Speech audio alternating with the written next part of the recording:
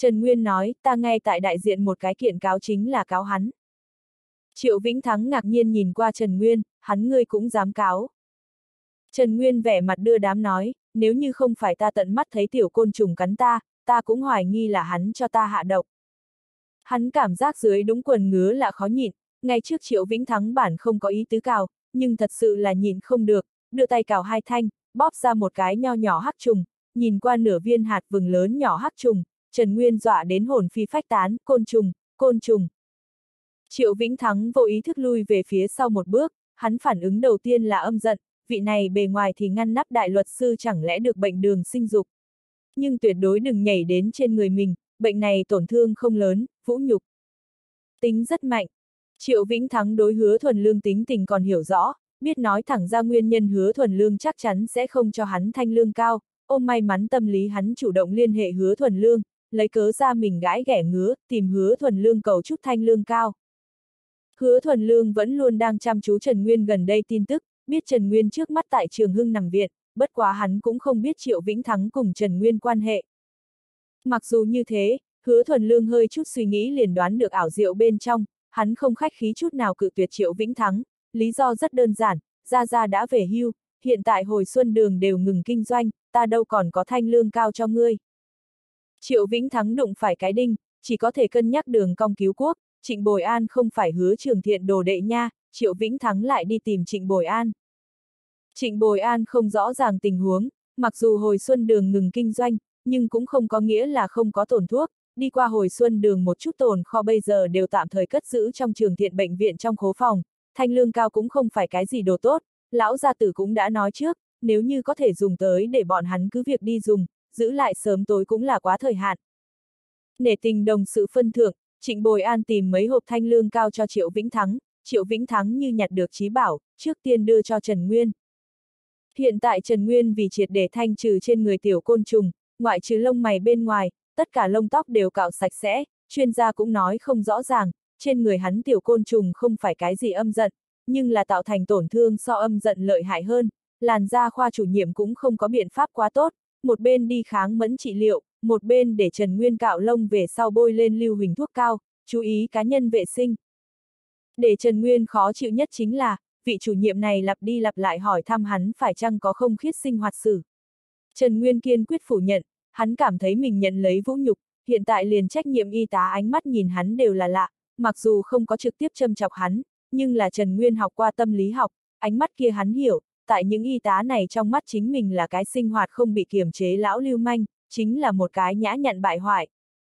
Lân cận giường cái kia người chung phòng bệnh không biết nghe được tin tức gì, kiên quyết yêu cầu rời xa, kia là lo lắng bị hắn truyền nhiễm, ai cũng không thể cam đoan trên người hắn còn giận có thể hay không nhảy nhót đến trên người mình. Trần Nguyên tại đem mình dọn dẹp nhiều lần về sau, trên thân cuối cùng không có tiểu côn trùng, nhưng dị ứng triệu chứng vẫn là không có chuyển biến tốt đẹp.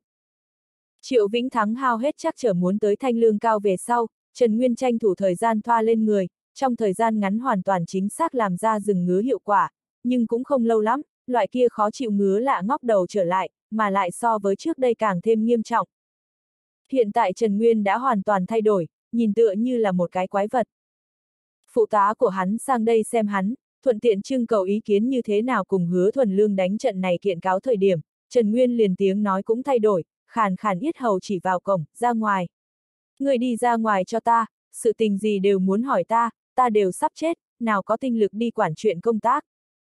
Trần Nguyên lần thứ nhất nghĩ đến chết, nếu như tình hình này tiếp tục, hắn sẽ sống không bằng chết.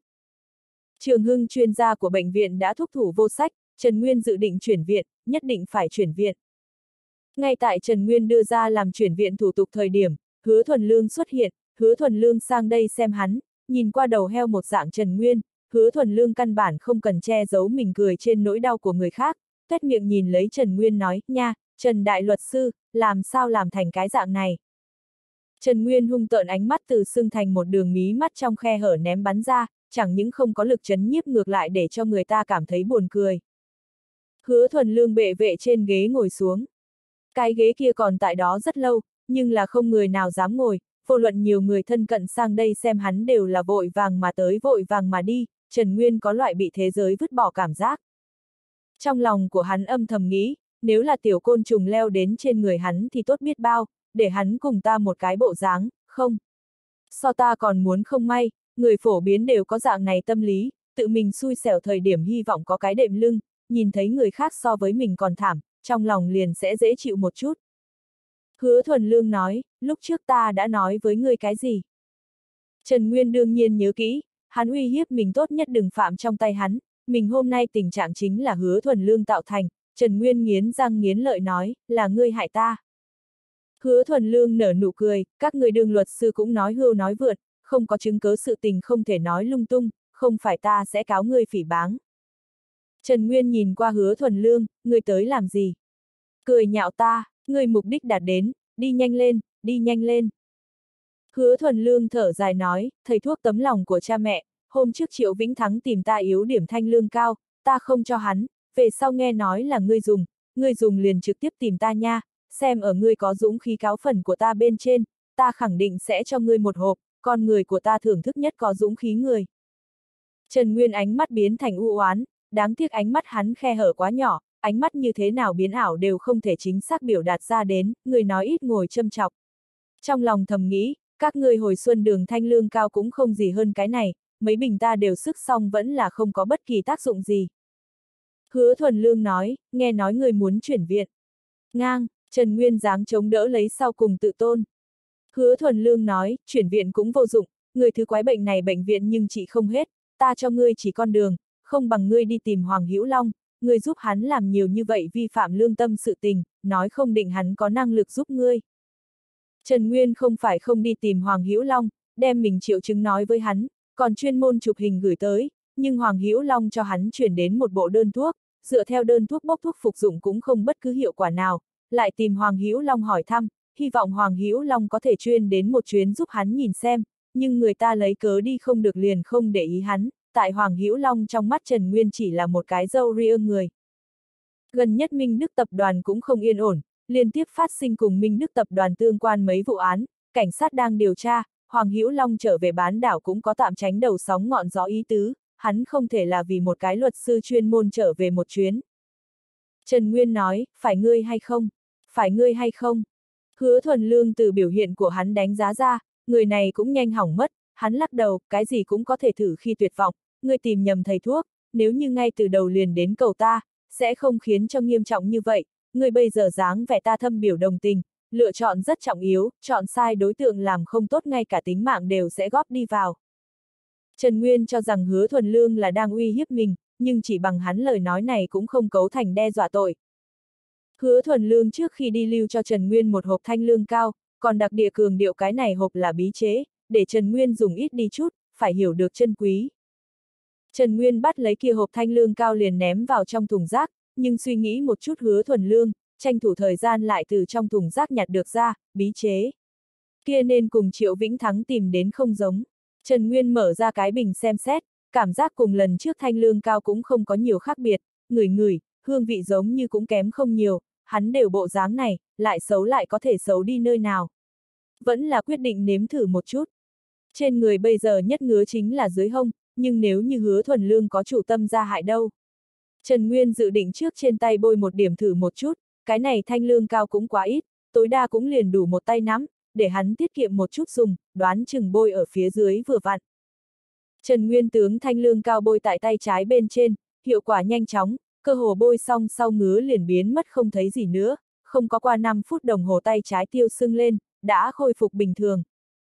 Trần Nguyên gần như không thể tin tưởng con mắt của mình, tùy theo mà đến là vô tận hối hận, ta liền không nên bôi tại tay trái bên trên, ta hẳn là trước chiếu cố tiểu huynh đệ, hiện tại kích thước đều nhanh có thể cùng kiềm chi con lừa một hồi dài ngắn, vừa đau lại ngứa, hận không thể đưa nó cắt mất. 1. Trần Nguyên hiện tại có thể kết luận, mình bây giờ dáng vẻ chính là bái hứa thuần lương ban tặng, ta muốn cáo hắn, dùng ám chiêu hại ta, vì cái gì hứa thuần lương đi qua phòng làm việc của mình về sau mình liền phát bệnh rồi. Vì cái gì toàn bộ luật chỗ những người khác không có bị truyền nhiễm. Vì cái gì bệnh viện thúc thủ vô sách, vì cái gì cùng phòng bệnh người chung phòng bệnh cũng không có việc gì. Vì cái gì bôi hắn bí chế dược cao ta xong ngay đây. Trần Nguyên dù sao cũng là xử lý pháp luật công tác, hắn rõ ràng mọi thứ đều muốn giảng chứng cứ, nếu như chỉ bằng phỏng đoán của hắn đi cáo hứa thuần lương, khẳng định lấy thua kiện chấm dứt, người khác sẽ còn nói hắn chó cắn Lữ Động Tân không biết người tốt tâm. Tay trái tiêu xương rừng ngứa, ván này bộ triệu chứng cải thiện càng làm nổi bật ra địa phương khác thống khổ, Trần Nguyên càng phát ra nhận thức đến hứa thuần lương âm hiểm ác độc, người này không có ý tốt a, cố ý mang đến cho ta một bình thanh lương cao, như thế điểm lượng chỉ đủ ta bôi cục bộ. Con hàng này căn bản chính là muốn để ta nửa vời, nếm đến ngon ngọt về sau muốn ngừng mà không được, buông xuống tất cả tự tôn đi cầu hắn. Trần Nguyên nội tâm lâm vào kịch liệt đấu tranh bên trong. Thần nông thuốc đông y tập đoàn tại Luân Phiên bị tra về sau, Tào Bình Nghĩa ý thức được tính nghiêm trọng của vấn đề, hắn chủ động đi đến một chuyến thiếu thành, cầu kiến Hạ Hầu Mộc Lan. Hạ Hầu Mộc Lan suy nghĩ một chút vẫn là cùng hắn gặp mặt một lần, dù sao cũng là bì môn nguyên lão, nàng đối Tào Bình Nghĩa khốn cảnh phi thường rõ ràng, hứa thuần lương đã khả năng giúp đỡ Mộc Lan tập đoàn tiến vào trung y thuốc trọng điểm nâng đỡ tên đơn, liền có năng lực tướng Tào Bình Nghĩa thần nông tập đoàn đá ra đi. Chuyện này trách không được hứa thuần lương, là Tào Bình Nghĩa trước dẫm qua giới, mình cùng Tào Bình Nghĩa đánh qua chào hỏi để hắn đừng tranh đoạt vũng nước đục này. Hứa thuần lương cũng chuyên môn cho Tào Bình Nghĩa gọi điện thoại, cấp ra trao quyền sử dụng điều kiện, nhưng Tào Bình Nghĩa nghĩ minh bạch giả hồ đồ, hắn từ vừa mới bắt đầu liền cho rằng trận này kiện cáo hứa thuần lương thua không nghi ngờ, cho nên tướng tất cả bảo đều đặt ở anh em nhà họ Chu một phương. Ánh mắt thiền cận người bình thường không hiểu được cho mình lưu đủ đường lui, chờ đến tỉnh ngộ lúc sau đã chậm. Thần nông thuốc đông y tập đoàn liên tiếp bị tra, không lâu lại nghe nói phụ trách cho hứa thuần lương thư kiện đại luật sư Trần Nguyên bởi vì bệnh nằm viện, tự mình ra tòa cơ hội đã cực kỳ bé nhỏ. Anh em nhà họ Chu hai, tướng cổ phần chuyển nhượng cho Tào Bình Nghĩa về sau, một cái tiếp tục ngồi tù, một cái thâm cư không ra ngoài, rõ ràng là bọn hắn hẳn là đứng ra cùng hứa thuần lương đánh đối kháng, nhưng bọn hắn lại vẫn cứ đều trốn đi, chứng minh cái này hai huynh đệ cũng sớm đã sợ. Tào Bình Nghĩa bắt đầu khắp nơi nghe ngóng hứa thuần lương bối cảnh quan hệ, theo nắm giữ tin tức càng ngày càng nhiều, hắn mới biết được tại Trung y thuốc cục quản lý cầm quyền Lâm Tư Cẩn là hứa thuần lương mẹ nuôi, vì môn đại diện môn chủ hạ hầu Mộc Lan cùng hứa thuần lương cũng là mật thiết quan hệ hợp tác. Hắn hiện tại mới ý thức tới trận này kiện cáo hứa thuần lương chưa chắc là ổn thua, có lẽ còn có đảo ngược khả năng. Tào Bình Nghĩa không thể không cân nhắc đường lui, kỳ thật hứa thuần lương tìm hắn muốn hàng năm 500 vạn nhãn hiệu sử dụng phí cũng không cao lắm, dù sao nhân hòa đường dược phẩm chủng loại không ít, cái này tấm bảng tại trung y thuốc thị trường tán thành độ có phần cao, nhất là nhân hòa đường xương tổn thương thuốc cao, một mực đứng hàng loại này mạng lưới tiêu thụ hàng đầu. Tào Bình Nghĩa sở dĩ tới gặp Hạ Hầu Mộc Lan là bởi vì hắn biết liên hệ hứa thuần lương khẳng định sẽ nếm mùi thất bại, Hạ Hầu Mộc Lan vừa mới bị chỉ định là Hạ Hầu Uyên người nối nghiệp, tương lai bì môn môn chủ, trước mắt đã toàn diện phụ trách bì môn sự vụ, chỉ mấy cái nguyệt sau thông qua bì môn 6 kỹ khảo sát liền có thể trở thành bì môn danh chính ngôn thuận môn chủ. Trong khoảng thời gian này bì môn nhân vật trọng yếu cũng nhao nhao tiến về tiếu thành tiếp Hạ Hầu Mộc Lan, mặc dù có loại thuyết pháp Hạ Hầu Mộc Lan không có khả năng thông qua bì môn 6 kỹ khảo sát, nhưng là có Hạ Hầu Uyên ủng hộ, ai nào biết có thể hay không đổi quy tắc, dù sao trước mắt Hạ Hầu Mộc Lan đã nhận lấy bì môn quyền quản lý, là về sau cân nhắc sớm tiếp tương lai môn chủ cũng là ra ngoài lâu dài cân nhắc. Tào Bình Nghĩa động cơ đương nhiên không có đơn thuần như vậy, hắn còn muốn mượn lần này cơ hội gặp một lần Hạ Hầu Uyên. 2. Một phen hàn huyên về sau, Tào Bình Nghĩa đưa lên một phần đơn đặt hàng, mua sắm Mộc Lan căn cứ bạc bạch thược cùng đoạn máu chảy hai loại dược liệu, đến một lần hắn xưởng chế thuốc cần, thứ hai Mộc Lan căn cứ hai thứ này dược liệu phẩm chất một lưu, mua ai không phải mua, đưa lên đơn đặt hàng còn có thể biểu hiện ra thiện ý của mình. Tào Bình Nghĩa nói, Mộc Lan tiểu thư, ta còn có dạng đồ vật muốn làm bột đưa cho lão môn chủ, không biết phải chăng là thuận tiện. Hạ hầu Mộc Lan nói, hắn ra ngoài rồi, ta cũng không biết hắn đi địa phương nào, có đồ vật gì lưu lại ta chuyển giao đi. Tào Bình Nghĩa nói, vẫn là ở trước mặt cho hắn phù hợp một chút. Hạ hầu Mộc Lan cũng không hiếm có hắn đồ vật, lạnh nhạt nói, chỉ là như thế điểm đơn đặt hàng Tào tiên sinh cần gì phải tự mình đến một chuyến. Tào Bình Nghĩa nói, ta lần này tới chủ yếu là chúc mừng Mộc Lan tiểu thư ra mặt chủ trì bì môn đại cục. 1. Hạ hầu Mộc Lan nói, tạm thời sự tình, người hẳn phải biết trong môn quy củ, không thông qua bì môn 6 kỹ khảo hạch liền không có tư cách kế thừa môn chủ chi vị, người cũng hẳn là không tán đồng, nếu không liền sẽ không cái này a à xưng hô ta. Tào Bình Nghĩa trong lòng thầm nghĩ, xem ra ta đắc tội nàng, bì môn 6 kỹ nào có dễ dàng như vậy thông qua. Bì môn từ thành lập đến nay, không ai là tại 30 tuổi trước đó thông qua bì môn 6 kỹ khảo hạch, người hạ hầu Mộc Lan tiêu chuẩn ta nhiều ít vẫn là hiểu rõ một chút, người nếu có thể làm được cũng sẽ không kéo dài đến 3 tháng về sau mới tiến hành khảo hạch. Tào Bình Nghĩa cười nói, quen thuộc, đúng, ta nghe nói Mộc Lan tập đoàn đã tiến vào quốc gia thuốc đông y trồng căn cứ nâng đỡ danh sách. Hạ Hầu Mộc Lan nói, có chuyện này, tin tức ta tương đối lạc hậu, là cuối cùng mới nói lên xin, các ngươi không phải cũng nhập vây sao. Tào Bình Nghĩa thở dài nói, lúc đầu đã thông qua được sơ thẩm, nhưng tại cuối cùng tuyên bố kết quả thời điểm bị cầm xuống. Hạ Hầu Mộc Lan cười nói, hy vọng không phải Mộc Lan tập đoàn thay thế các ngươi. Tào Bình Nghĩa phi thường rõ ràng, Hạ Hầu Mộc Lan là cố ý nói cho mình nghe, 89 phần 10 chính là Mộc Lan tập đoàn thay thế hắn thần nông trung thảo dược tập đoàn. Không biết Hạ Hầu Mộc Lan cùng hứa thuần lương là quan hệ như thế nào? Nàng thế mà cùng hứa thuần lương thông đồng một mạch đối phó đồng môn. Kỳ thật cái này bồi dưỡng hạng mục cũng không có gì, coi như thông qua cũng chỉ là dệt hoa trên gấm, hình thức thôi.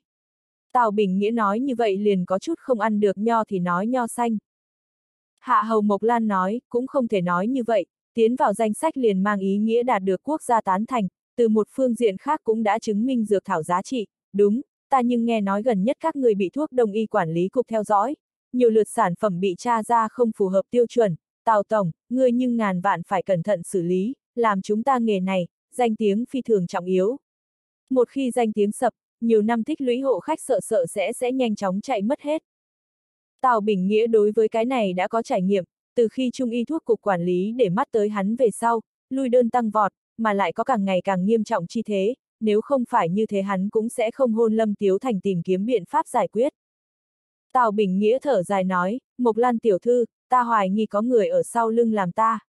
Thân là bì môn một viên, nếu như bị ngoại nhân thiết kế, hướng môn chủ tìm xin giúp đỡ cũng là chuyện đương nhiên, không phải ta làm gì hàng năm đều cho ngươi Mộc Lan tập đoàn hạ nhiều như vậy đơn đặt hàng. Giúp đỡ việc buôn bán của ngươi. Đây chính là biến tướng giao phí bảo hộ, ta bảo vệ phí giao nộp qua, ngươi liền có nghĩa vụ hộ ta bình an. Hạ Hầu Mộc Lan nói, có người là ai a? À? Tào Bình Nghĩa nhìn hai bên một chút, cũng không có người nào khác, hắn vẫn vẫn là hạ giọng nói, hẳn là hứa thuần lương. Một, Hạ Hầu Mộc Lan cố ý nói, hắn cùng ngươi không cừu không oán tại sao muốn làm ngươi. Tào Bình Nghĩa thở dài nói, còn không phải là bởi vì ta thu mua nhân hòa đường chuyện cổ phần. Hắn đem tiền căn hậu quả lại nói một lần, rõ ràng rõ ràng Hạ Hầu Mộc Lan đều biết, nhưng hắn còn phải lặp lại, chủ yếu là hy vọng Hạ Hầu Mộc Lan có thể từ góc độ của hắn đến nhìn vấn đề. Tào Bình Nghĩa cũng không cho là mình thu mua anh em nhà họ chu cổ phần trong tay có vấn đề gì, người ta nguyện ý tiện nghi bán cho hắn, thân vì một cái thương nhân gặp được tiện nghi không chiếm đây chẳng phải là vi phạm thiên mệnh. Mà lại hắn cũng không biết ở trong đó có nhiều như vậy phiền phức, nếu như lúc trước liền biết nhân hòa đường nội bộ phức tạp như vậy, hắn cũng không sẽ chủ động trêu chọc cái phiền toái này. Hạ Hầu Mộc Lan nghe xong liền biết người này không có nói thật, khiến cho hắn cùng người bị hại, lấy Tào Bình Nghĩa tu vi tuyệt sẽ không liền nhãn hiệu thuộc về quyền đều không làm rõ ràng được liền mua xuống anh em nhà họ chu cổ phần trong tay. Hắn đã sớm biết có người muốn cùng hứa thuần lương đánh nhãn hiệu quyền sở hữu kiện cáo, mà lại ôm định hứa thuần lương tất thua không thể nghi ngờ suy nghĩ, cho nên mới xuất thủ nhặt cái này tiện nghi, nếu như tham tiện nghi coi như bỏ qua, nếu như hắn là cùng đừng người thông đồng một mạch nghĩ muốn đối phó hứa thuần lương. Vậy chỉ có thể nói hắn là thấy lợi tối mắt. Hạ hầu Mộc Lan nghe hắn nói xong, nhíu mày một cái nói, ngươi nói nhiều như vậy, ta còn là không nghe ra hứa thuần lương làm sao làm ngươi, rõ ràng là ngươi chiêu trêu người ta. Tào Bình Nghĩa vẻ mặt đưa đám nói, chẳng lẽ người không rõ ràng hứa thuần lương mẹ nuôi chính là trung y thuốc cục quản lý lâm chủ nhiệm. 1. Hạ Hầu Mộc Lan nói, cho nên ngươi liền hoài nghi gần nhất phát sinh một dãy chuyện tất cả đều là hứa thuần lương tại đối phó ngươi. Không phải đâu. Hạ Hầu Mộc Lan nói, không có chứng cứ sự tình tuyệt đối đừng nói lung tung, xem ra trong lòng ngươi cũng nhất định cho rằng là ta đem các ngươi gạt ra nâng đỡ danh sách. Không có, ta tuyệt không có, Tào Bình Nghĩa miệng rất cứng. Hạ Hầu Mộc Lan trong lòng tự nhủ ngươi cho dù có ta cũng không quan tâm. Tào Bình Nghĩa lại nói, ta chỉ là một cái người làm ăn, từ trước đến nay thừa hành hòa khí sinh tài, ta cùng hứa thuần lương đi qua không có đã từng quen biết, ta há sẽ chủ động cùng hắn là địch. Hạ Hầu Mộc Lan nói, Tào Tổng, người những lời này có phải hay không tìm nhầm đối tượng? Tào Bình Nghĩa nói, ta là không muốn mọi người cửu oán càng kết càng sâu, nếu như ta cùng hắn trở mặt thành thù, bì môn chắc chắn sẽ không ngồi yên không lý đến đi. Hạ Hầu Mộc Lan lạnh lùng nhìn qua Tào Bình Nghĩa nói, người đây là tại bắt cóc toàn bộ bì môn sao. Tào Bình Nghĩa nội tâm run lên, vẫn cố giả bộ chấn định nói, Mộc Lan tiểu thư lời ấy sai rồi, Bì môn đệ tử đồng khí liên chi, mặc kệ ai gặp được phiền phức, đồng môn đều muốn làm viện thủ, ta chẳng lẽ không phải bì môn bên trong người sao? Hạ hầu Mộc Lan nói, bì môn có bì môn quy củ, bì môn đệ tử đồng khí liên chi, cùng nhau trông coi không tệ, thế nhưng là cũng không phải là bất cứ chuyện gì đều muốn làm viện thủ, Vũ Viên Nghĩa tại sao lại bị thanh lý môn hộ? Bởi vì hắn phạm pháp loạn kỳ cương, chúng ta đương nhiên sẽ không đối bị môn đệ tử bị người bắt nạt ngồi yên không lý đến, nhưng là nếu như bị môn đệ tử đã làm sai trước, chúng ta đồng dạng sẽ không bao che khuyết điểm. Lời nói này nói đến chém đinh chặt sắt, cũng làm cho Tào Bình Nghĩa hãi hùng khiếp vía, không tệ, Vũ Viên Nghĩa cùng Hạ Hầu Uyên là kết bái huynh đệ, liền hắn đều rơi xuống bị trục xuất môn hạ chàng huống chi chính mình. Tào Bình Nghĩa nói, Mộc Lan tiểu thư, ta có thể cam đoan, ta cũng không ra hại người khác chi tâm, chắc hẳn hứa thuần lương hiểu lầm. Hạ Hầu Mộc Lan nói, người nói với ta những này là hy vọng ta giúp ngươi tìm hắn giải thích một chút. Tào Bình Nghĩa nói, ta nghe nói người cùng hắn là bằng hữu. Một. Hạ Hầu Mộc Lan nói, bằng hữu bình thường mà thôi. Nói dối thời điểm, nhịp tim đều không tự chủ được tăng nhanh, nào có bọn hắn dạng này bằng hữu bình thường, đều mai nở n độ, nhớ tới cùng hứa thuần lương cùng một chỗ thời gian liền càng phát giác Tào Bình Nghĩa chán ghét, trước kia ta liền ám chỉ qua ngươi, nhưng ngươi căn bản không nể mặt ta, hiện tại bị đánh, biết đau, lại tới tìm ta, ngươi cảm thấy mình mặt đủ lớn sao? Tào Bình Nghĩa nói, thực không dám giấu giếm, hứa thuần lương trước đây đi tìm ta một lần, hắn đưa ra hàng năm muốn 500 vạn nhãn hiệu sử dụng phí. Hạ Hầu Mộc Lan nói, nhân hòa đường nhãn hiệu, hàng năm 500 vạn coi như hợp lý A. Tào Bình Nghĩa thở dài nói, nếu như cái này nhãn hiệu quyền sở hữu không có bất cứ vấn đề gì ta cũng đáp ứng, nhưng bây giờ có người đứng ra cáo hắn, yêu cầu cầm lại nhân hòa đường nhãn hiệu quyền sở hữu, mà lại nghe nói Chu Nhân Hòa lúc trước kia phần di trúc đều tồn đang vấn đề, cũng không hợp pháp, người nói ta dưới loại tình huống này sao có thể đáp ứng chứ? Hạ Hầu Mộc Lan mỉm cười nói, người có phải hay không cảm thấy hứa thuần lương tất thua không thể nghi ngờ. Cho nên dự định tướng bảo áp tại một bên khác. Tào Bình Nghĩa nói, dù sao ta hiểu rõ đến tình huống, hắn trận này kiện cáo đánh thắng khả năng cực kỳ bé nhỏ. Hạ Hầu Mộc Lan nói, đã như vậy, người có thể lớn mật đem bảo toàn đều áp tại một bên khác.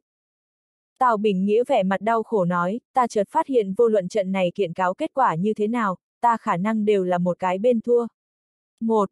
Hứa thuần lương thắng trận này kiện cáo khẳng định sẽ nâng lên nhãn hiệu quyền sử dụng bảng giá, thậm chí không còn cho hắn sử dụng cũng có thể, nếu như hứa thuần lương thua, lấy trước mắt biểu hiện ra thủ đoạn, hắn chắc chắn sẽ không dễ tha mình. Tào Bình Nghĩa lo lắng Trung y thuốc cục quản lý sẽ đối với thần nông trung thảo dược tập đoàn đuổi đánh tới cùng, chơi hắn nhóm nghề này sợ bị nhất để mắt tới, muốn tìm hắn mau bệnh quá dễ dàng. Hạ Hầu Mộc Lan nhìn thấy Tào Bình Nghĩa buồn bực bộ dáng trong lòng âm thầm buồn cười, sớm biết như thế sao lúc trước còn như thế, cái này chứng minh hứa thuần lương hoàn toàn chính xác đem hắn đánh đau. Hạ Hầu Mộc Lan nói, bình thường ôm kiếm tiện nghi tâm lý đi làm việc, cuối cùng thường thường đều là đem mình lấy được phiền phức bên trong, tình cảnh của người ta đã hiểu rõ, ta chỉ có thể biểu thị đồng tình. Tào Bình Nghĩa nghe ra Hạ Hầu Mộc Lan có ngồi yên không lý đến bộ dáng, dứt khoát nói rõ, người nhìn có hay không có thể giúp ta cùng hứa thuần lương nói một chút, ta đồng ý giao nạp hàng năm 500 vạn nhãn hiệu sử dụng phí. Hạ Hầu Mộc Lan thật sự là phục hắn luôn rồi, Tào Bình Nghĩa ra mặt đúng là dày, lúc trước người ta chủ động tìm ngươi ngươi không đáp ứng, hiện tại nếm đến đau khổ lại nghĩ tiếp nhận, trên đời này nào có chuyện dễ dàng như vậy. Tào Tổng, người đây là muốn hai đầu đặt cửa A. À? Tào Bình Nghĩa cười khổ nói, ta là tại tận khả năng lẩn tránh phong hiểm, ta chính là cái giữ khuôn phép người làm ăn, thật không muốn cuốn vào người khác phân tranh bên trong.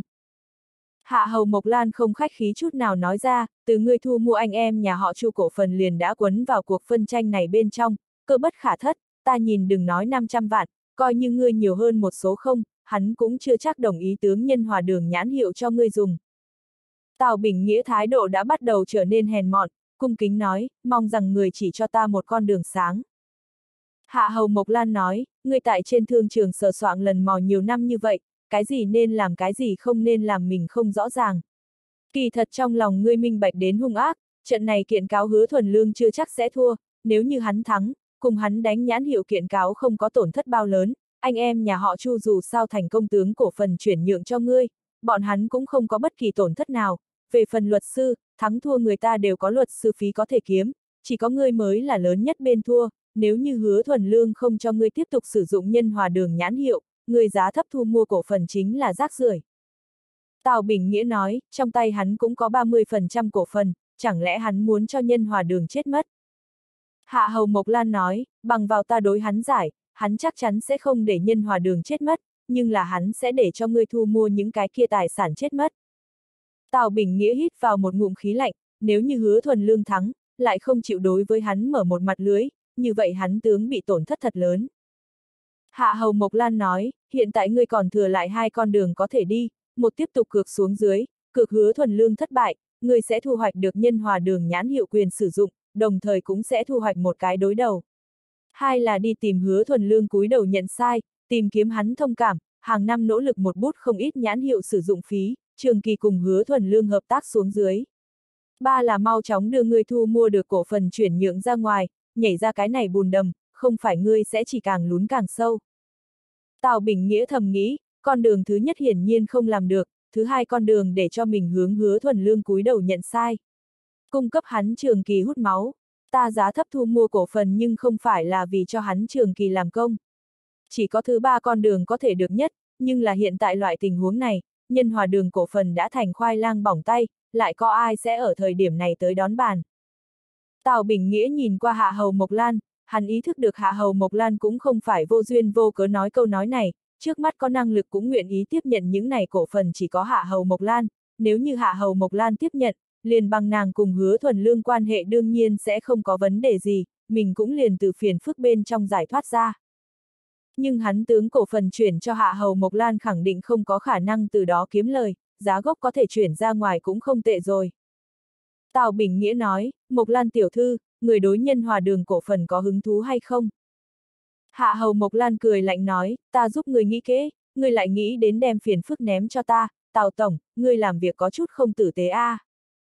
Tào Bình Nghĩa tranh thủ thời gian giải thích nói, ta nhưng không có vùng nổi ý tứ, Mộc Lan tiểu thư, không, môn chủ, người nếu là tiếp nhận nhân hòa đường, ta đoán chừng hứa thuần lương sẽ không có bất kỳ ý kiến, coi như người cho ta giúp cái bận bịu, ta là thật không muốn tiếp tục lội cái này nước đục, người nói rất đúng, ta tưởng rằng kiếm tiện nghi, ai có thể nghĩ nhặt được cái đại phiền toái. Hắn liền môn chủ đều gọi ra. Hạ Hầu Mộc Lan nói, cho nên ngươi vừa muốn đem phiền phức giao cho ta. Đối với ta là phiền phức, đối với ngài cũng không phải. Hạ Hầu Mộc Lan nói, không được a, à, ta hiện tại tiếp nhận, người khác há sẽ không cảm thấy ta nhân lúc cháy nhà mà đi hôi của. Tào Bình Nghĩa nói, ai sẽ nói a, à, sinh ý là người ta tại làm, ta cho rằng ngài là đưa than sưởi ấm trong ngày tuyết rơi, môn chủ, người coi như cho ta giúp một chút được hay không? Ta từ anh em nhà họ Chu trong tay tiếp nhận những này cổ phần giá cả thật là không quý, đáng tiếc ta không có cái này kiếm tiền mệnh, dạng này, ta y nguyên không thay đổi chuyển nhượng cho ngài. Hạ Hầu Mộc Lan nở nụ cười, người thật đúng là có thành ý a. À. Tào Bình Nghĩa mặt mo phát nhiệt, kỳ thật hắn tại cùng anh em nhà họ Chu giao dịch lúc sau đã tướng giá tiền ép đến thấp nhất, Hạ Hầu Mộc Lan đây là lại muốn ở đây trên cơ sở rất chảm mình một đao, cô nàng này không phải nhân lúc cháy nhà mà đi hôi của là cái gì. Tào Bình Nghĩa nội tâm đấu tranh một chút, nhịn đau nói, môn chủ, cũng chính là người, ta cho ngài đánh cái 95%. Hạ Hầu Mộc Lan nói, ta đối loại này sinh ý hứng thú không lớn, ngươi sẽ không ép mua ép bán A. Nếu không dạng này, ta liên lạc một chút hứa thuần lương, xem hắn có không có thu về mục đích. Tào Bình Nghĩa biết mình không ra điểm huyết là không làm được cái này cái cọc giao dịch, hắn thấp giọng nói, môn chủ, người nói giá thôi. Hạ Hầu Mộc Lan nói, ta không hứng thú giúp ngươi tiếp nhận cái phiền toái này, nhưng ngươi lại là bì môn tiền bối, ta nếu là không giúp ngươi cũng không đành lòng, giá tiền không quan trọng, ngươi nếu là kiên trì giá gốc vậy liền giá gốc, bất quá về sau hứa thuần lương lại tìm ngươi phiền phức liền không có quan hệ gì với ta.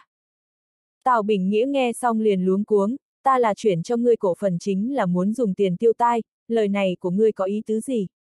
Giá gốc cầm cổ phần của ta còn muốn đối ta sự tình ngồi yên không lý đến, khó mà làm được, Tào Bình Nghĩa cắn cắn răng 88%. Hạ Hầu Mộc Lan thở dài nói, xem ra ngươi là thật không muốn, nói chuyện đều cả lăm, giảm còn 80% liền giảm còn 80% đi. Tào Bình Nghĩa trợn mắt hốc mồm, người đại gia, ta nói đúng 88%, ta lúc nào cả lăm rồi.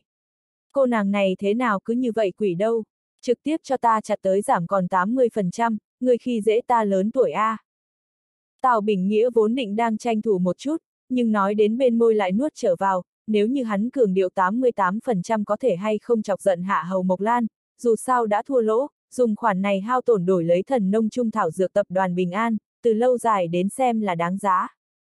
Ăn trộm gà bất thành còn mất nắm gạo Tào Bình Nghĩa cầm lấy chén trà ừng ực ừng ực rót mấy ngụm, được, một lời đã định. Hạ Hầu Mộc Lan nói, chuyển nhượng hợp đồng đã chuẩn bị xong, chúng ta hiện tại liền có thể ký tên. Tào Bình Nghĩa lần nữa trợn mắt hốc mồm, mình hết thảy tất cả đều tại Hạ Hầu Mộc Lan tính toán bên trong, người đại gia, quá độc ác đi, coi ta là thành một tiểu tử ngốc tính, ta dù sao cũng là bì môn tiền bối, ta không muốn bột tử. Hạ Hầu Mộc Lan để trợ lý đưa tới hợp đồng, quả nhiên chuẩn bị xong, Tào Bình Nghĩa trước khi tới đây, nàng cùng hứa thuần lương liền thông khí, hai người phân tích Tào Bình Nghĩa này tới mục đích, suy đoán ra Tào Bình Nghĩa cuối cùng muốn đem cổ phần chuyển nhượng cho Hạ Hầu Mộc Lan, liền giá tiền đều giúp hắn coi là tốt. Tào Bình Nghĩa nhìn xem việc này trước liền liệt ấn tốt hợp đồng, đầu ông ông, Hạ Hầu Mộc Lan chỉ là một cái dự bị môn chủ, mình liền rút một bút như thế nặng nề chính trị hiến kim, cô nàng này thủ đoạn quá lợi hại. Hạ Hầu Mộc Lan bất động thanh sắc nhắc nhở hắn nói, Tào Tổng, người vẫn là suy nghĩ kỹ càng, ký tên liền không thể đổi ý. Tào Bình Nghĩa nói, phù sa không lưu ruộng người ngoài nha. Hạ Hầu Mộc Lan nói, người muốn nói như thế vẫn là đừng ký, ta thật không nghĩ chiếm người tiện nghi, cái này tiện nghi người muốn cho ai chiếm để ai chiếm đi. Tào Bình Nghĩa tranh thủ thời gian bồi cười, môn chủ, ta chính là chỉ đùa một chút, người nhưng tuyệt đối đừng coi là thật. Hắn cầm bút lên chuẩn bị ở phía trên ký tên của mình, nhưng liền nghĩ tới một sự kiện. Đúng rồi, Trung y thuốc cục quản lý phương diện mong rằng môn chủ giúp ta chuẩn bị chuẩn bị. Hạ Hầu Mộc Lan lạnh nhạt nói, theo ta được biết, Trung y thuốc cục quản lý không lâu còn có một lần duyệt lại, duyệt lại danh sách chủ yếu là đối một chút tại cuối cùng bị bài trừ tại danh sách bên ngoài xí nghiệp, nghe nói còn có ba cái tên chán. Tào Bình Nghĩa nhìn qua Hạ Hầu Mộc Lan, Hạ Hầu Mộc Lan kỳ thật cũng không biết là thật là giả, dù sao hứa thuần lương để nàng nói như vậy, nàng cũng liền nói cho Tào Bình Nghĩa nghe một chút. Tào Bình Nghĩa rõ ràng chính mình cũng không có khả năng để Hạ Hầu Mộc Lan làm ra cái gì hứa hẹn, cầm bút lên trơn chu tại trên hợp đồng ký tên. Hạ Hầu Mộc Lan đi đến chương trình, lạnh nhạt nói, Tào Tổng tốt nhất vẫn là tự mình đi một chuyến Đông Châu, có chút hiểu lầm ở trước mặt giải thích rõ ràng tốt nhất. Hứa thuần lương tiếp vào Hạ Hầu Mộc Lan điện thoại. Hạ Hầu Mộc Lan có chút nhỏ hưng phấn, nói cho hắn biết đại công cáo thành, nàng hiện tại đã trở thành nhân hòa đường đại cổ đông. Hứa thuần lương cười nói, vậy sau này ngươi chính là ta chủ tịch. Hạ Hầu Mộc Lan cố ý nói, ngươi dự định về sau hàng năm thu ta nhiều ít nhãn hiệu sử dụng phí. Hứa thuần lương nói, ta đối tiền không có khái niệm, muốn không phải là đến điểm bây giờ. Cái gì bây giờ? Thịt thường thôi. Hạ Hầu Mộc Lan mắng, liền biết ngươi không có ý tốt, ta nhưng nói cho ngươi, làm ăn là làm ăn. Trong lòng ngọt lịm, thịt thường, tốt như chính mình không có chút nào ăn thiệt thòi, cái này cái phương thức ta có thể tiếp nhận. Hứa thuần lương nói, ta không hiểu làm ăn, người phát đại tài, ta đi theo ăn chút uống chút, ăn uống no đủ cao hứng còn có thể cho người phát mấy ức đâu. Hạ hầu Mộc Lan nhất thời không có kịp phản ứng, trong lòng tự nhủ hắn nào có nhiều tiền như vậy. Bất quá rất nhanh liền hiểu được, đỏ mặt gắt giọng, người không lưu manh không biết nói chuyện có phải không. Ta cho người biết hứa thuần lương, ta ghi chép âm, quay đầu cáo ngươi phi lễ. Hứa thuần lương nói, ta còn liền không sợ thưa kiện, ngươi tranh thủ thời gian cáo ta, vừa vặn cùng nhãn hiệu kiện cáo cùng một chỗ đánh, có muốn hay không ta cho ngươi cung cấp điểm cái khác chứng cứ. Hạ hầu Mộc Lan không có ý tứ, đừng á. Hứa thuần lương nghe nàng ôn nhu có thể vặn xuất thủy thanh âm, lập tức ngang đầu ưỡn ngực, bình thường nữ nhân càng là ôn nhu nam nhân càng là kiên cường. Trần Nguyên quyết định lập tức xuất viện, bởi vì hắn ý thức được mình tiếp tục tại trường hương ở lại cũng sẽ không có bất kỳ chuyển biến tốt đẹp, xuất viện thời điểm, trợ thủ lái xe tới đón hắn, lúc đầu lão bà nói xong tới đón cũng lỡ hẹn, nguyên nhân chủ yếu là nàng hoài nghi Trần Nguyên lần này phát bệnh bắt nguồn từ ở bên ngoài không bị kiềm chế. Từ khi Trần Nguyên đem vị trí nào đó lông cạo sạch sẽ, nàng càng phát ra kiên định phương diện này phán đoán, cũng lâm vào bị liên lụy sợ hãi bên trong, hai ngày này nàng cũng làm một cái toàn diện thân thể kiểm tra, còn tốt bình an vô sự, bất quá ngẫm lại, Trần Nguyên cũng nhanh có tầm một tháng không có đụng mình, chẳng lẽ hắn chính là tại trong lúc này nhiễm lên quái bệnh. Vì chính mình trốn qua một kiếp may mắn sau khi cũng càng phát chán ghét Trần Nguyên, cái này nhã nhận bại loại, khó trách liền lương thực nộp thuế đều không giao nộp. Trợ thủ hỏi Trần Nguyên đi chỗ nào, Trần Nguyên suy nghĩ một chút vẫn là về nhà trước, cái dạng này thật sự là không có cách nào gặp người, chuyển viện. Giống như cũng không có tác dụng gì. Trần Nguyên ngồi ở hàng sau thân thể ngứa một chút khó chịu, tay trái ngoại lệ, nhìn qua khôi phục bình thường tay trái, hắn lâm vào cực độ cháy bỏng bên trong, nếu như tiếp tục như vậy xuống dưới, khả năng không đợi được pháp viện mở phiên tòa hắn liền sụp đổ, Trần Nguyên dùng khôi phục bình thường tay trái cho hứa thuần lương gọi một cú điện thoại.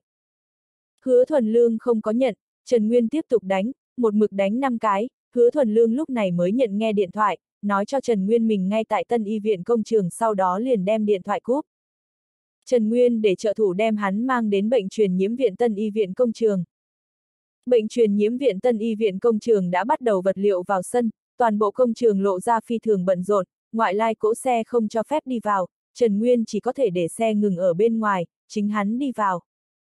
Bảo an trước đó nhận được thông chi cũng không có cản hắn, cho hắn một đỉnh màu vàng nhạt nón bảo hộ, để hắn đi lâm thời khu làm việc tìm hứa chủ nhiệm. Trần Nguyên dùng hai chân đo đạc lấy mảnh này sắp khai thác thổ địa, mặt đất lầy lội không chịu nổi, hắn vừa mua lớn mã giày thể thao không bao lâu liền nhiễm khắp cả vũng bùn, ngoại trừ vận động, hắn rất ít mặc giày thể thao, nhưng hai chân của hắn đã sưng mặc không lên đi qua giày, đôi giày này lớn hơn đến tận hai mã yát. Hắn híp mắt lại tìm kiếm lấy hứa thuần lương thân ảnh, tại hoạt động căn phòng phía trước tìm được hứa thuần lương thân ảnh mạnh mẽ rắn giỏi. Hứa thuần lương ngay tại hướng bảo an người phụ trách chu mãnh bố trí công việc. Trần Nguyên xác định phương hướng, bước nhanh hơn, chân trái hãm tại bùn đất bên trong, dùng sức rút chân ra, giày lại rơi tại bên trong, hắn chật vật không chịu nổi nhặt lên giày, một lần nữa tướng tràn đầy bùn đất giày thể thao bộ bên trên, cảm giác thật sự là phù hợp mình bây giờ tình cảnh, bùn đủ hãm sâu.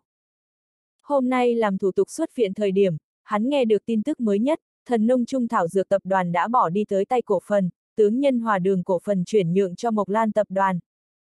Nói cách khác Tào Bình Nghĩa đã bỏ đi tới tay tiện nghi. Trần Nguyên biết có thể làm cho thương nhân từ bỏ là bởi vì hắn bị tổn thất đã vượt ra khỏi có khả năng ích lợi, cho nên người ta phải kịp thời dừng tổn hại, chuyện này cũng chứng minh, Tào Bình Nghĩa đối trận này kiện cáo cũng không coi trọng. Trần Nguyên suy nghĩ, chính mình cái này bộ dáng hẳn là không cách nào ra tòa, để trợ thủ đi. Hắn có thể hay không cùng mình tao ngộ đồng dạng bất hạnh. Ngày mai cùng ngoài ý muốn không biết cái nào sẽ tới trước. Hiện tại hắn mới hiểu được hứa thuần lương không có chứng cứ cũng muốn thắng trận này kiện cáo lực lượng, hứa thuần lương không cần tìm kiếm chứng cứ, hắn chỉ cần để nguyên cáo cùng luật sư toàn đều không thể đúng giờ xuất hiện tại tòa án hiện trường là được, cái này cái phương pháp thô bạo nhưng phi thường thực dụng, hèn hạ lại không có kẽ hở. Trần Nguyên quen thuộc tại lợi dụng pháp luật làm làm vũ khí cùng đối phương chiến đấu, nhưng là người ta hết lần này tới lần khác không đi đường thường, không dựa theo quy tắc của ngươi cùng cách chơi, từ luật sư biến thành một bệnh nhân, Trần Nguyên không thể không rời đi quen thuộc đường đua. Hứa thuần lương uy hiếp qua hắn, quả nhiên Trần Nguyên cuối cùng vẫn là phạm tại trong tay hắn, hắn mắc phải quái bệnh, ngoại trừ hứa thuần lương không người có thể trị. Trần Nguyên đi vào phụ cận, hứa thuần lương con mắt đều không nhìn hắn, vẫn là cùng Chu Mãnh tiếp tục trò chuyện. Trần Nguyên đứng dưới ánh mặt trời, một thân ngứa khó nhịn, hắn lúc này thật muốn đi trên mặt đất bên trong lăn một cái, chỉ cần có thể để cho ta dừng ngứa là được. Chu Mãnh rời đi về sau, hứa thuần lương mới nhìn thoáng qua trời rất nóng bao khỏa nghiêm nghiêm thật thật Trần Nguyên, vui tươi hớn hở nói, nha, Trần Đại Luật Sư, ngọn gió nào thổi ngươi tới đây. Trần Nguyên khàn khàn yết hầu, thao lấy ngay cả mình đều xa lạ giọng điệu, hứa chủ nhiệm, ta muốn theo người hảo hảo nói chuyện. Dùng tới người chữ, biểu thị đối hứa thuần lương tôn trọng, đương thân thể khỏe mạnh thậm chí sinh mệnh thụ đến uy hiếp, đừng nói xưng hô người, để hắn hô cha đều được. Hiện tại Trần Nguyên không còn là hăng hái đại luật sư, hắn chỉ là một cái thành tâm cầu y bệnh nhân. Hứa thuần lương nói, ở chỗ này nói đi. Trần Nguyên nhẹ gật đầu. Hứa thuần lương nhắc nhở, không mang máy ghi âm A. Trần Nguyên lấy điện thoại cầm tay ra, ngay trước hứa thuần lương bột đưa di động cho quan, chỉ là cho thấy một loại thái độ, ta là có thành ý. Hứa thuần lương ánh mắt rơi vào tay trái của hắn bên trên, ta cứ nói đi, ta thanh lương cao hữu hiệu A. Trần Nguyên nói, hữu hiệu, thế nhưng là quá ít, có thể hay không cho thêm ta mấy bình, ta không chịu nổi, ta liên tục mấy ngày đều không ngủ, trên thân làn da đều bị ta cào nát giữa, người khác chê cười ta, lão bà của ta hoài nghi ta, tiếp tục như vậy nữa ta phải chết. Hứa thuần lương nói, Trần luật sư, người nói những chuyện này không quan hệ với ta a, giống như muốn để ta nhận gánh trách nhiệm giống như. Trần Nguyên nói, ta không phải muốn tìm phiền toái, ta chính là đến thực tình cầu y, người ra cái giá, ta có thể dùng tiền mua. Hứa thuần lương nói, người cảm thấy ta thiếu tiền sao? Ta thật muốn tiền, người cấp nổi sao?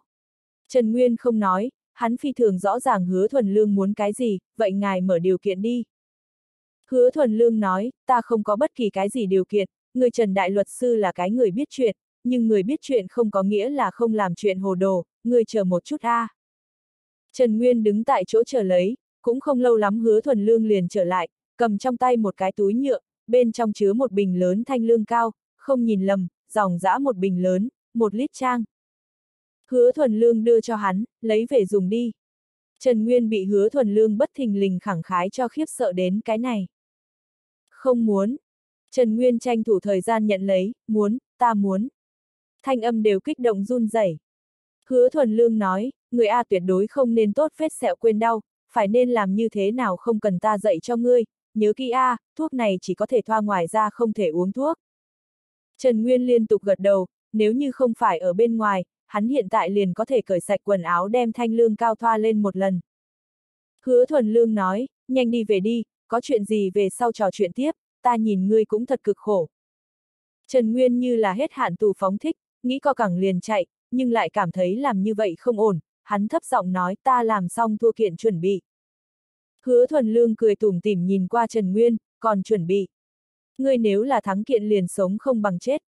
Trần Nguyên trở lại trong xe để trợ thủ tướng lái xe đến chỗ không có người, sau đó đem hắn đuổi xuống xe, mình liền trong xe cởi quần áo ra thoa lên thanh lương cao, bôi qua thanh lương cao địa phương lập tức dừng ngứa. Lần này hắn trước lựa chọn mệnh căn tử, bôi lên thanh lương cao về sau, mắt Trần có thể thấy mà biến nhỏ biến nhỏ, nếu như tại quá khứ, hắn sẽ cảm thấy sợ hãi, nhưng bây giờ chỉ có mừng rỡ. Quanh thân bôi lên một lần thanh lương cao, Trần Nguyên sảng khoái tới cực điểm, bất quá một khắc đồng hồ thời gian, toàn thân hắn dừng ngứa tiêu sưng, nhìn điện thoại di động bên trong mình, rốt cục khôi phục tới hình dạng, Trần Nguyên cảm thấy cướp sau quãng đời còn lại, hắn lệ nóng doanh tròng. Thay đổi y phục, tướng cặp kia dính đầy bùn đất lớn giày thể thao ném ra ngoài xe, tiêu sưng hai chân một lần nữa mặc vào sáng loáng giày ra, hắn lại biến thành cái kia phong độ nhẹ nhàng tinh anh nhân sĩ. Trợ thủ nhìn thấy đi ra ô tô Trần Nguyên có chút không dám tin vào hai mắt của mình, đây là ma pháp sao? Một chốc lát này hắn vậy mà một lần nữa thuế biến người. Trần Nguyên hắng giọng một cái, đừng nhìn ta như vậy, bệnh của ta hẳn là tốt. Thanh âm cũng khôi phục bình thường, hứa thuần lương thật là thần y. Bất quá hắn giống như từ nào đó quyền tiểu thuyết trông được đến có thể chữa người thiện độc, dùng thuốc bản thân liền là dùng độc, tục ngữ không phải nói là thuốc ba phần độc sao. Trần Nguyên trở lại trong xe, nhìn qua còn thừa lại nửa bình thanh lương cao, nếu như lần sau tái phạm, ta cũng không sợ. Lập tức hắn bị mình ý nghĩ này cho dọa, lần sau. Ta cũng không muốn nếu có lần sau nữa.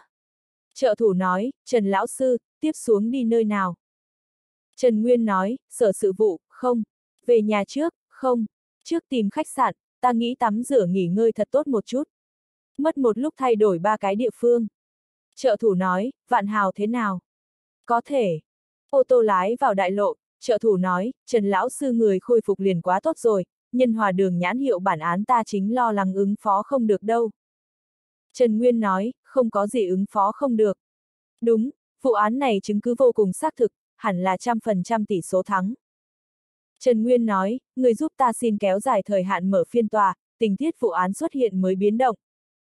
Cái gì, trợ thủ có chút không rõ, rõ ràng là chắc thắng kiện cáo tại sao muốn xin kéo dài thời hạn. Trần Nguyên nói, ngươi chỉ cần dựa theo ta nói phải làm là được rồi, chúng ta thanh nguyên sở sự vụ tôn chỉ là muốn chủ trì chính nghĩa giữ gìn luật pháp tôn nghiêm. Hắn cầm điện thoại di động lên cho hứa thuần lương phát một cái địa chỉ, địa chỉ là nguyên cáo triệu hằng nghĩa chỗ ẩn thân, hắn tin tưởng hứa thuần lương có biện pháp để triệu hằng nghĩa rút đơn kiện, đồng thời lại truyền cho hứa thuần lương mấy phần văn kiện, trong đó nhất trọng yếu một phần văn kiện là liên quan tới phương văn chính. Hứa thuần lương có thể dựa vào phần văn kiện này đối phương văn chính tiến hành truy trách, bên trong chứng cứ đầy đủ thu hồi phương văn chính luật sư giấy phép. Trần Nguyên là người thông minh, khi hắn ý thức được hứa thuần lương đáng sợ về sau, liền khắc sâu nhận thức được sai lầm của mình, tiền cùng sinh mệnh tướng so cái gì cũng không tính, hắn muốn sống, còn muốn kiện kiện khang khang sống, vận dùng pháp luật vũ khí có thể tước đoạt người khác lợi ích, nhưng là hứa thuần lương vận dụng y thuật làm làm vũ khí lại có thể tùy tiện cướp đi hắn khỏe mạnh, thậm chí nguy cơ tính mạng của hắn.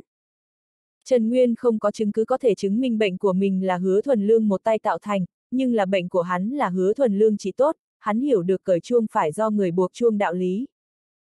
Hứa thuần lương không phải cái gì nhà từ thiện, mình cùng hứa thuần lương cũng không có bất kỳ cái gì giao tình, hắn sẽ không vô duyên vô cớ đưa thanh lương cao cho mình, nếu như mình không cho ra hắn muốn hồi báo, như vậy rất có thể hắn quái bệnh sẽ ngóc đầu trở lại, có lẽ lần sau hắn sẽ không còn có khang phục cơ hội.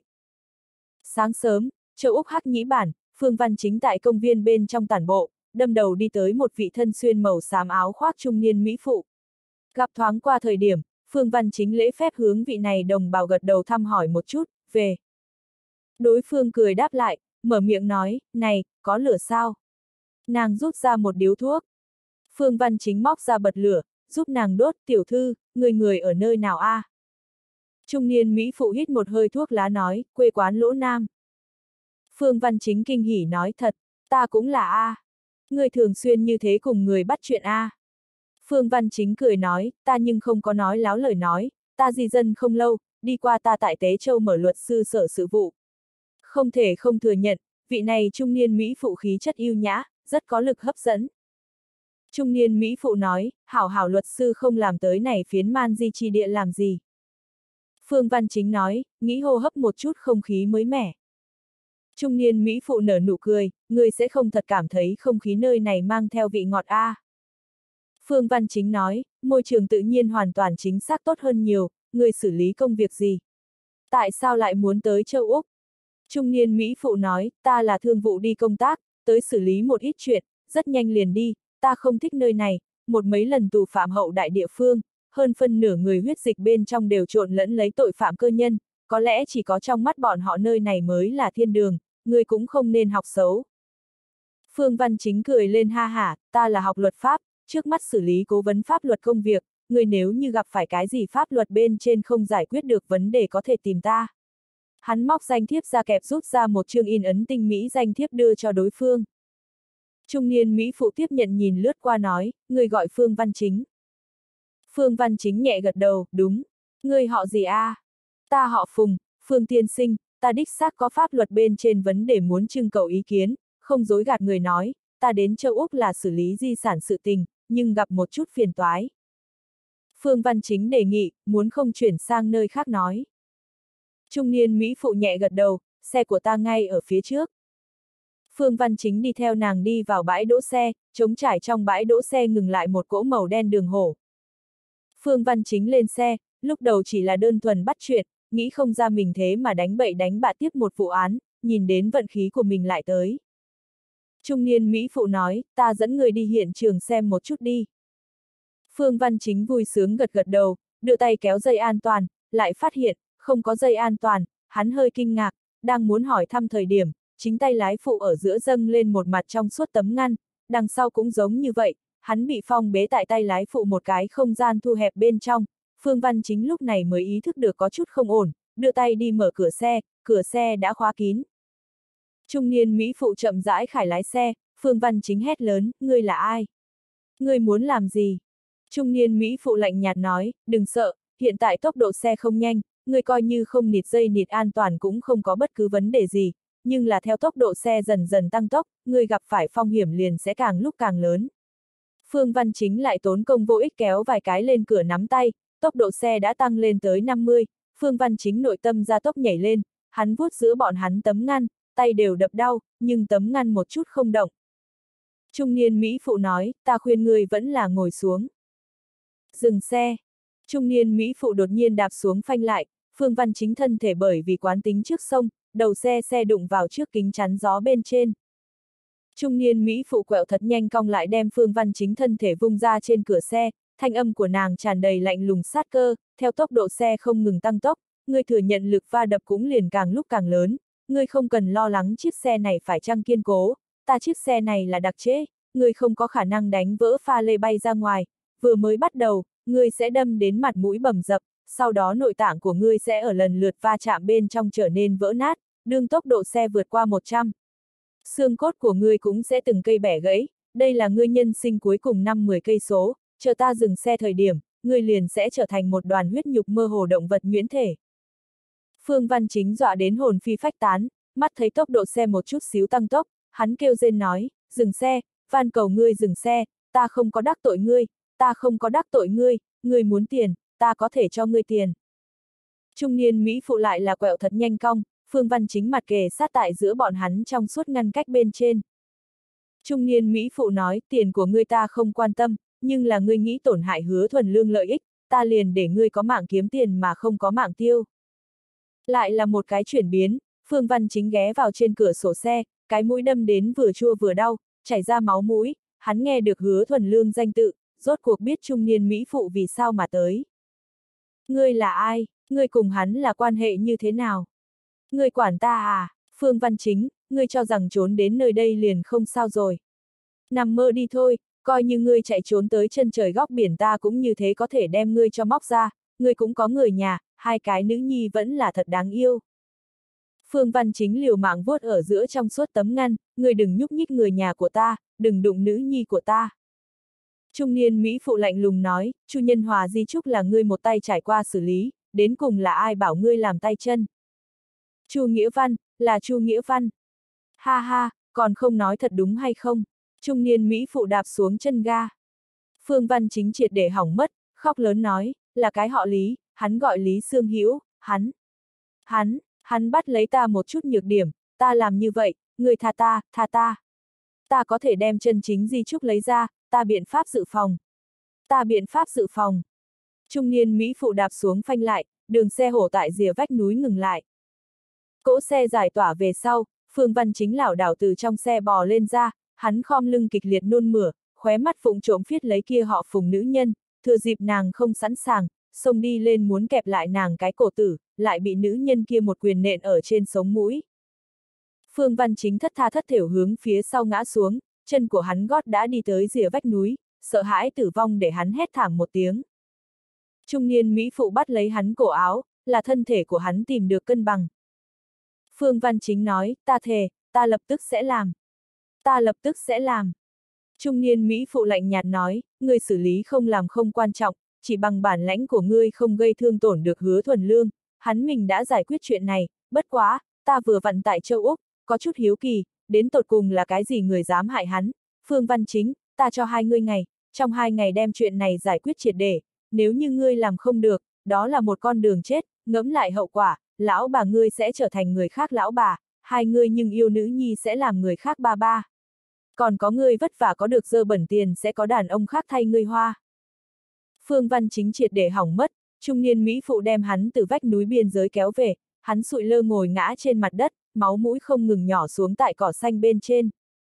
Trung niên Mỹ phụ ném cho hắn một cái tài khoản, đây là trong nước nào đó quỹ từ thiện tài khoản, người đối với chuyện này tham bao nhiêu tiền cho ta ngoan ngoãn nôn trở về, chỉ cho phép nhiều không cho phép ít, về sau ngươi hàng năm thu nhập phần trăm chi 50 cũng phải đánh vào cái này tài khoản, nếu không tự gánh lấy hậu quả.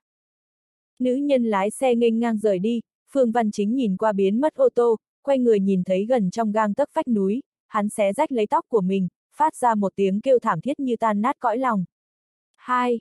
Đông Châu Văn Miếu công trình chính thức khởi động, cái này công trình là Đông Châu chế tạo trong lịch sử cuộn chỉ trung tâm một vòng, cho nên lãnh đạo thành phố đối với cái này phá lệ coi trọng, mượn lần này cơ hội cử hành một lần Đông Châu Văn Lữ đọc nhiều hội. Đặc địa mời tỉnh Văn Lữ người phụ trách hình văn hổ trước tới tham gia cắt băng nghi thức. Đồng thời cũng mời tiền nhiệm Chu thư ký, trước mắt tỉnh nhân đại tài chính kinh tế ủy ban Chu chủ nhiệm. Đa số người đều cho rằng Chu chủ nhiệm không gặp qua đến, thật không nghĩ đến Chu chủ nhiệm đáp ứng mời, đối với chuyện này hắn đã trải qua nghĩ sâu tính kỹ, nếu như không đến, liền chứng minh hắn tại Đông Châu phạm sai lầm, hắn không nhận vì chính mình có lỗi, hắn xứng đáng Đông Châu phụ lão hương thân, không có cố gắng của hắn, Đông Châu tàu điện ngầm kiến thiết sẽ không tiến làm được thuận lợi như vậy. Văn Lữ Cục cũng mời một chút Văn Lữ Cục đi qua công thần, Phó Quốc dân cũng tại danh sách mời, bất quá bây giờ Phó Quốc dân đã không có ý định lại cùng thể chế có bất kỳ liên hệ, hắn cự tuyệt Văn Lữ Cục mời mời, mặc dù Phạm Lý Đạt hướng hắn cường điệu, lần này tương đương biến tướng vì bọn họ chính danh, nhưng Phó Quốc dân biểu thị mình không quan tâm. Hứa thuần lương mặc dù cấp bậc không cao, nhưng là cũng tại được thỉnh mời xem lễ khách quý liệt kê, dựa theo Phạm Lý Đạt nói, chính là lãnh đạo cấp trên thừa nhận bọn hắn đối Đông Châu Văn Lữ Cục thành lập làm ra qua đột xuất cống hiến, cũng bởi vì nguyên nhân nào đó tiếp nhận không nên tiếp nhận xử phạt, lần này mời chẳng khác gì là sửa lại án xử sai. Hứa thuần lương lúc đầu đối loại hoạt động này cũng không có hứng thú quá lớn, nhưng có không ít mới bằng lão hữu đều sẽ tới, hắn khẳng định là muốn ra mặt tiếp đãi một chút. Hứa thuần lương suy nghĩ muốn đi bắt trước bái phỏng một chút hình văn hổ cùng chu thư ký thời điểm, chu thư ký đã cùng phu nhân thư lý cùng một chỗ tới trước hứa ra tới.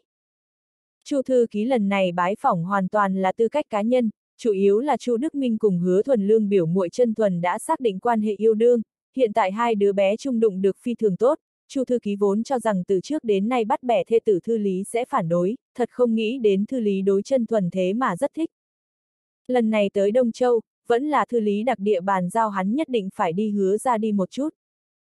Hứa trường thiện nhìn thấy chu thư ký hai vợ chồng đến nhà còn mang theo lễ vật tới, rõ ràng có chút kinh sợ, mặc dù là tiền nhiệm bí thư, mà dù sao dư uy vẫn còn. chu thư ký cầm hứa trường thiện tay, thúc thúc, người thân thể còn tốt đó chứ. Hứa trường thiện liên tục gật đầu, chu thư ký, nhanh, mau mời ngồi. chu thư ký cười nói, ta hiện tại không làm thư ký, hai chúng ta nhà còn khách khí làm gì, người gọi ta tiểu chu là được. Hứa thuần lương một bên giải thích, ra ra, hiện tại chu thư ký đi trong tỉnh nhậm chức. Hứa trường thiện nhẹ gật đầu, tốt, tốt, mau mời ngồi.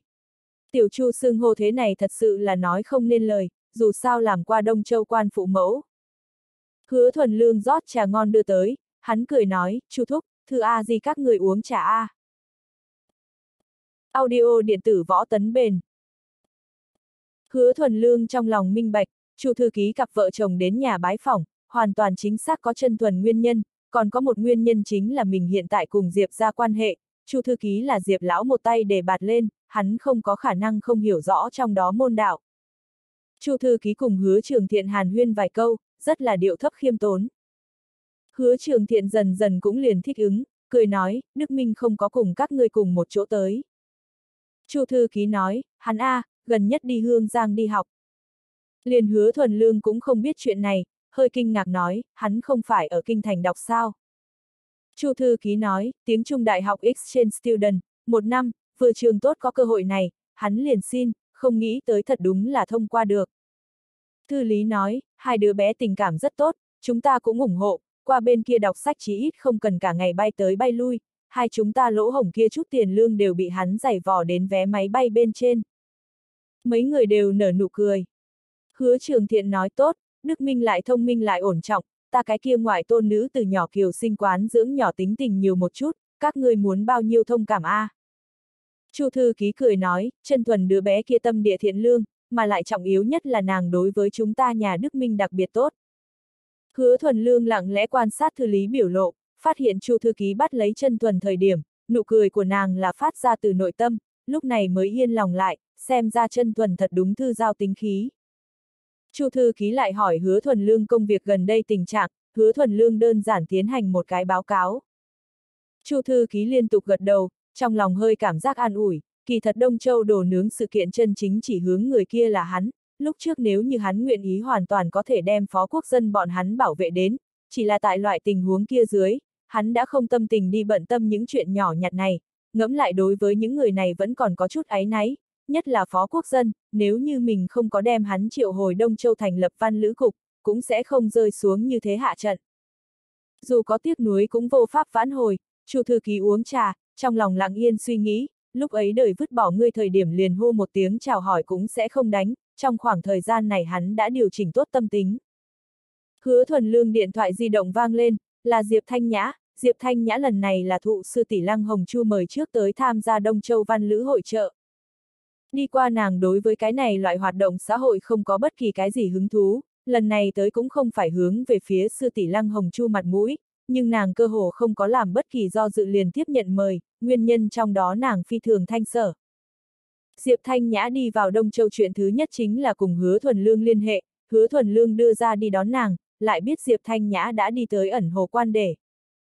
Hứa thuần lương đi ra ngoài tướng Diệp Thanh Nhã đón vào, trên đường nói cho nàng Chu thư ký vợ chồng cũng tại, Diệp Thanh Nhã nghe nói chuyện này ngược lại có chút do dự, nàng cùng Chu thư ký cũng coi như quen thuộc, chỉ là tại hứa ra gặp được sẽ sẽ không để cho người ta suy nghĩ nhiều. Hứa thuần lương nói, hắn là tới thăm gia gia của ta. Diệp Thanh Nhã từ lời hắn đạt được dẫn dắt, đúng rồi, ta lần này tới cũng là bị gia gia ủy thác tới thăm hứa gia gia.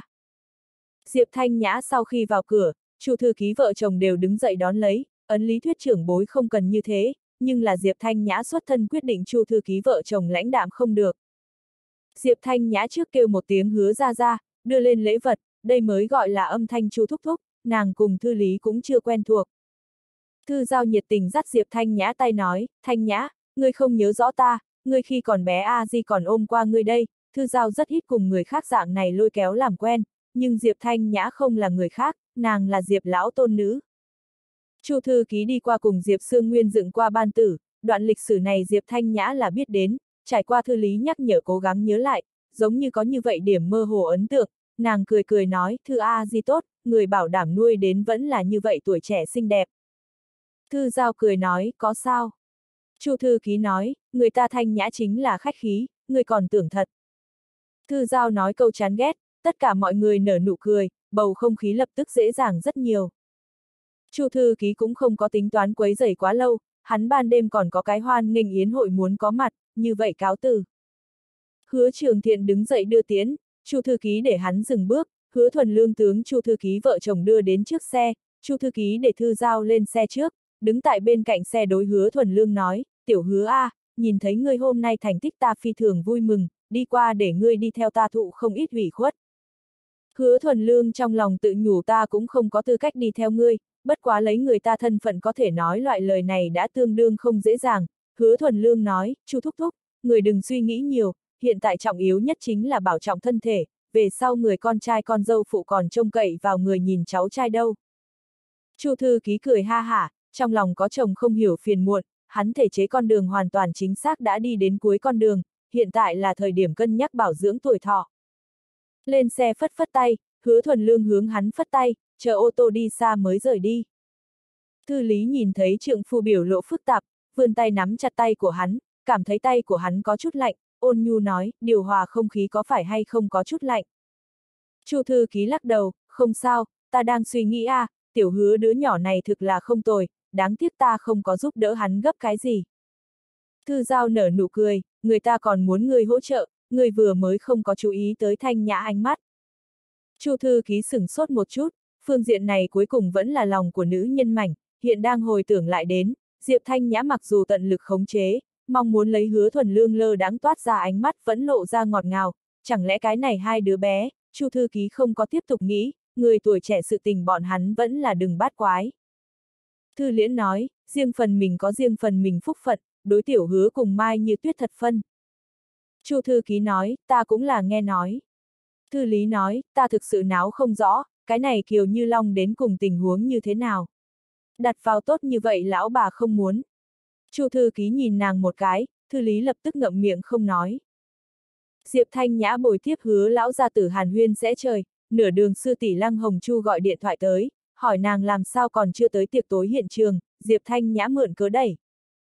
Hứa thuần lương biết Diệp Thanh Nhã thích thanh tịnh, đề nghị nàng có thể trong nhà ở.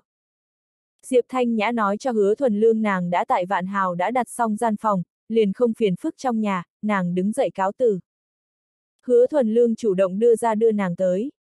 Tự ẩn hồ quan để tiến về vạn hào khách sạn vốn là không bao xa, hứa thuần lương lái xe rời đi cư xá về sau. Diệp Thanh Nhã nói, ngươi không cần đặc địa tới một chuyến, ta đi đường cũng bất quá 10 phút đồng hồ. Hứa thuần lương nói, ta cũng là xem lễ khách quý, cùng ngươi tới xem một chút hội trường. Lần này văn lữ cục thủ bút không nhỏ, thế mà an bài tại vạn hào khách sạn, đoán chừng muốn tốn không ít tiền đi. Diệp Thanh Nhã cười nói, chính ta đặt gian phòng, lớn sẽ an bài khách sạn là tại một chiêu, ta thích thanh tính, mà lại nơi này. Phong cảnh thoải mái, nàng vốn muốn nói cách người gần một chút, nhưng nói đến nửa đường ý thức đến nói như vậy không ổn, tranh thủ thời gian đổi giọng khen lên hoàn cảnh. Hứa thuần lương nói, thật không cần thiết phiền toái như vậy, trong nhà bao nhiêu thuận tiện. Diệp Thanh Nhã trong lòng tự nhủ nếu là hứa lão gia tử không tại ta khả năng đáp ứng, nhưng là lão nhân gia tại, ở ở bên kia luôn luôn không ổn, nàng nói khẽ ta lần này tới chủ yếu là mượn cơ hội giải sầu. Hứa thuần lương nói, được, hai ngày này ta an bài một chút, dẫn người đi nguy sơn hồ một vùng hảo hảo đi dạo. Trong lòng âm thầm cân nhắc, mẹ con các nàng ngẫu nhiên gặp muốn an bài. Hứa thuần lương tại vạn hào bãi đỗ xe dừng xe xong, vừa xuống xe nhìn thấy bên cạnh một cỗ thương vụ trên xe đi xuống một đám người, một người trong đó lại là Tô Tình. Tô Tình cũng nhìn thấy hắn, mừng rỡ vẫy vẫy tay, phát giác được hứa thuần lương bên người còn có một vị mỹ nữ, rõ ràng sửng sốt một chút, nàng cùng Diệp Thanh Nhã đi qua chưa từng gặp mặt. Hứa thuần lương vui tươi hớn hở đi tới, hô tô tình, ta liền đoán được ngươi có thể sẽ tới, không nghĩ tới ở chỗ này gặp được. Tô tình nói, đoán được đều không có liên lạc với ta. Hứa thuần lương cười nói, ta chính là nghĩ kiểm tra một chút hai ta duyên phận, nhìn xem, hữu duyên thiên lý năng tương ngộ, lại gặp được đâu. Tô tình nhỏ giọng nói, miệng lưỡi trơn chu, vị Mỹ nữ kia ai vậy? Hứa thuần lương đem tô tình đưa đến Diệp Thanh Nhã bên người, giúp hai người bọn họ tiến hành một cái giới thiệu. Tô tình tự nhiên trà đại phương vươn tay ra, Diệp tiểu thư tốt, ta là tô tình. Diệp Thanh Nhã nhìn qua vị này nhan chỉ xuất chúng nữ MC có chút kinh động như gặp thiên nhân ý tứ, tô tiểu thư thật xinh đẹp. Tô tình cười nói, người như thế khen ta, ta đều không có ý tứ, Diệp tiểu thư chẳng những xinh đẹp, khí chất còn cao quý yêu nhã. Hứa thuần lương nói, hai vị, đừng tương hỗ lấy lòng, các người đều rất xinh đẹp, dáng dấp không xinh đẹp ta đều chẳng muốn kết giao. Tô tình cùng Diệp Thanh Nhã đều nở nụ cười. Diệp Thanh Nhã nói, các người trước trò chuyện, ta đi làm dừng chân thủ tục. Tô tình nhẹ gật đầu, chờ Diệp Thanh Nhã đi xa, nàng nhỏ giọng nói, lúc nào quen biết một vị thiên tiên tỷ tỷ. Hứa thuần lương nói, được một khoảng thời gian rồi, không kịp hướng người báo cáo. Tô tình nói, hướng ta báo cáo cái gì? Dù sao nhưng phàm là mỹ nữ đều có thể cùng ngươi dính líu quan hệ. Hứa thuần lương cười nói, hai ta quan hệ gì? Tô tình khuôn mặt đỏ lên, ngươi chớ cùng ta kéo, ta cùng ngươi quan hệ thế nào đều không có, đúng, ta nghe nói cái kia nữ tác gia Bạch Lan mất tích. Hứa thuần lương nói, nàng mất tích cùng ta có quan hệ sao? Nàng không phải bằng hữu của ngươi sao? Hứa thuần lương nói, bằng hữu cũng có thân cận xa mỏng, nàng cùng ta quan hệ, cùng quan hệ của ta và ngươi không cách nào so sánh được. Tô tình luôn cảm thấy câu nói này có chút là lạ, đừng nói như vậy, người ta Bạch Lan còn giúp ngươi tại trường hưng bệnh viện đánh qua người đâu. Hứa thuần lương cười nói, người cũng xuất thủ, người giúp ta là xuất phát từ chân tâm, nàng giúp ta là khác có ý đồ, ta không lĩnh nàng kia phần ân tình. Tô tình trong lòng ngọt lịm, ngoài miệng lại nói, cũng không thể nói như vậy, ta cảm thấy nàng cũng không tệ lắm, như thế đại nhất cái tác gia làm sao lại vô duyên vô cớ mất tích, ngươi chẳng lẽ liền không hề có một chút tin tức nào. Hứa thuần lương nói, ta cùng với nàng chính là bằng hữu bình thường, nàng muốn lợi dụng ta được đến một chút thanh sơn mỏ trực tiếp tư liệu, từ khi nàng rời đi Đông Châu, chúng ta liền không có liên lạc qua. Tô tình nói, ta gần nhất nhìn tiểu thuyết của nàng, viết thật tốt. Hứa thuần lương nói, tiểu thuyết đều là gạt người. Tô tình mấy vị đồng sự ở phía xa hướng nàng ngoắc, Tô Tình đi theo bọn hắn nói một tiếng, lại trở lại hứa thuần lương bên người. Hứa thuần lương nói, ngươi không phải đi tống nghệ bộ sao? Tại sao lại đi theo ra ngoài phỏng vấn?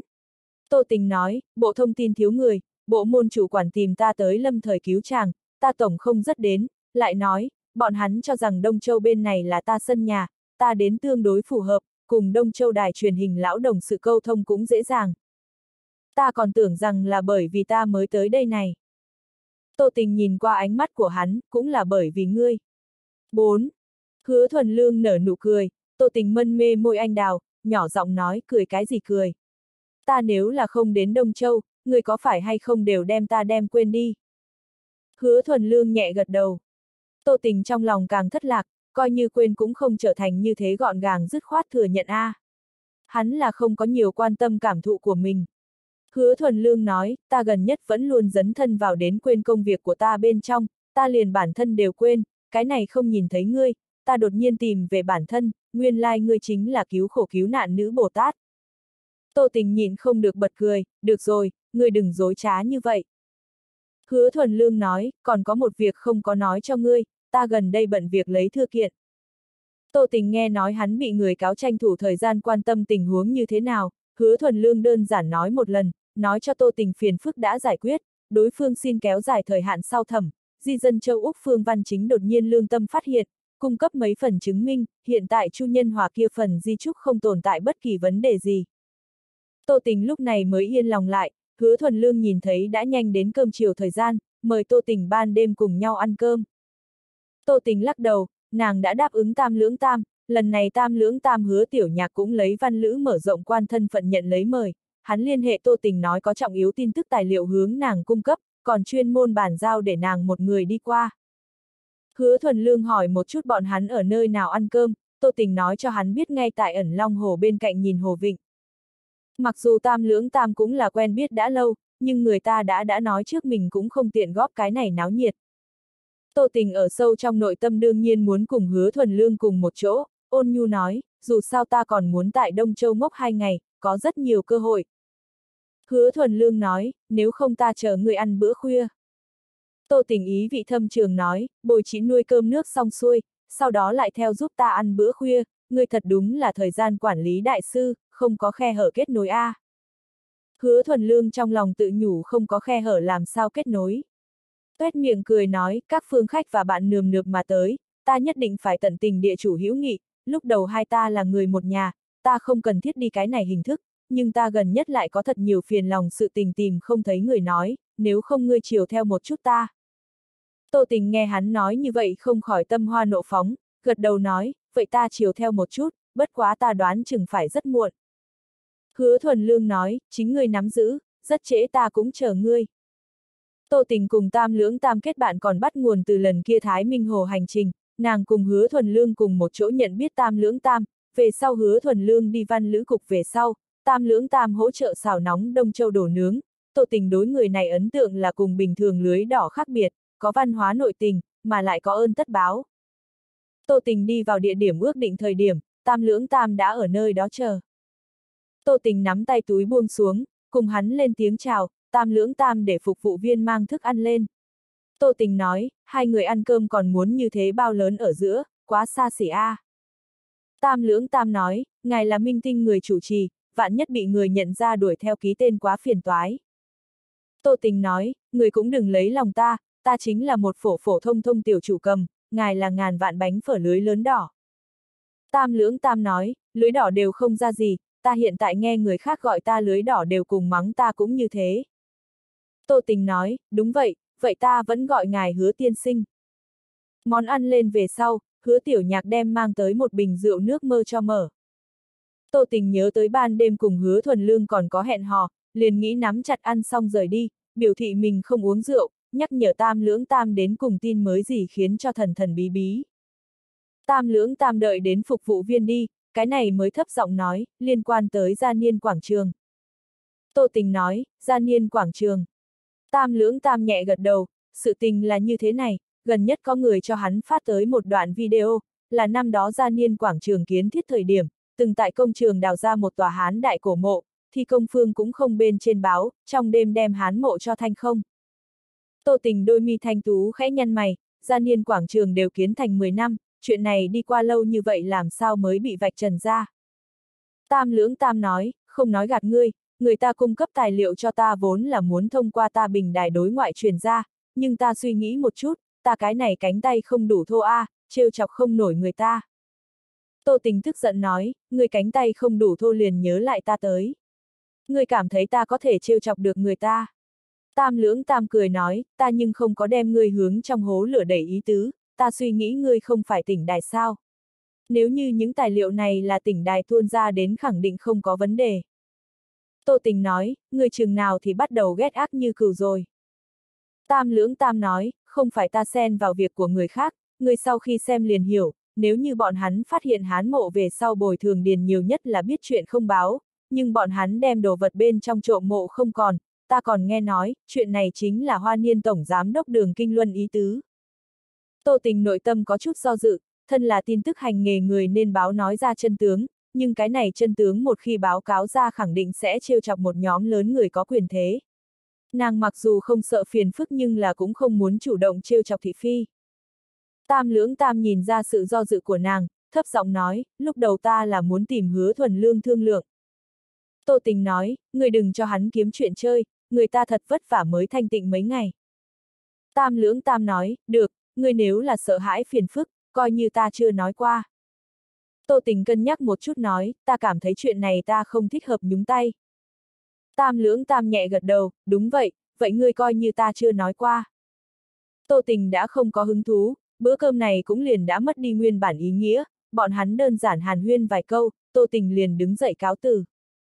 Tam lưỡng tam cũng không có tiếp tục lưu lại ý tứ, tính tiền cùng tô tình cùng ra ngoài.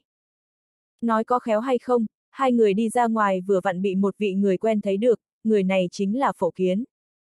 Phổ Kiến trở về Đông Châu về sau, một bang lão bằng hữu cho hắn đón tiếp, đêm nay cũng tại phụ cận ăn cơm, uống đến nửa đường con hàng này thật sự là chịu không được thay nhau rót rượu, tìm cái cớ trượt, không có nghĩ rằng tại cửa ra vào thấy được Tô Tình, vốn muốn đi qua chào hỏi, nhưng lại xem đến phần sau ra một cái nam nhân. Phổ Kiến cũng nhận biết, con hàng này não mạch kín tương đối thanh kỳ, nhìn thấy Tô Tình cùng Tam Lưỡng Tam cùng nhau ăn cơm lập tức không có hướng chỗ tốt nghĩ, dựa theo hắn logic, cô nam quả nữ tại cùng nhau ăn cơm có thể có chuyện tốt gì, Phổ Kiến có chút hưng phấn, nghĩ không ra hứa thuần lương đầu cũng cấu kết lục một ngày, cười trên nỗi đau của người khác sau khi lại làm hảo hữu cảm thấy bất bình, Tô Tình làm sao lại cùng một cái lưới đỏ hỗn đến một khối đây.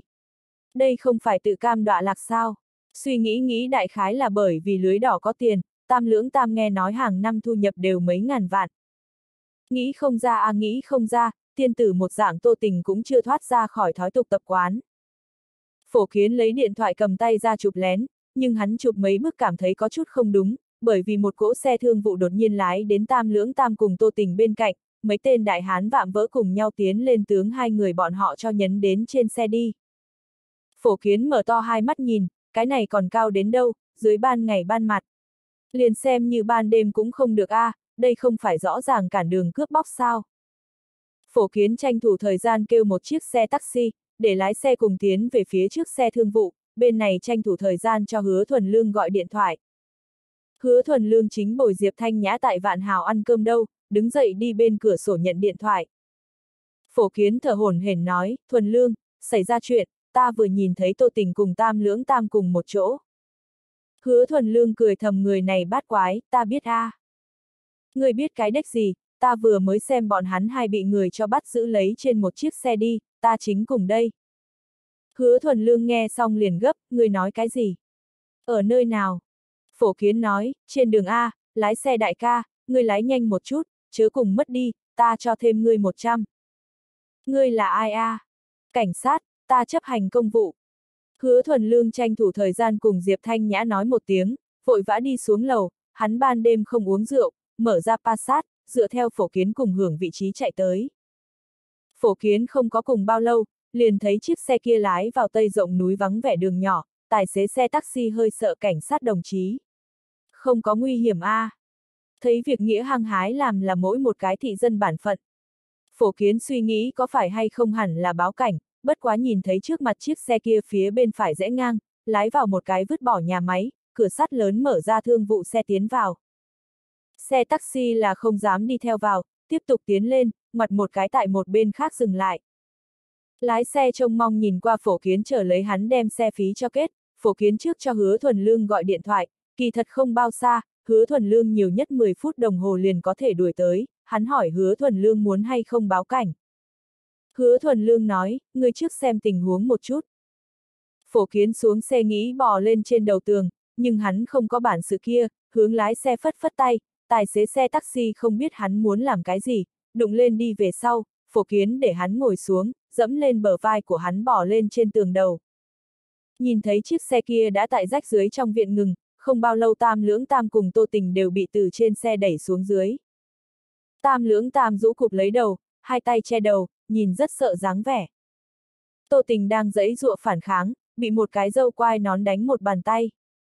Phổ kiến âm thầm thở dài, hắn không phải vì tô tình đau lòng, là vì dâu quai nón vận mệnh cảm thán, cháu trai này hảo vận chấm dứt. Mấy tên đại hán chỉ chỉ phía trước rách dưới xưởng, tam lưỡng tam dùng sức lắc đầu, lập tức hai người vung lên cây gậy chiếu vào tam lưỡng tam dừng lại đánh đau.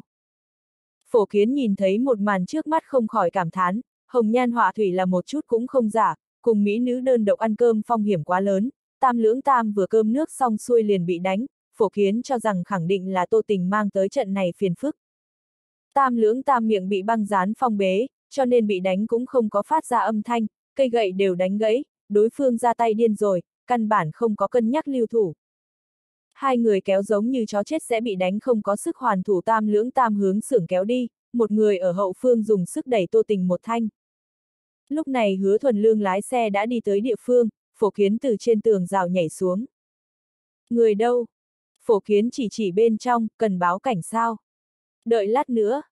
Hứa thuần lương bay lên không nhảy lên, song tay nắm lấy tường vây bên trên xuôi theo, một cái diều hâu xoay người liền đã rơi vào tường vây bên trong. Một, Tài xế xe taxi trợn mắt há hốc mồm mà nhìn lấy một màn trước mắt, cảm thán nói cao thủ A. Phổ kiến hướng hắn vẫy vẫy tay, hắn còn phải dẫm bả vai của đối phương mới có thể đi lên, tài xế xe taxi vẻ mặt đưa đám nói, cảnh sát đồng chí, ta vai chu viêm, không chịu được ngươi lão như thế dẫm A. Cái nào nói nhảm nhiều như vậy, ta quay đầu cho thêm ngươi 100. Tài xế xe taxi lẩm bẩm, người liền xe phí đều không đưa đâu. Nói nhảm nhiều quá, không phối hợp ta chấp hành công vụ, ta khởi tố ngươi. Tài xế xe taxi chỉ có thể đầy bụng ủy khuất ngồi xổm xuống, phổ kiến dẫm lên bờ vai của hắn lại lần nữa bò lên, đến tường vây bên kia, cẩn thận dọc theo tường vây trượt xuống, nhìn thấy hứa thuần lương đã tới gần xe ở giữa, phổ kiến tả hữu tìm kiếm, thấy được một cây cổ tay phẩm chất ống thép, tiến lên sờ lên, một chút không có túm động, bên kia chôn dưới đất, đoán chừng phải đến mấy mét dài. Phổ kiến chỉ có thể lựa chọn từ bỏ, lần cận nhặt được một viên gạch, một đường tiểu toái bộ đi theo. Hứa thuần lương không có lựa chọn lập tức đoạt môn mà vào, trước ghé vào trên cửa sổ đi đến nhìn, tô tình đứng ở nơi đó, tam lưỡng tam nằm trên mặt đất, một gã đại hán tại đối với hắn quyền đấm cước đá. Tam lưỡng tam ngoài miệng băng dính bị mở ra, phát ra trận trận kêu thảm. Một thân xuyên màu xám cây đai áo thun trung niên nhân khoát tay áo nói, được rồi, đừng đánh nữa. Tên kia đại hán mới dừng tay. Trung niên nhân đi đến tam lưỡng tam trước mặt nói, hứa tiểu nhạc đúng không? Ta nghe nói người từ Trần Thủy Căn nơi đó đạt được một vài thứ, có chuyện này hay không a? À? Tam lưỡng tam mặt mũi bầm dập, méo cả miệng, ta không biết cái gì. Cái gì Trần Thủy Căn? Hắn lại bị đánh hung hăng một cước, bị đá đến hôn mê bất tỉnh. Trung niên nhân chuyển hướng tô tình, nha, thật xinh đẹp, tô tiểu thư, ngươi nhất định biết ta muốn cái gì, đem đồ vật giao ra, ta liền thả các ngươi đi. Tô tình nói, ta không biết các ngươi đang nói cái gì. Các ngươi hiện tại hành vi là phi pháp bắt cóc, các ngươi trong mắt còn có hay không pháp luật hai chữ. Trung niên nhân bắt đầu cười hắc hắc, xem ra ngươi là không biết sự lợi hại của ta a, à, chúng ta đám huynh đệ này không biết pháp luật là cái gì, chúng ta chỉ nhận tiền, có người dùng tiền để chúng ta làm việc, chúng ta thu tiền liền phải làm thỏa đáng, ngươi làm gì khó xử chúng ta. Thật chọc giận ta đám huynh đệ này, bọn hắn vạn nhất đối ngươi làm ra cái gì càng chuyện quá đáng, đến lúc đó ngươi hối hận cũng đã muộn. Tô tình là thật không có bọn hắn muốn đổ vật, trận này phiền phức là tam lưỡng tam mang tới, đồ vật hẳn là tại tam lưỡng tam trên thân, nhưng mới rồi bọn hắn tại tam lưỡng tam trên thân lục soát toàn bộ cũng không tìm được.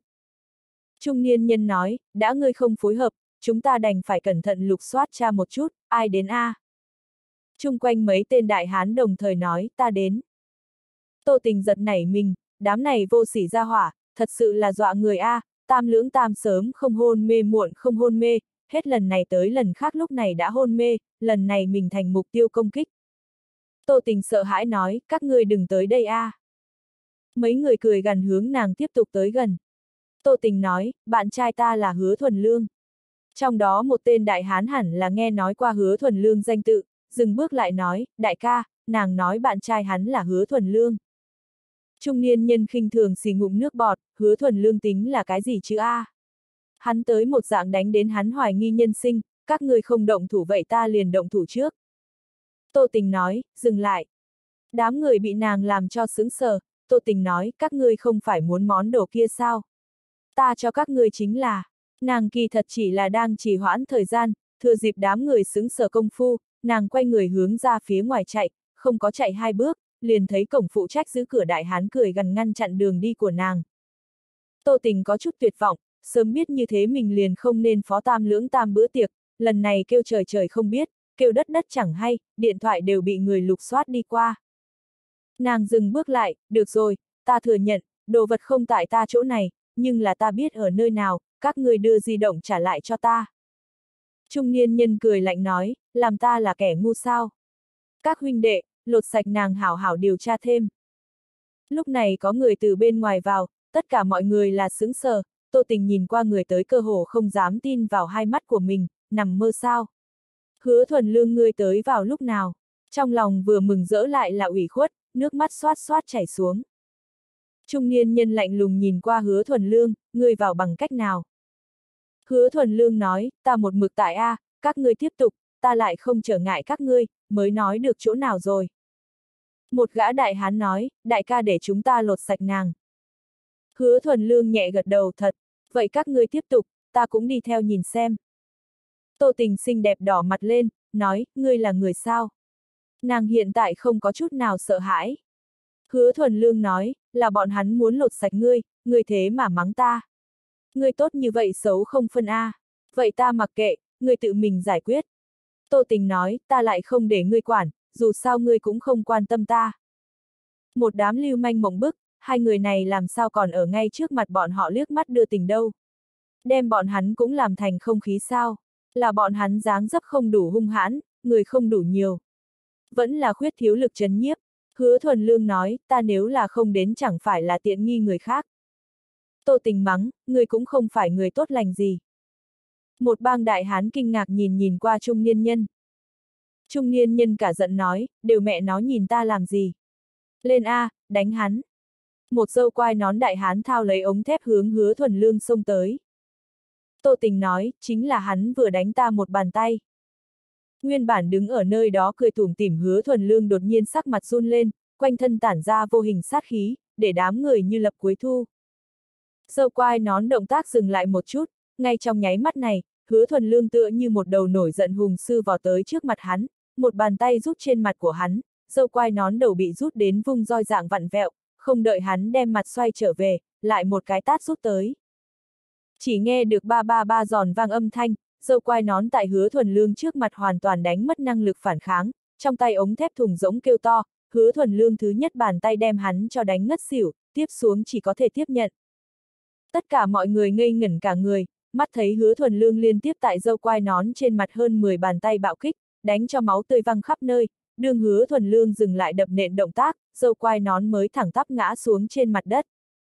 Phổ kiến mang theo cục gạch chạy vào xưởng, vào cửa trước đó còn tưởng rằng là nã pháo nghênh đón, sau khi đi vào vừa vặn nhìn thấy dâu quai nón ngã xuống đất tràng diện, trong lòng thầm than, ta đã nói rồi đi, muốn chết tìm khiếu môn, một bang mắt không mở bọn chuột nhắt. Trung niên nhân bên người năm tên đại hán rõ ràng là bị một màn trước mắt gây kinh hãi, mặc dù tay cầm vũ khí, nhưng là không ai dám lên trước. Hứa thuần lương nói, hạ cái ai đến A, vẫn là các ngươi cùng đi. Trung niên nhân dùng sức đẩy một chút phía bên phải tên kia lại thấp lại tráng thủ hạ, kia hàng bị đẩy đến hướng phía trước lảo đảo hai bước, nhìn thấy trước mắt một cái như trong chóng xoay tròn đồ vật đối diện bay tới. Bang! Hứa thuần lương nhặt lên trên đất ống thép ném mạnh tới, chuẩn xác đánh chúng vào chán của hắn, thấp tráng hắn tự hỏi thăm trung niên nhân 18 đời tổ tông mang theo một đầu nhìn thấy mà giật mình vết ứ động nằm ngã trên mặt đất. Hứa thuần lương từng bước một hướng đám người kia đi đến, hắn đi một bước, đám người kia liền lui một bước, con hàng này quá độc ác. Trung niên nhân nhớ ra cái gì đó, một phát bắt được trên đất tam lưỡng tam, rút ra đoạn đao chống đỡ tam lưỡng tam cổ, đừng tới đây, người đừng tới đây a, à, tới ta liền giết hắn. Hứa thuần lương cười lạnh một tiếng, kia người giết hắn a, à, lúc đầu chỉ là phi pháp bắt cóc, lần này lại nhiều đầu tội giết người, còn có các ngươi năm cái, tất cả đều là tòng phạm, chưa chừng tất cả đều đến xử bắn. Một câu liền làm cho đối phương nội bộ sinh ra phân liệt, một ngực xăm quan công đại hán nói, đại ca, đừng xúc động, tuyệt đối đừng xúc động. Xéo đi, trung niên nhân cũng không muốn giết người, hắn chính là muốn dùng loại phương thức này uy hiếp hứa thuần lương. Hứa thuần lương nói, ai mẹ nó không có mắt như thế mướn các người đám này phế vật. Nói rõ ràng, ta thả các người đi.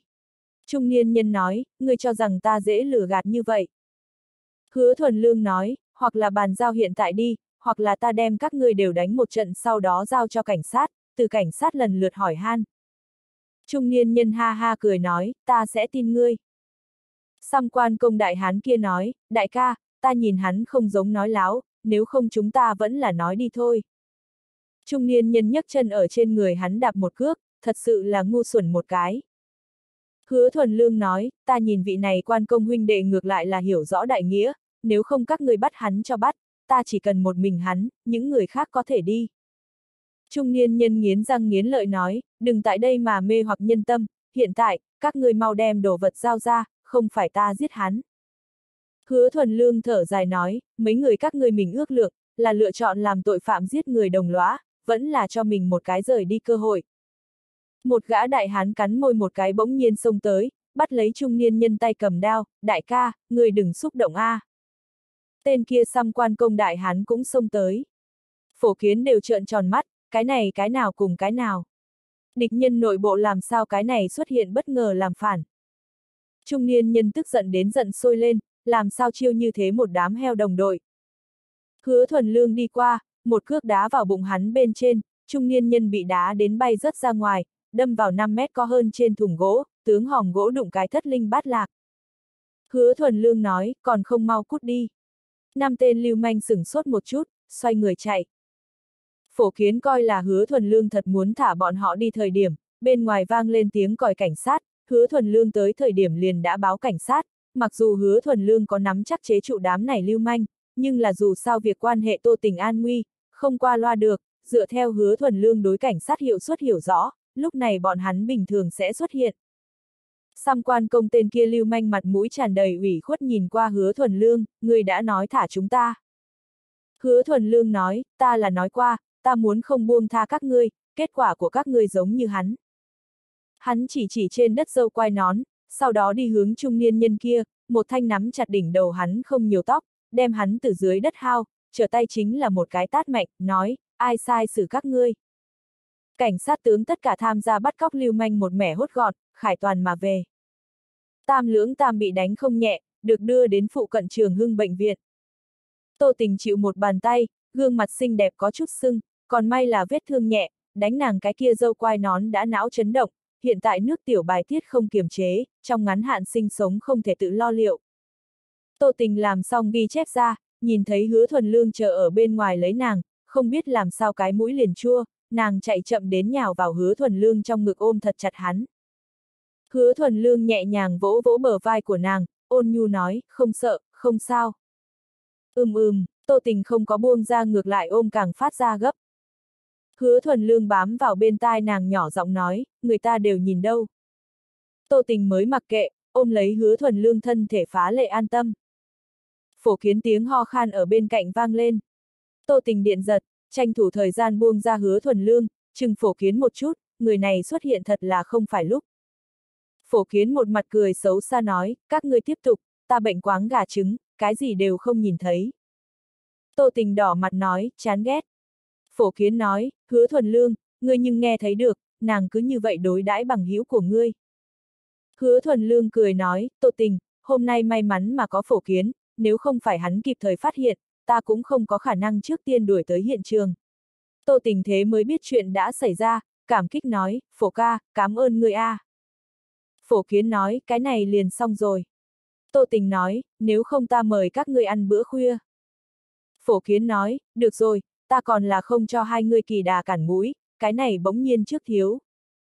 Ba người cùng đi đi ra bên ngoài, phổ kiến nhà liền ở tại trường hưng bệnh viện phụ cận, hứa thuần lương lái xe tới, đem hắn mang hộ đến cửa nhà. Phổ kiến lúc xuống xe, thấm thía bàn giao, cứu người ta cũng có phần, đừng vội vàng làm ra lấy thân báo đáp quyết định. Tô tình xấu hổ cầm lấy một bình nước khoáng làm bộ muốn ném hắn. Phổ kiến vui tươi hớn hở trốn. Hứa thuần lương nói, phổ kiến liền như thế, tâm địa không tệ, nhưng là cái nói nhảm. Tô tình nói, may mắn mà có hắn, ngẫm lại còn có chút sợ chứ. Hứa thuần lương nói, muốn ăn cái gì?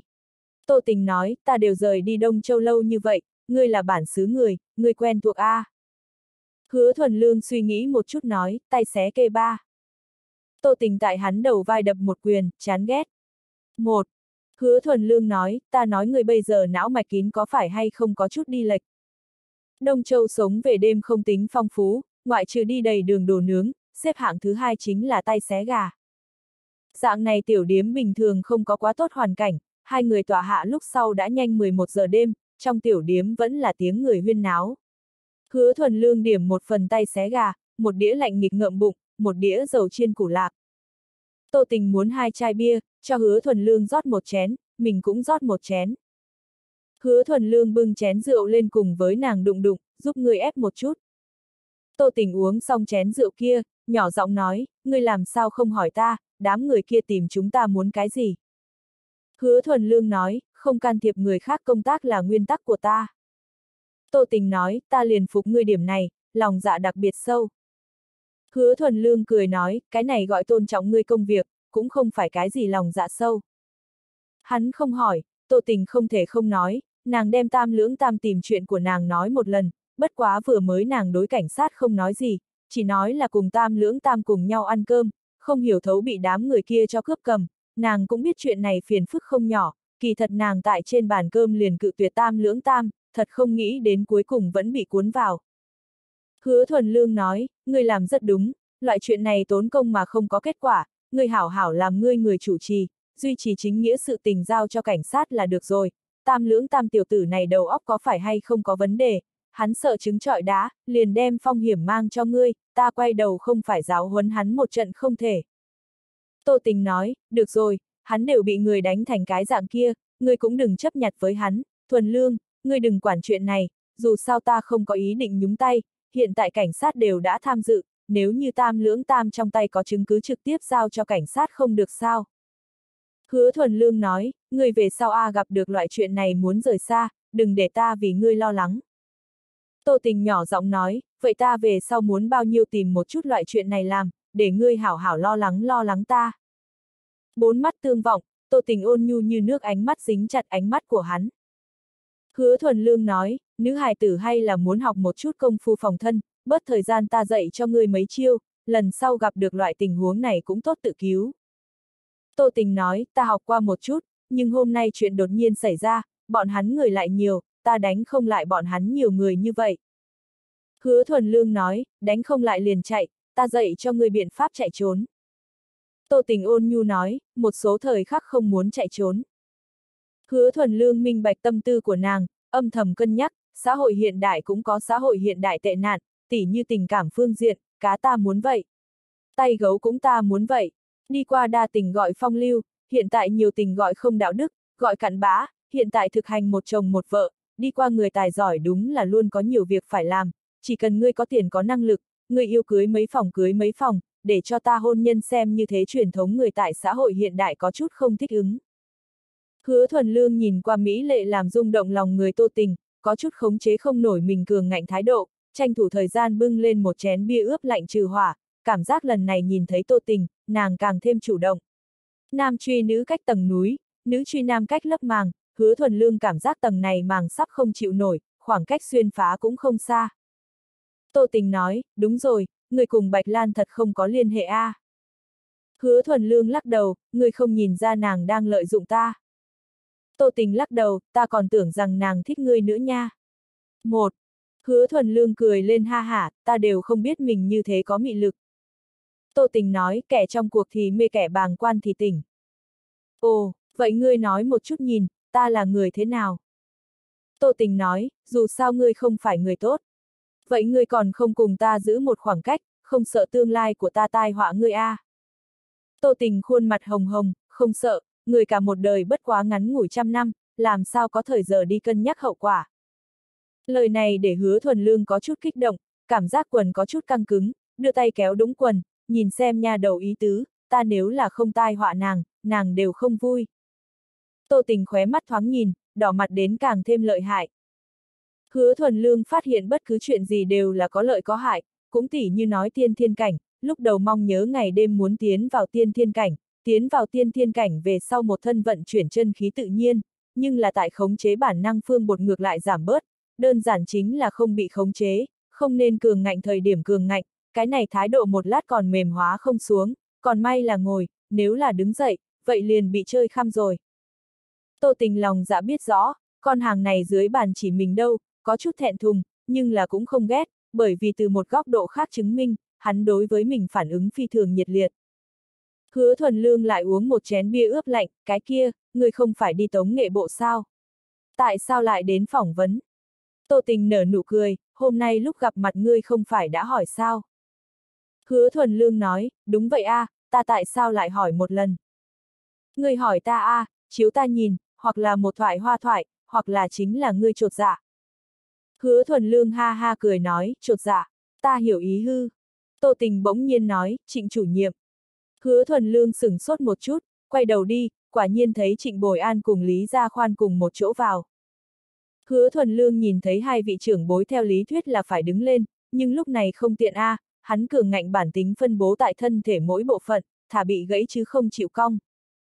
Trịnh bồi an bọn hắn cũng nhìn thấy hứa thuần lương, hứa thuần lương cố ý hướng bọn họ chớp chớp mắt. Trịnh bồi an ngầm hiểu, lôi kéo Lý Gia Khoan đi chỗ xa ngồi. Tô tình nhỏ giọng nói, chúng ta đi thôi. Hứa thuần lương nói, lại đợi lát nữa, ta còn không có ăn mì đâu. Khéo hiểu lòng người tô tình nháy nháy mắt, lại kêu một bát gà tia bột, nàng nhưng ăn không nổi. Tô tình nói cho hứa thuần lương, hai ngày trước Hoa Trục Nguyệt cùng với nàng liên lạc qua, Lam Tinh truyền hình về sau bắt đầu liên quan đủ truyền hình điện ảnh lĩnh vực, Hoa Trục Nguyệt hỏi nàng đối biểu diễn có hứng thú hay không, có thể đề cử thích hợp nhân vật cho nàng, kỳ thực không chỉ là Hoa Trục Nguyệt, gần nhất có không ít truyền hình điện ảnh công ty cùng với nàng bàn bạc qua. Hứa thuần lương ngược lại là không có nghe Hoa Trục Nguyệt nói qua, đã tô tình trưng cầu ý kiến của hắn, hắn liền nói một lần người cách nhìn, ta cảm thấy truyền hình điện ảnh vòng nước rất sâu, bất quá ngoại hình của ngươi điều kiện hoàn toàn chính xác thích hợp tại cái này một lĩnh vực phát triển, nếu như ngươi muốn làm phương diện này nếm thử, ký người khác không bằng ký hoa trục nguyệt bên kia, bằng vào ta cùng nàng quan hệ nàng chắc chắn sẽ không hố ngươi. Tô tình nói, ngươi cùng với nàng quan hệ thế nào? Hứa thuần lương nói, bằng hữu A, cùng hai ta không sai biệt lắm. Tô tình mân mê môi anh đào nói, ta thế nào cảm giác hai người các ngươi có chút không bình thường. Hứa thuần lương cười nói, ngươi nhìn ta cùng những nữ nhân khác kết giao đều không bình thường. Tô tình nói, ta mới mặc kệ ngươi cùng với ai kết giao, ta cũng không phải lão bà ngươi, không tới phiên ta quản, ta cũng không quản được. Hứa thuần lương nói, giận ta. Tô tình lắc đầu, không có, dù sao đi cùng với ngươi thật vui vẻ.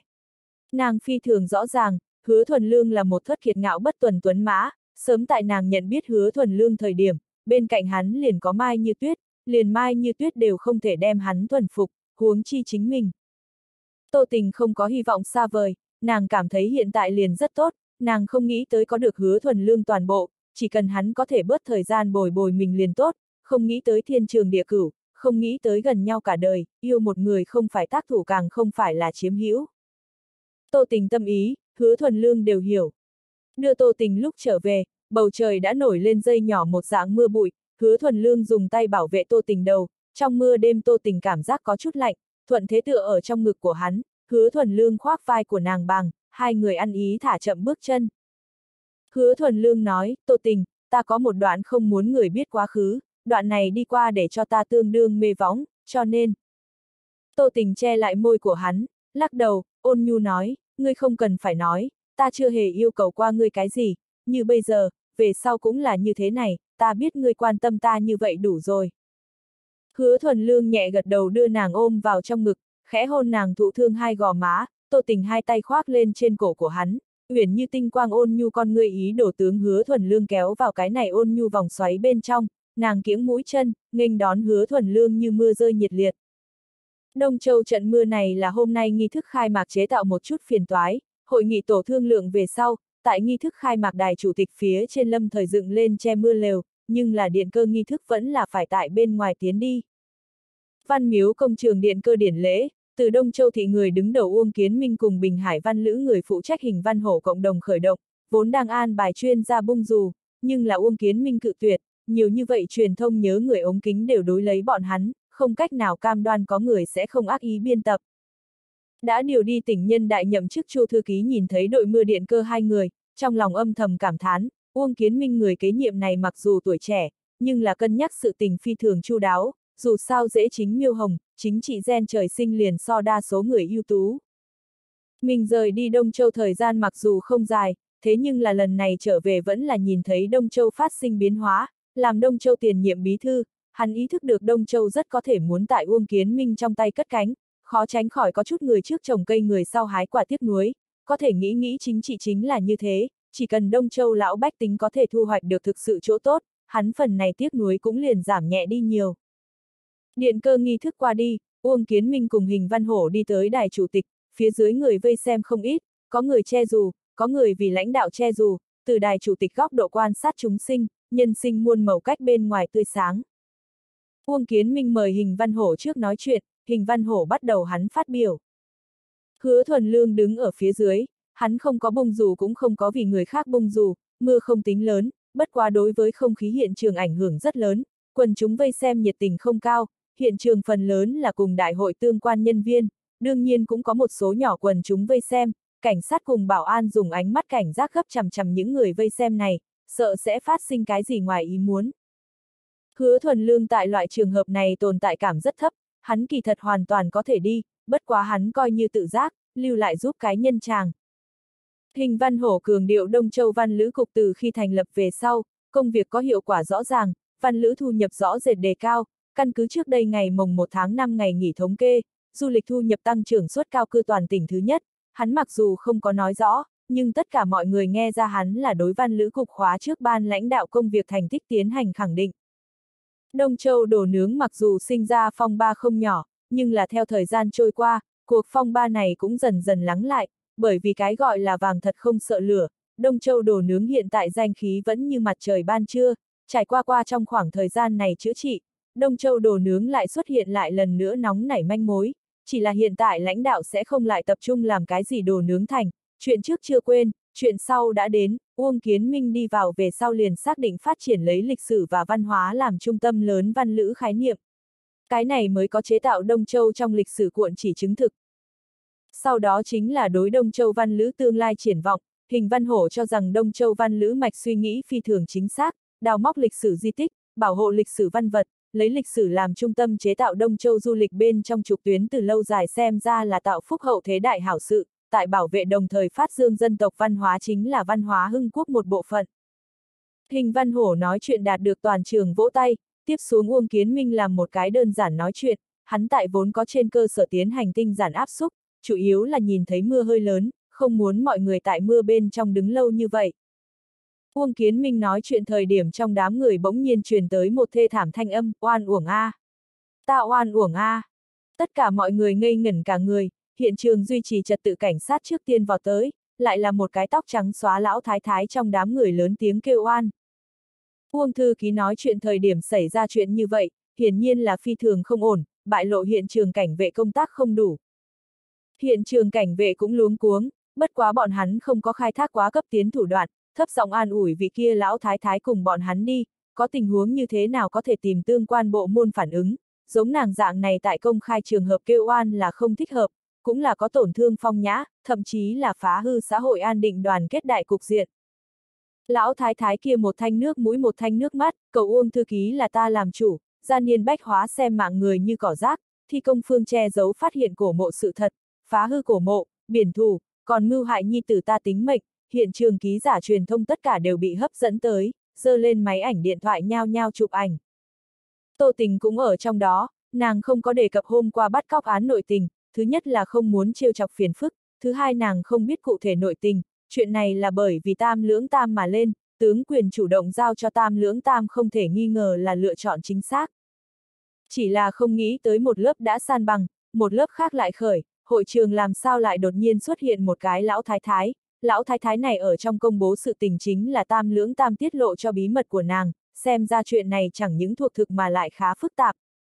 Cảnh sát người phụ trách sắc mặt tái xanh, hôm nay trận này ngoài ý muốn rất có thể để hắn đạt được công việc bất lực xử phạt, hắn đưa mắt liếc ra ý qua một cái, ra hiệu thủ hạ mau chóng tướng lão thái bà mang rời hiện trường, để tránh huyên náo không thể thu nhặt. Ngay trước nhiều như vậy ký giả truyền thông bọn hắn cũng không tốt biểu hiện được quá cường ngạnh, lão thái thái hét lớn, gia niên dưới quảng trường bột có văn vật, bọn hắn phá hư văn vật, mưu tài sát hại tính mệnh. Hiện trường như là vỡ tổ, các phóng viên nhao nhao vây lại, sợ bỏ lỡ cái này chân quý tin tức. Uông Kiến Minh sắc mặt cũng hơi có chút thay đổi, hắn hướng một bên Tần Chính Dương đưa mắt liếc ra ý qua một cái, Tần Chính Dương trước tiên hướng phía dưới đi đến, hắn nhất định phải ra mặt lắng lại cuộc phong ba này. Nhưng hiện trường đã lâm vào hỗn loạn, Tần Chính Dương muốn tách ra đám người đi đến lão thái thái bên người nói nghe thì dễ. May mắn hứa thuần lương chú ý tới điểm này, hắn chủ động đi tới, trợ giúp Tần Chính Dương tách ra đám người, hai người đẩy ra lão thái thái bên người, Tần Chính Dương thở không ra hơi nói, đại nương, ta là Uông Bí Thư Thư Ký, người có cái gì oan khuất có thể nói với ta. Hứa thuần lương hướng chung quanh đập không ngừng phóng viên nói, đừng vuốt, người ta đại nương cũng có chân dung quyền, các người đưa tin sự thật có thể, nếu là tin đồn thất thiệt, thêm mắm thêm muối nói hưu nói vượt, chúng ta Đông Châu nhân dân khẳng định sẽ truy cứu trách nhiệm của các ngươi. Lúc này lấy lại tinh thần bảo an mới xông lên trận thứ nhất tuyến, bọn hắn đều là cộng tác viên, loại thời điểm này thích hợp nhất ra mặt vẫn là bọn hắn, bảo an tướng phóng viên cùng lão thái thái thành công tách ra. Hứa thuần lương cùng tần chính dương nói hết lời tướng vị kia lão thái thái đến lâm thời khu nghỉ ngơi. Văn lữ cục bên kia phái Phạm Lý đạt tới xem xét tình huống, nhìn thấy tình cảnh này, tranh thủ thời gian mang một cái ghế cho lão thái thái ngồi. Hứa thuần lương đi cho lão thái thái rót chén nước. Tần chính dương kiên nhẫn tuân hỏi đến tột cùng chuyện gì xảy ra. Lão thái thái họ trương, nàng có con trai gọi lương trí cương, quá khứ là cái tiểu công đầu, gian niên quảng trường kiến thiết thời điểm, hắn nhận thầu bộ phận cát đá khối đất công trình, bản tới nhà tháng ngày trôi qua cũng tạm được, nhưng đột nhiên có một ngày ban đêm bị cặn bã thổ xe cho ít chết rồi. Công trường bồi cho bọn hắn nhà một chút tiền, bởi vì là chuyện ngoài ý muốn, trong nhà cũng chỉ có thể nhận, nhi tử chết không bao lâu, con dâu mang theo cháu trai sửa lại gả, bạn già tại nhi tử đi năm thứ hai cũng đi theo, trong nhà chỉ còn lại trương lão thái cô chỉ cần một. Lão thái thái còn sống cũng không có ý gì, cứ như vậy ngơ ngơ ngác ngác sống qua ngày, nếu như không phải lo lắng lấy bảo bối cháu trai, nàng đã sớm đi theo kia hai người đi. Nhưng trước mấy ngày có người gọi điện thoại cho nàng, nói cho nàng nhi tử chết chân tướng. Lương Trí Cương chết không phải ngoài ý muốn, mà là bởi vì hắn tại công trình bên trong phát hiện hắn mộ, không biết làm sao cùng ngay lúc đó thi công phương phát sinh xung đột, kết quả bị người hại chết. Lão Thái Thái lúc này mới nhớ tới nhi tử đi qua đã từng hướng trong nhà cầm qua một chút đồ cổ, phụng trộm giao cho nàng, để nàng hảo hảo thu, bất kỳ người nào đều đừng nói cho, liền cha hắn lão bà hắn cũng không thể nói. Trương lão thái trước sau một liên hệ, cho rằng nhi tử chết khẳng định không phải ngoài ý muốn, nhi tử cũng hẳn là tham dự trộm mộ chia của, rất có thể là chia của bất công bị người cho hại. Cũng là cái kia gọi điện thoại người thần bí nói cho nàng phải nên làm như thế nào, nàng liền mượn lần này xem náo nhiệt cơ hội tới đến văn lữ hội trợ hiện trường, chờ đến Uông thư ký ra sân thời điểm, nàng tới cái đánh chống hộ oan, cứ như vậy, liền có thể gây nên các lãnh đạo coi trọng, dư luận chú ý, cũng chỉ có dạng này mới là nàng là nhi tử đòi công đạo duy nhất cơ hội. Cảnh sát hiệu suất làm việc rất cao, trong thời gian ngắn nhất tra ra trương lão thái tư liệu, thông chi người nhà của nàng. Trương lão thái hiện tại thân nhất người nhà cũng là cháu của nàng Lương Hồng Đào, Lương Hồng Đào 17 tuổi, trước mắt học tập tại Đông Châu thứ ba trung học, mặc dù là kỳ nghỉ hè, hiện tại cũng đã bắt đầu đi học. Lương Hồng Đào là cái vừa ốm vừa cao thiếu niên, nhìn thấy một đám người vây quanh nãi nãi lập tức khẩn trương lên, hắn lớn tiếng nói các ngươi chơi cái gì? Nãi nãi, nãi nãi người không có sao chứ? Trương lão thái nắm lấy cháu trai tay, nước mắt tuôn đầy mặt nói, không có việc gì, nãi nãi không có việc gì. Bên cạnh họ lưu cảnh sát nói, Trương Đại Nương, người tỉnh táo một chút, không có chứng cứ sự tình ngươi cũng không thể nói lung tung a. À. hôm nay là văn lữ hội trợ khai mạc, người náo một màn như thế, có biết hay không tạo thành bao lớn ảnh hưởng. Trương Lão Thái nói, ta không quản được nhiều như vậy, chẳng lẽ liền bởi vì các ngươi làm nghi thức khai mạc nhi tử ta liền chết vô ích hay sao? Trương Đại Nương, con trai của ngài đều đi chết 10 năm, chúng ta điều ra năm đó hồ sơ cùng xử lý hồ sơ, rõ ràng rõ ràng, hắn nguyên nhân cái chết là tai nạn xe cộ, nhà các ngươi lúc ấy cũng ký tên, người nếu là cảm thấy oan uổng, 10 năm này đều đi làm cái gì rồi. Trương Lão Thái nói, ta hiện tại mới tìm hiểu tình huống, nhi tử ta là bị người hại chết. Lương Hồng Đào nói, nãi nãi, người nói cha ta hắn là bị người hại chết. Tần Chính Dương nói, Trương Đại Nương, người có chuyện gì hướng ta phản ứng, ta cam đoan tướng tất cả tình huống chi tiết hướng Uông Thư Ký báo cáo, tại tình huống không có đạt được chứng thực trước đó, người tốt nhất vẫn là đừng tùy tiện hạ dạng này phán đoán suy luận, tôn tử của ngài còn đang đi học, chúng ta đừng chậm trễ hắn việc học. Họ lưu cảnh sát nói, đúng đấy, người lớn tuổi như vậy cao minh cân nhắc làm việc hậu quả, người có thể không quan tâm, nhưng là của ngài nhất cử nhất động có khả năng ảnh hưởng đến tôn tử của ngài về sau tiền đồ, còn muốn hay không xâm quân, còn muốn hay không thi công thi biên. Trương Lão Thái nghe hắn vừa nói rõ như thế hiển có chút thấp thỏm, ta ai làm nấy chịu, cùng cháu của ta có quan hệ gì? Ai bảo các ngươi thông chi hắn đến đây? Lương Hồng Đào nói, ta mới không quan tâm cái gì thi công thi biên, cái gì cũng so ra kém chân tướng trọng yếu. Hứa thuần lương về đến nhà, nhìn thấy thư phòng đèn sáng, gõ cửa một cái đi vào, nhìn thấy gia gia ngay tại dưới đèn tụ tinh hội thần viết cái gì. Hứa thuần lương cười nói, gia gia, đã trễ thế như vậy còn như thế dụng công. Hứa trường thiện tướng bút lông đặt tại giá bút bên trên, một mặt hiền lành nói, gần nhất không có chuyện gì, liền suy nghĩ đem những này năm làm nghề y tâm đắc trải nghiệm viết xuống đến, người sống cả một đời dù sao cũng phải lưu lại chút gì, hy vọng đối hậu nhân có chút dẫn dắt. Hứa thuần lương nói, người còn thanh xuân tuổi trẻ đâu, thời gian đối với người tới nói dài lắm. Hứa trường thiện cười ha hả, đứng người lên duỗi lưng một cái nói, ta dự định mời Thanh Nhã ăn bữa cơm, người hẹn cái thời gian chứ sao? Hứa thuần lương nói, không cần thiết đi, ta ngày mai theo nàng đi Nguy Sơn Hồ chơi đùa, ngài nếu là có hứng thú, cùng đi. Hứa trường thiện lắc đầu nói, các người người trẻ tuổi đi ra ngoài chơi, ta liền không làm vướng víu. Hắn rõ ràng có mấy lời muốn nói, nhưng muốn nói lại thôi. Hứa thuần lương nói, ra ra, có chuyện gì muốn lời nhắn nhủ sao? Hứa trường thiện nói, người cũng lớn như vậy, không phải là đúng sai phân rõ ràng, không cần ta bàn giao, đúng, cha ngươi gần nhất cùng ngươi liên lạc qua không có. Hứa thuần lương lắc đầu, không có. Hứa trường thiện nói, ngươi không có chủ động cùng hắn liên lạc qua. Hứa thuần lương nói, liên hệ hắn làm gì, ta lại không thiếu tiền, người ta cũng có cuộc sống của mình, ta hại chết đừng quấy rầy hắn tốt. Không phải nói hắn ly hôn. Hứa trường thiện mặt ngoài không quan tâm đứa con trai này, nhưng trên thực tế trong lòng vẫn là lo lắng vô cùng. Hứa thuần lương nhìn ra ra ra nghĩ hắn, đúng vậy, ta hiện tại liền liên hệ. Được rồi, đã trễ thế như vậy đều. Hứa thuần lương nở nụ cười, có khi kém, bọn hắn bên kia giữa ban ngày đâu. Hứa thuần lương trực tiếp liền WeChat video, qua một hồi lâu, bên kia mới có người nhận điện thoại, ánh nắng rất tốt, kim quang sán lạn, bất quá tập trung nhìn vào, là cái tóc vàng mắt xanh bãi cát mỹ nữ, trói mắt là đối phương mái tóc màu vàng óng.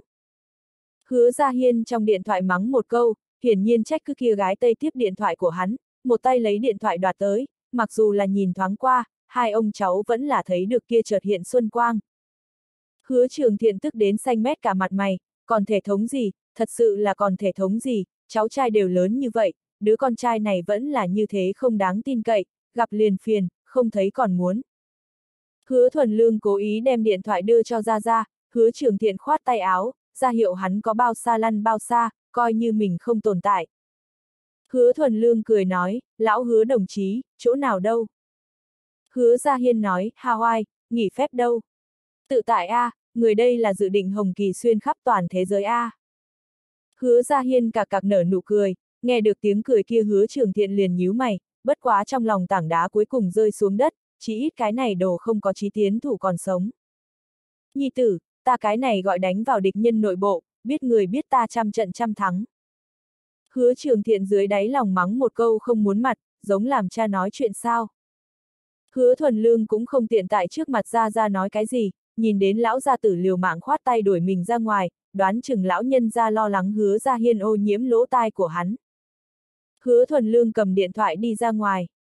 Hứa trường thiện các loại cháu trai sau khi đi, lắc đầu mắng một câu, không đứng đắn đồ chơi. Khóe môi lại lộ ra một tia che đậy không giấu được ý cười, kia không đáng tin cậy đồ vật đến đâu mà đều không ăn thiệt thòi. Hứa thuần lương đi vào phòng khách tọa hạ, lão hứa, không mang theo dạng này a, à, vừa rồi ra ra đều nhìn thấy. Hứa Gia Hiên nói, cái kia là dối trá, trong lòng không chừng vui nở hoa rồi. Hứa thuần lương nhìn không được bật cười. Hứa Gia Hiên chiếu vào mỹ nữ tóc vàng cái mông vỗ một cái, để nàng bên cạnh đi, đừng cản ống kính. Hứa thuần lương nói, hồi trước tình huống như thế nào? Cả ngày không mở máy, còn tưởng rằng ngươi bị người bắt cóc. Hứa Gia Hiên nói, gặp được điểm phiền phức, cái này chó nhập lão Mỹ, pháp luật quá mẹ nó thao đản, nghĩ trăm phương ngàn kế hố người đóng thuế tiền, bất quá bây giờ vấn đề đều giải quyết. Nhi tử, người coi như có lương tâm, biết nhớ thương ta à? Hứa thuần lương nói, đừng tự mình đa tình, là ra ra nghĩ ngươi, trên đời này đều là cha nhớ thương nhi tử, người gặp qua nhà ai nhi tử nhớ thương cha. Nói cũng đúng a, à, nhi tử, người càng ngày càng thành thục. Hứa thuần lương nói, năm nay trung thu có thể trở về a. À.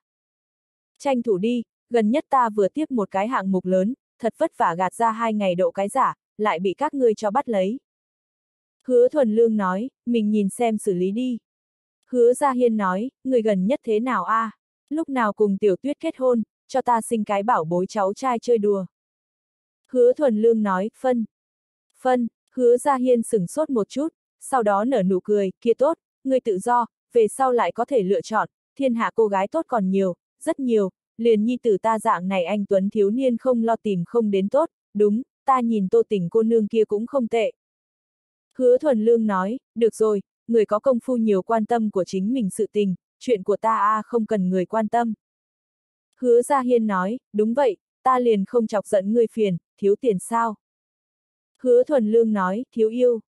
Hứa Gia Hiên nói, món đồ kia ta thật không cho được, nhà chúng ta liền không có cái kia truyền thống, ra ra ngươi năm đó cũng không cho ta nhiều ít, cha nợ con trả, cha ta thiếu ta yêu ta đều chuyển cho ngươi, ngươi không thiệt thòi, ăn thua thiệt chính là ta.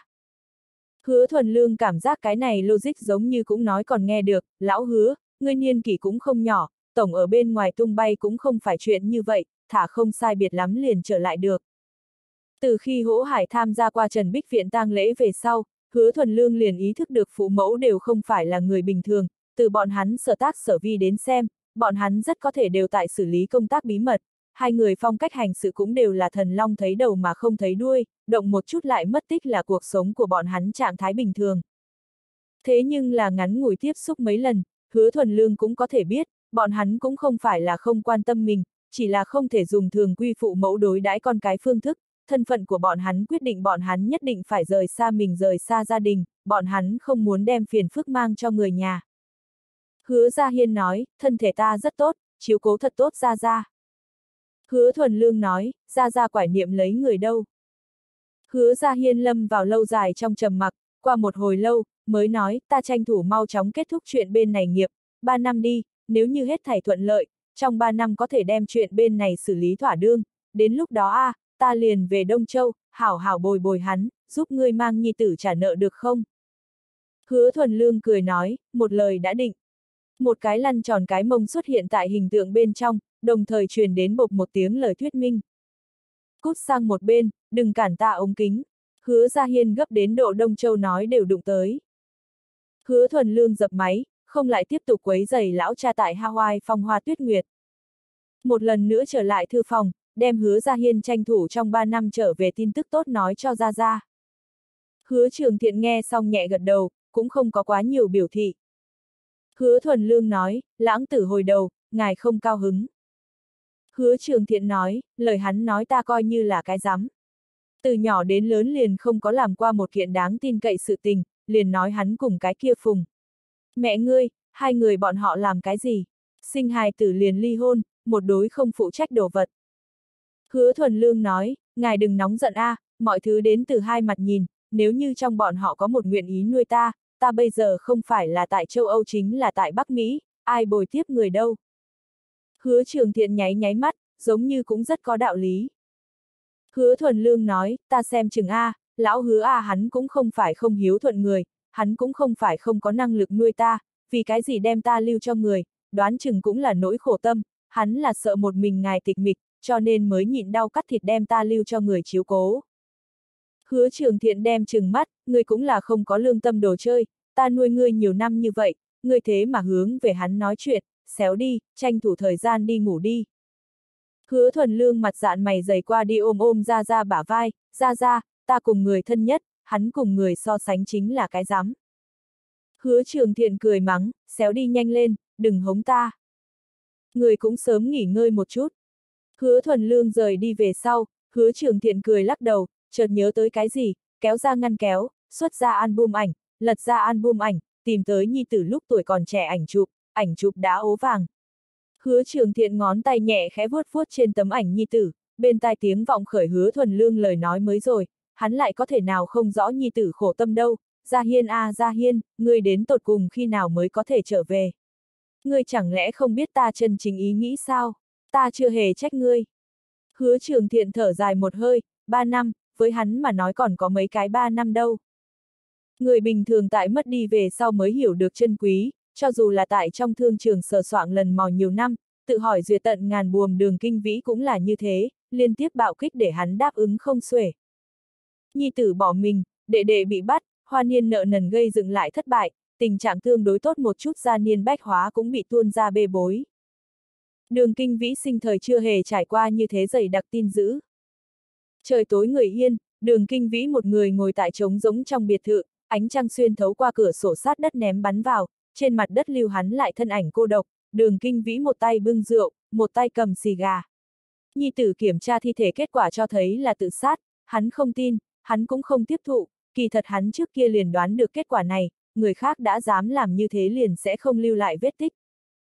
Dưới chân trên mặt đất, tàn mát đầy đất ảnh chụp, ảnh chụp nội dung khó coi, nhân vật nữ chính chính là hắn bao dưỡng tiểu minh tinh trịnh đồng, kia không muốn mặt tiện nhân cầm tiền của hắn ngay tại Bắc Mỹ cùng một cái mãnh nam gió lưu khoái hoạt, chân chính đánh đường kinh vĩ chính là một trương thân tử giám định chứng minh, hắn vẫn cho rằng trịnh đồng sinh hạ chính là con của hắn, nhưng trương này chứng minh vô tình xé nát hắn sau cùng tự tôn, cũng đoạn tuyệt hắn sau cùng hy vọng.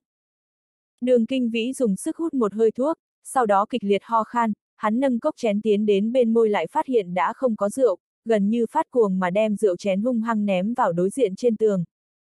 Thanh âm chói tai, lại sẽ không kinh động bất luận kẻ nào, nhà này trống rỗng đại trạch bên trong chỉ có hắn. Đường Kinh Luân đồng dạng không có chìm vào giấc ngủ, nhìn qua đối diện cảnh sát thở dài nói, các ngươi rốt cuộc muốn giày vò ta tới khi nào.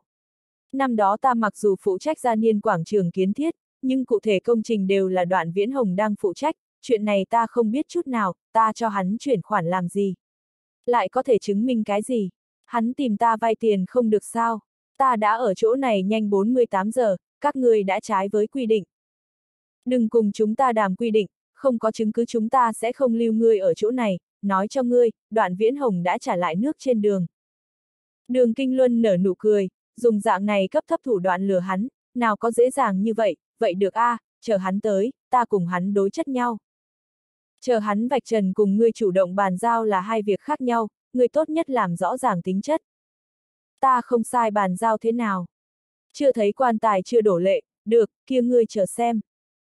Hứa thuần lương sáng sớm đi bộ đi vào vạn hào khách sạn, hôm nay hắn đã đáp ứng Diệp Thanh Nhã, mang nàng đi Nguy Sơn Hồ Du Lãm, vốn muốn gọi bên trên Diệp Thanh Nhã đi nhấm nháp bản địa đặc sắc bữa sáng, Diệp Thanh Nhã để hắn đừng phiền toái như vậy, trực tiếp tới khách sạn phòng ăn ăn, dù sao phòng nàng cũng đưa tặng hai tấm bữa sáng khoán. Hứa thuần lương đến phòng ăn, nhìn thấy Diệp Thanh Nhã cùng Tô Tình hai người mặt đối mặt chuyện trò vui vẻ. Hứa thuần lương trước đi lấy sớm một chút, đi vào Tô Tình ngồi xuống bên người, cười nói, trò chuyện vui vẻ như vậy. Tô Tình nói, đúng thế, đặc biệt hợp ý, từ tối hôm qua trò chuyện đến bây giờ. Diệp Thanh Nhã nhẹ gật đầu. Hứa Thuần Lương nói, cùng một chỗ ngủ. Diệp Thanh Nhã cười nói, người quan tâm sự tình vẫn rất nhiều. Tô Tình giải thích nói, ta gần nhất luôn luôn không nỡ ngủ, cùng Thanh Nhã tỷ hàn huyên về sau tâm tình tốt nhiều. Hứa Thuần Lương nói, nếu không ngươi trốn việc được, cùng đi Nguy Sơn Hồ giải sầu một chút, đối diện non sông tươi đẹp, cái gì phiền não đều sẽ quên mất. Tô Tình nói, ta cũng nghĩ đi, nhưng có phỏng vấn nhiệm vụ, ta không đi không được a. À. Đồng sự không ngừng gửi tin tức, thúc nàng sớm một chút đi đường hầm công trường, hứa thuần lương nghe nói ẩn Long Sơn đường hầm lại đào ra cổ đại di chỉ, không khỏi cảm thán cái này Đông Châu dù sao cũng là lịch sử nội tình thâm hậu, tùy tiện víu vào kéo đều có cổ kiến trúc di chỉ phát hiện. Tô Tình đứng lên nói, các người từ từ ăn, ta phải phỏng vấn đi, quay đầu còn phải đi văn lữ cục, lãnh đạo hướng chỗ nào chỉ ta liền phải hướng chỗ nào đánh. Hứa thuần lương nói, tướng ở bên ngoài quân lệnh có thể không nhận. Tô tình nở nụ cười, ta chính là cái tiểu tốt tử, cũng không có lớn như vậy phái đoàn. Đi vài bước, nhớ tới hứa thuần lương chìa khóa xe còn tại mình nơi này, lại vòng trở lại, tướng chìa khóa cho hắn. Diệp Thanh Nhã nhìn qua tô tình vội vàng đi xa, nhẹ giọng khen, rất tốt nữ hài, nàng đối ngươi không tệ. Hứa thuần lương thuận miệng nói, người đối ta cũng không tệ lắm đâu. Diệp Thanh Nhã gương mặt xinh đẹp đỏ bừng, còn tốt hứa thuần lương vùi đầu ăn cơm không nhìn nàng, đoán chừng cũng là thuận miệng kiểu nói này. Diệp Thanh Nhã đứng dậy đi đón hai ly cà phê, trong đó một chén đặt ở hứa thuần lương trước mặt, tiếp lấy lời nói mới rồi nói, phải thừa nhận người phương diện này vẫn là rất lấy vui. Hứa thuần lương ngẩng đầu nhìn nàng một cái, nắng sớm bên trong Diệp Thanh Nhã khiết trắng như ngọc da thịt lộ ra đỏ ửng rõ dệt phá lệ kiều diễm, để cho người ta có loại đụng lên đi mổ bên trên một ngụm xúc động, bất quá hứa thuần lương tại trước mặt mọi người vẫn là phát hồ tình dừng hồ lễ, cười nói, phương diện kia. Diệp Thanh Nhã nói, nữ nhân duyên phương diện, dù sao ta đã thấy mấy nữ hải đối ngươi cũng rất tốt. Hứa thuần lương nói, ta hiện tại tu luyện làm trọng, nữ nhân chỉ sẽ ảnh hưởng ta tốc độ rút kiếm. Diệp Thanh Nhã mắng, lại nói hưu nói vượt. Ta cũng không có nói hưu nói vượt, đúng, ta dạy cho ngươi thuật phòng thân ngươi luyện sao. Diệp Thanh Nhã nói, mỗi ngày đều đang luyện tập, nhất là ngươi dạy cho ta phương pháp hô hấp, từ khi bắt đầu sau khi luyện tập, tinh thần của ta liền trở nên càng ngày càng tốt, khẩu vị cũng biến thành càng ngày càng tốt. Hứa thuần lương nhẹ gật đầu, rèn luyện là cần tiêu hao, Diệp Thanh Nhã nói tới đây đều là phản ứng bình thường, hắn còn không có nói cho Diệp Thanh Nhã hôm nay sẽ xảo ngộ lâm tư cẩn sự tình. Diệp Thanh Nhã nhưng thật ra là cái cực kỳ thông tuệ nữ nhân, nàng chỉ là chuyên chú vào thế giới của mình, khinh thường tại phản ứng hồng trần thế tục thôi. Đợi nàng nhìn thấy Lâm Tư Cẩn, khẳng định sẽ đoán được là mình một tay thúc đẩy cái này lần gặp gỡ, nàng có thể hay không không cao hứng. 9 giờ sáng, hai người đã đến cổ tuyển trấn bến tàu, theo chu thư ký rời chức, Nguy Sơn Hồ cấp quốc gia nghỉ phép khu kiến thiết rõ ràng chậm lại. Nguyên bản Hồ Sơn chấn người đứng đầu Tần Chính Dương được đề bạt đi Uông Kiến Minh bên người làm thư ký, Nguy Sơn đảo lão bách tính đều cho rằng lần này bọn hắn cũng muốn đi theo được nhờ, nhưng hiện thực cùng trong tưởng tượng tồn tại không ít cách cách, Uông Kiến Minh thị sát Nguy Sơn đảo về sau, cũng không đưa ra phát triển mạnh nghỉ phép khu khẩu hiệu, cũng không có cho mới chính sách ủng hộ. Tần chính dương vị này từ Nguy Sơn đảo đi ra cán bộ, rời đi về sau cũng rất giống quên đi cái này hắn công việc cùng chiến đấu qua địa phương. Hứa thuần lương sớm cùng Vương Kim Vũ chào hỏi, Vương Kim Vũ an bài du thuyền đã sớm tại cổ tuyển trấn bến tàu chờ lấy. Diệp Thanh Nhã nhìn thấy hiển hồng hào thời điểm cũng cảm thấy ngạc nhiên, không nghĩ tới loại địa phương này thế mà còn có như thế xa hoa du thuyền. Dựa theo hứa thuần lương kế hoạch, trước mang theo nàng vòng hồ du lãm nguy sơn hồ Mỹ Cảnh. Diệp Thanh Nhã bưng máy ảnh chụp ảnh thời điểm, Vương Kim Vũ cùng hứa thuần lương đứng trên bong thuyền nói chuyện phiếm.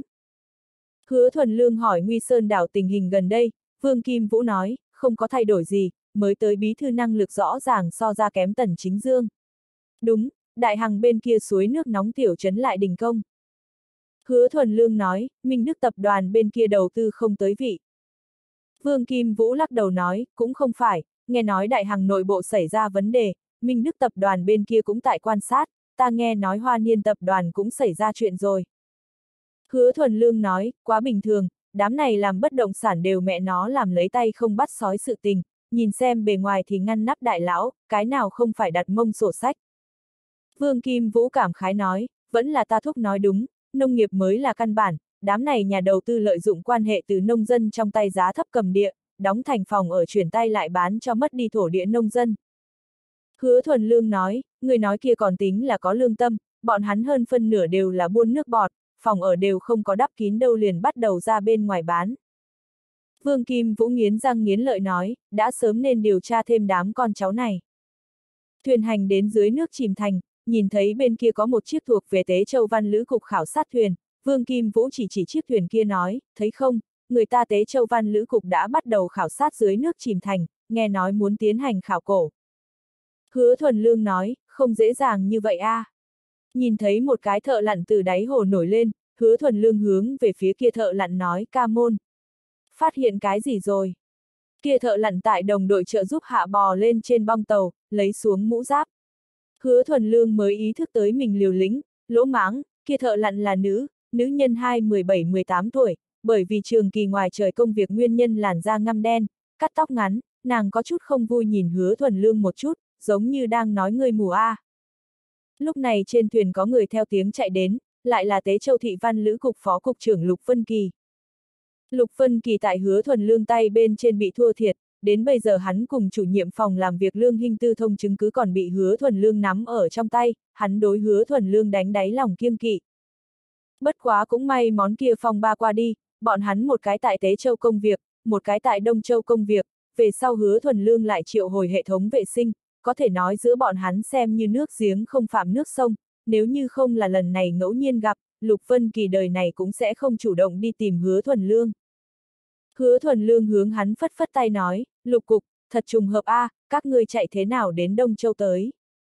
Lục Vân Kỳ nói, lãnh đạo cấp trên nhiệm vụ, ta, ta phải phục tùng mệnh lệnh nghe chỉ huy a. Vừa thấy được hứa thuần lương liền hoảng hồn, hắn nghĩ lầm hứa thuần lương là đến tìm bọn hắn hưng sư vấn tội, kỳ thật nguy sơn nước hồ vực phân chia vẫn luôn không tính quá rõ ràng, nhất là dưới nước chìm thành cái này một mảnh, chỗ nào thuộc về Tế Châu. Chỗ nào thuộc về Đông Châu, chỉ sợ lúc trước phân giới người kia cũng nói không rõ lắm. Nhưng là có một chút có thể xác định, Nguy Sơn đảo là Đông Châu, đại bộ phận Nguy Sơn hồ đều là Tế Châu, đây cũng là cấp trên cho hai tỉnh hai thị tới cái cân bằng. Lần này khảo sát mặc dù là tề lỗ tỉnh trả lời, nhưng là Tế Châu phương diện cũng không có cùng Đông Châu phương diện tiến hành trước đó câu thông. Hứa thuần lương cũng nhìn ra Lục Vân Kỳ khẩn trương, hắn cười nói, người chớ khẩn trương a, ta cũng không phải văn lữ cục, hôm nay thuần túy chính là tới chơi.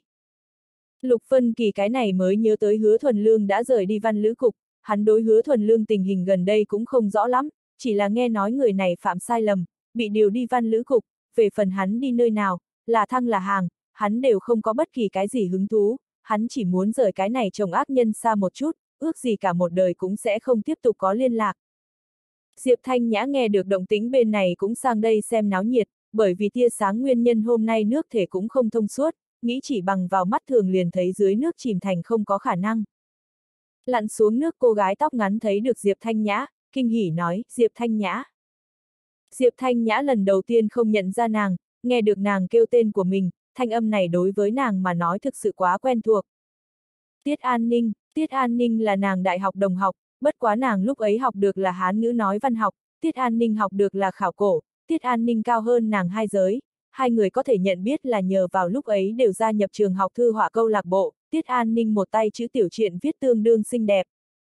Rời đi sân trường về sau, các nàng liên lạc cũng liền biến ít, bất quá ngày lễ ngày Tết sẽ còn thăm hỏi lẫn nhau, Diệp Thanh Nhã kết hôn thời điểm Tiết An Ninh cũng trình diện chúc mừng. Về sau Diệp Thanh Nhã sau khi kết hôn thâm cư không ra ngoài, Tiết An Ninh cũng cả ngày thiên nam địa bắc khảo cổ, cho nên bọn họ nhất gần 3 năm đều chưa từng gặp mặt, làm sao đều không nghĩ tới lại ở chỗ này gặp phải. Tiết An Ninh để Diệp Thanh Nhã trở lấy, nàng đi trong khoang thuyền thay quần áo khác, thông qua lâm thời dựng lên tấm ván gỗ cầu đi tới đối diện du thuyền bên trên, mặt hồ mặc dù sóng gió không lớn, nhưng người bình thường cũng là không dám từ cầu độc mộc một dạng trên ván gỗ hành tẩu, Tiết An Ninh như là đi dạo trong sân vắng, thân thủ không kém. Diệp Thanh Nhã cùng Tiết An Ninh lâu như vậy không gặp, hai người lộ ra phá lệ thân mật, tương hỗ nắm tay của đối phương lại là cười lại là nhảy, phảng phất về tới đại học thời điểm. Hứa thuần lương vốn đang lo lắng Lâm Tư Cẩn cùng Diệp Thanh Nhã gặp gỡ bất ngờ sẽ quá đột ngột, nhưng nhìn đến Diệp Thanh Nhã đã trước ngẫu nhiên gặp một lần, cũng liền không có nhiều như vậy lo lắng, bất qua cái này tiết an ninh để hắn nhớ tới một cái người, Bạch Mộ Sơn bên người tiến sĩ đang học tiết an lương, từ danh tự nhìn lại, hai người hẳn là cùng thuộc một cái bối phận. Lúc đầu trên đời này họ tiết không ít người, nhưng hứa thuần lương trước đó không lâu ở kinh thành Lưu Hải Dư đã từng nói cho hắn biết Nam Tiết Bắc Tạ sự tình, Bắc Tạ chính là Tạ Đại Hiên Đại Tạ Bá Tường, Nam Tiết gọi Tiết Nhân Trung cũng là Tiết An Lương phụ thân, cái này Tiết An Ninh có thể hay không cùng bọn hắn có quan hệ. Diệp Thanh Nhã cùng Tiết An Ninh hàn huyên vài câu, mới nhớ tới hứa thuần lương, nắm Tiết An Ninh tay đi vào bên cạnh bọn họ, tướng hứa thuần lương cùng Vương Kim Vũ giới thiệu cho Tiết An Ninh nhận biết. Tiết An Ninh tính tình phi thường cởi mở, chủ động cùng bọn hắn nắm tay, cùng hứa thuần lương lúc bắt tay, đánh giá hứa thuần lương, hứa thuần lương, người hiếu kỳ lòng tham nặng a, bất quá nhãn thần không tốt lắm. Hứa thuần lương cười nói, hổ thẹn, không nghĩ tới là vị nữ anh hùng. Vương Kim Vũ đi theo giúp đỡ nói, ta cũng coi là bình thường không có nữ nhân xử lý loại này mạo hiểm công việc. Tiết An Ninh nói, ngươi xem thường nữ nhân A. Không phải, ta không có ý tứ kia. Vương Kim Vũ tranh thủ thời gian lắc đầu. Hứa Thuần Lương nói, Tiết Tỷ là chuyên gia khảo cổ, ta sách mấy người người nhận biết không? Tiết An Ninh nói, ai vậy? Nam Giang Đại học Sư phạm hệ khảo cổ Bạch Mộ Sơn giáo sư. Hứa Thuần Lương nói bóng nói gió, chân chính dụng ý là nghĩ làm rõ Tiết An Ninh cùng Tiết An Lương quan hệ. Tiết An Ninh gật đầu nói, nhận biết, hắn là đệ đệ ta đạo sư. Tiết An Lương đúng không? Tiết An Ninh nói, các ngươi nhận biết. Hứa Thuần Lương cười nói, chúng ta là bạn tốt, trong lòng cho hảo bằng hữu tăng thêm dấu ngoặc kép. Tiết An Ninh nói, ta nhưng chưa từng nghe hắn nhắc qua ngươi. Hứa Thuần Lương trong lòng tự nhủ, lão tử là khắc tinh của hắn, hắn cũng không dám mắt nhìn thẳng ta, từ trước mắt nắm giữ tư liệu đến xem, tiết ra khẳng định không phải đứng đắn gì người ta, dù sao tiết nhân trung làm được sinh ý không thể lộ ra ngoài ánh sáng, đến tại tiết an lương, chớ nhìn hắn là cái tiến sĩ sinh, sau lưng cũng làm lấy cướp gà trộm chó hoạt động, tiết nhân trung bồi dưỡng hắn mục đích chính là vì để hắn tinh tiến nghiệp vụ thừa kế nghiệp cha. Trước mắt tiết an ninh cũng là giới khảo cổ tân tinh, hứa thuần lương thầm than, cái này toàn ra lợi hại a, đều đánh vào nhân dân nội bộ, hắn phi thường hoài nghi tiết an ninh khảo sát dưới nước cổ thành động cơ, nói không chừng cũng là tại lấy việc công làm việc tư, vì nàng lão tử về sau làm chuyện xấu làm chuẩn bị, giới khảo cổ nhận người chẳng lẽ không có thẩm tra chính trị cửa này sao? Diệp Thanh Nhã cùng Tiết An Ninh đi một bên nói chuyện phiếm, Tiết An Ninh tri thức huyên bác, tướng dưới nước cổ thành lai lịch nói một lần. Vương Kim Vũ chi cạnh lỗ tai nghe, liền hắn đều nghe mê, biết dưới nước cổ thành lâu như vậy, nhưng hắn cũng không biết bên trong có nhiều như vậy cố sự, tương đương với mời một cái miễn phí hướng dẫn du lịch. Hứa thuần lương dùng cùi trỏ thọc hắn một chút, hai người đi trong khoang thuyền, Vương Kim Vũ nhìn qua phía ngoài Tiết An Ninh nói, cô gái này lợi hại a, à, thiên văn địa lý không gì không biết. Hứa Thuần Lương nói, thuật nghiệp hữu chuyên công, đây vốn chính là chuyên nghiệp của người ta. Vương Kim Vũ nói, ta liền thích có học vấn nữ nhân. Hứa Thuần Lương kinh ngạc nhìn hắn một cái, Vương Kim Vũ cười đùa tí từng nói, ta cảm thấy nàng rất có mị lực. Hứa Thuần Lương nói, ngươi không cảm thấy đen một chút. Hắc điềm tĩnh. Hứa Thuần Lương triệt để im lặng, Vương Kim Vũ cầm đồ uống đưa ra ngoài. Hứa Thuần Lương lười nhác nhìn hắn xung xoe, chụp lén một chương Tiết An Ninh ảnh chụp cho Tiết An Lương phát tới. Rất nhanh Tiết An Lương liền gọi điện thoại tới, thanh âm bên trong lộ ra khẩn trương, hứa chủ nhiệm, người. Người tìm ta tỷ làm gì? Hứa thuần lương cười nói, chớ khẩn trương, chính là trùng hợp tại dưới nước chìm thành gặp, ta nói với nàng hai ta là bạn tốt. Tiết An Lương trầm mặc một hồi, mới nói, ta không nói, ta không nói gì, đối người nào đều chưa nói qua. Hứa thuần lương nói, không nói tốt nhất, đối ta nghe nói nhà các ngươi lão gia tử ở chỗ này khá là danh khí. Tiết An Lương nói, cha ta đã sớm rửa tay gác kiếm, thì ta cùng chuyện này cũng không quan hệ, nàng chính là một cái khảo cổ người làm việc. Hứa thuần lương nói, được, ta tin tưởng ngươi, gần nhất lão bạch bên kia có động tính gì? Không có, không có gì, hắn cả ngày nghiên cứu giáp cốt văn, Loan Ngọc Xuyên ngược lại là thường xuyên tới. Hứa thuần lương đối Tiết An Lương phối hợp thái độ biểu thị hài lòng, nhắc nhở hắn đừng lộ hãm. Thuyền đi tới Thái Bạch Hoa, dựa theo hứa thuần lương kế hoạch, buổi trưa hôm nay muốn đi Thái Bạch cư ăn cơm. Lâm Tư Cẩn cũng đã đến Tế Châu, hết thảy tiến hành đến phi thường thuận lợi, chỉ là nhiều một việc nhỏ xen giữa, Diệp Thanh Nhã gặp lão bằng hữu Tiết An Ninh, Tiết An Ninh chủ động đưa ra muốn mời bọn họ ăn cơm. Hứa Thuần Lương cố ý hỏi Tiết An Ninh phụ cận đây cái nào quán cơm nhất có đặc sắc. Tiết An Ninh không cần suy nghĩ đã nói Thái Bạch Cư, lần này chính hợp Hứa Thuần Lương tâm ý, coi như gặp được Lâm Tư Cẩn, Diệp Thanh Nhã cũng sẽ không hoài nghi đến trên đầu mình, đều là Tiết An Ninh chủ động nói lên, mình chỉ là một cái bị động tiếp nhận người. Tế Châu Văn Lữ cục đầu kia thuyền cũng tại đồng thời đến, Lục Phân Kỳ tự nhiên muốn cùng hứa thuần lương khách khí một phen, dù sao có hắc liệu bị hứa thuần lương nắm ở trong tay, mặc dù hắn từ hứa thuần lương thái độ cũng nhìn ra, người ta sớm liền quên kia gốc dạ, nhưng Lục Vân Kỳ vẫn không dám thất lễ, vạn nhất để hứa thuần lương khó chịu, người ta chỉ cần đem vật liệu một đưa, mình thể chế kiếp sống sẽ chấm dứt. Hứa thuần lương vỗ vỗ Lục Vân Kỳ bả vai, để hắn không cần quá khách khí, hôm nay nhật trình tương đối gấp, chờ có thời gian lại cùng nhau ăn cơm. Lục Vân Kỳ cũng liền không lại mời, an bài một chiếc xe đưa hứa thuần lương một nhóm đi Thái Bạch Cư. Hứa thuần lương đám người này mới vừa tới đến Thái Bạch Cư, tại cửa ra vào liền gặp Lâm Tư Cẩn. Diệp Thanh Nhã nhìn thấy Lâm Tư Cẩn sắc mặt không khỏi biến đổi, nàng đầu tiên hướng hứa thuần lương nhìn thoáng qua, hứa thuần lương thật sự là dở khóc dở cười, ngươi nhìn ta làm gì? Cũng không phải ta để ngươi đến Thái Bạch Cư, là tiết an ninh tốt đi. Hứa thuần lương cố ý giả ra bộ dáng giật mình, nha, mẹ nuôi, người tại sao lại ở chỗ này a? À? Lâm Tư Cần nói, họp, khảo sát một chút tế châu trung y doanh thương hoàn cảnh. Nàng mỉm cười nhìn qua Diệp Thanh Nhã nói, tiểu nhã, người cũng tại a. À? Diệp Thanh Nhã ừ một tiếng nói, thật sự là đúng dịp. Hứa thuần lương nói, mẹ nuôi, một mình ngài sao? Lâm Tư Cần nói, lúc đầu có sắp xếp, ta ghét nhất loại kia bữa tiệc, cho nên một người ra đi dạo, không phải sao, đến trưa rồi nghĩ nếm thử nơi đó đặc sắc đồ ăn, dân bản xứ cho ta đề cử cái này quán cơm. Tiết An Ninh không biết Lâm Tư Cẩn cùng Diệp Thanh Nhã mẫu nữ không hợp, nghe nói là Diệp Thanh Nhã mẫu thân, tranh thủ thời gian hô, a à, gì tốt, vậy chúng ta cùng một chỗ đi. Lâm Tư Cẩn nhìn qua Diệp Thanh Nhã, Diệp Thanh Nhã không nói chuyện. Hứa Thuần Lương nói, Thanh Nhã tỷ, hai mẹ con nhà ngươi không phải trước đó đã hẹn a? À. Diệp Thanh Nhã nói, ta không có hẹn, người khác hẹn không có hẹn ta cũng không rõ ràng. Vương Kim Vũ nói, mau tới lâu đi, ta phụ trách gọi món ăn. Hứa thuần lương đợi các nàng đều lên đi, hướng Vương Kim Vũ nói, người gọi món ăn, ta trước đi qua nhìn một chút. Vương Kim Vũ nói, các nàng hai mẹ con có phải hay không có chút không hợp. Hứa thuần lương trong lòng tự nhủ liền Vương Kim Vũ đều đã nhìn ra, đây cũng không phải là mặt cùng lòng chuyện bất hòa, người ta gọi trước sau như một. Mặc dù mình xảo diệu lợi dụng tiết an ninh đánh yểm trợ, nhưng Diệp Thanh Nhã nhìn rõ mọi việc, hẳn là cảm thấy được hôm nay là mình tận lực an bài trận này gặp gỡ bất ngờ. Cho nên nói, nữ nhân quá thông minh cũng không tốt. Hứa thuần lương đi vào gian phòng bên trong, nhìn thấy Lâm Tư Cẩn đi thủ vị ngồi, Tiết An Ninh ngồi tại bên người nàng, Diệp Thanh Nhã sát bên Tiết An Ninh ngồi.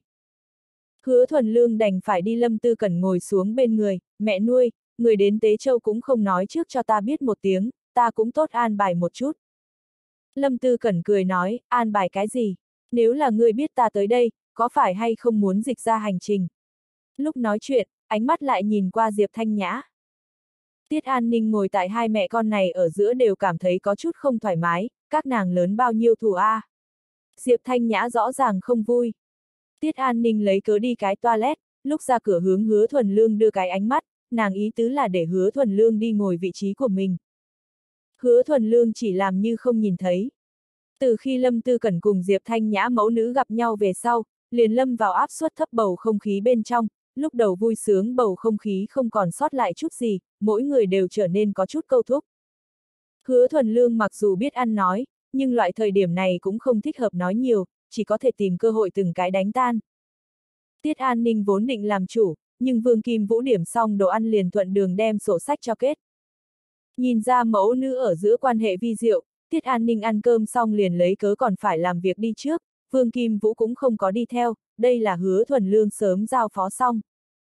Diệp Thanh Nhã nhỏ giọng đối hứa thuần lương nói, chúng ta về sớm một chút đi. Hứa thuần lương nói, đừng a, nói xong đi ta lão trạch nhìn xem. Hắn lại hướng Lâm Tư Cẩn nói, mẹ nuôi, người có thời gian không? Cùng đi xem nhìn chứ sao? Lâm Tư Cẩn nói, được, vậy liền đi xem một chút. Hứa thuần lương vừa đi vừa đem bọn hắn nhà cố sự nói một lần, đương nhiên không thể nói Chu Nhân Hòa cùng hứa Trường Anh sinh ra tình cảm kia một đoạn, dù sao quá kinh thế hãi tục, cứ việc ngắt đầu bỏ đuôi, cái này trầm bổng chập trùng gia tộc sử vẫn là đem bọn hắn hai mẹ con hấp dẫn. Lâm Tư Cẩn càng phát giác hồi xuân đường cái này đoàn gia tộc sử có thể khai quật đồ vật nhiều lắm. Diệp Thanh Nhã mặc dù nghe được rất chân thành, nhưng là toàn bộ hành trình một câu cũng không nói, đi vào lão trạch, hứa thuần lương móc ra chìa khóa mở cửa phòng, nơi này trước đó không lâu mới ủy thác chuyên gia quét dọn qua, bất quá đêm qua một trận mưa gió qua. Về sau, hoa quế rơi đầy đất, cả vườn mùi thơm. Lâm Tư cần nhìn thấy cái này thanh u lịch sự tao nhã viện lạc, khen, nơi tốt ra. Hứa thuần lương nói, ta đại gia gia để lại cho ta. Một, Lâm Tư cần nhớ tới nhân hòa đường trước đây không lâu nhãn hiệu kiện cáo, ân cần nói, người trận kia kiện cáo chuẩn bị đến thế nào. Hứa thuần lương cười nói, ta không ép chính, bọn hắn chủ động rút đơn kiện. Lâm Tư cần nói, vậy thì tốt quá, có phải hay không đại biểu nhân hòa đường nhãn hiệu thuộc về quyền không tồn tại bất kỳ vấn đề gì. Hứa thuần lương nói, có mẹ nuôi bảo bọc ta ai dám cùng ta tranh a. Lâm Tư Cẩn cười nói, nhưng đừng nói như vậy, người khác sẽ nói ta lấy việc công làm việc tư. Hứa thuần lương hướng cùng bọn hắn tận lực tách ra một khoảng cách làm bộ thưởng thức đình viện Diệp Thanh Nhã nói, Thanh Nhã tỷ, ngươi sẽ không ăn ta dấm a. Diệp Thanh Nhã cười nhạt một tiếng, nàng đối ngươi ngược lại là thật rất tốt. Lâm Tư Cẩn trong lòng tự nhủ cô nàng này làm sao nói đâu.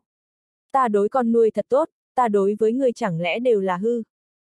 Hứa thuần lương phi thường rõ ràng vị này mẹ nuôi cũng không phải cái gì tốt tính, tranh thủ thời gian giúp đỡ giảng hòa, để tránh mẹ con này hai ở ngay trước mặt chính mình sông nổi lên, mời mời các nàng đi trong phòng tham quan.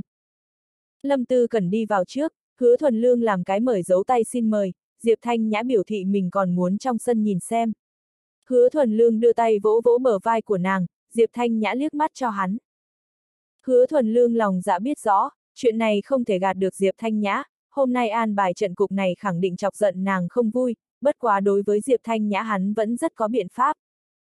Trong phòng truyền đến Lâm Tư Cẩn thanh âm, hứa thuần lương tranh thủ thời gian tiến vào, Lâm Tư Cẩn chỉ vào trên tường khung kính bên trong ảnh chụp nói, đây chính là đại gia ngươi ra. Hứa thuần lương nhẹ gật đầu, đúng. Lâm Tư Cẩn nói, ta gặp qua hắn, hai năm trước, chúng ta chuyên môn tổ chức một lần trong nước tên Lão Trung Y tọa đàm giao lưu hoạt động, ta cùng Chu Nhân Hòa Lão Tiên Sinh đã gặp mặt, còn nói qua mấy câu đâu, Chu Lão Tiên Sinh nho nhã khôi hài, lưu lại cho ta ấn tượng phi thường khắc sâu, thật là nghĩ không ra, quanh đi quẩn lại, cái này còn có quan hệ thân thích. Hứa thuần lương hướng ra phía ngoài nhìn thoáng qua, Diệp Thanh Nhã còn không có vào, móc ra nàng máy ảnh quay chụp đầu tường kia con mèo hoang, văn thanh bệnh phạm vào, nhìn thấy mèo hoang đều so nhìn thấy mẹ ruột cảm thấy hứng thú. Lâm Tư cần nhỏ giọng nói, được rồi, theo nàng đi thôi. Hứa thuần lương nói, vậy cũng không được, ta còn có một kế. Lâm Tư cần cảm thán nói, hai mẹ con ở giữa nhiều như vậy tính toán, nàng đối ta thành kiến là khó mà thay đổi, không bắt buộc. Hứa thuần lương thấp giọng nói, người câu nói này liền cho thấy người không có chút nào hiểu rõ nàng, thanh nhã tỷ là cái trong nóng ngoài lạnh người, ở phương diện này nàng cùng người có chút không giống. Lâm Tư cẩn chừng mắt liếc hắn một cái, ta làm sao lại không giống? Chẳng lẽ ta là lãnh huyết người hay sao? Hứa thuần lương có loại trong ngoài không phải người cảm giác, tranh thủ thời gian giải thích nói, người đừng nóng vội a, à, ý của ta là, nội tâm của nàng mềm mại. Ta liền ý chí sắt đá. Muốn nói Lâm Tư Cần cảm xúc không chịu đến một chút xíu ảnh hưởng cũng không có khả năng, nhìn thấy nữ nhi đối với mình thái độ lãnh đạm, trong lòng khó tránh khỏi thất lạc. Hứa Thuần Lương nói, hai mẹ con nhà ngươi cụ thể xảy ra chuyện gì ta cũng không rõ ràng, bất quá, căn cứ ta hiểu rõ đến một chút, nên là thanh nhã tỷ cần phải quan tâm thời điểm người không có cho nàng muốn. Lâm Tư cần ảm đạm thở dài nói, đều đi qua, ta coi như hối hận cũng vô ích, nàng đã lớn lên, không còn cần ta quan tâm. Trong nội tâm thất vọng mất mát. Hứa thuần lương nói, nàng không cần người cần A, nàng trên miệng không nói nhưng trong lòng là quan tâm người, nếu người gặp được sự tình gì, nàng khẳng định trước tiên xuất hiện tại người bên người. Lần này đến phiên lâm tư cẩn cho hắn xem thường, tiểu tử ngươi liền không thể ba ta điểm tốt. Hứa thuần lương nói, ta có cái biện pháp. Lười biếng mèo hoang cuối cùng từ trên tường đứng dậy, nện bước chậm rãi bước chân đi, Diệp Thanh Nhã buông xuống máy ảnh, kỳ thật tâm tư của nàng căn bản không tại con mèo này trên thân. Đi qua nhiều năm như vậy, cùng mẫu thân chi ở giữa ngăn cách từ đầu đến cuối tồn tại, nàng thậm chí đã không biết phải cùng mẫu thân như thế nào giao lưu. Hứa thuần lương cười tủm tỉm xuất hiện tại bên cạnh nàng, thanh nhã tỷ, cho ta đập một chương chứ sao. Diệp thanh nhã tức giận nói, đập ngươi cái đại đầu quỷ.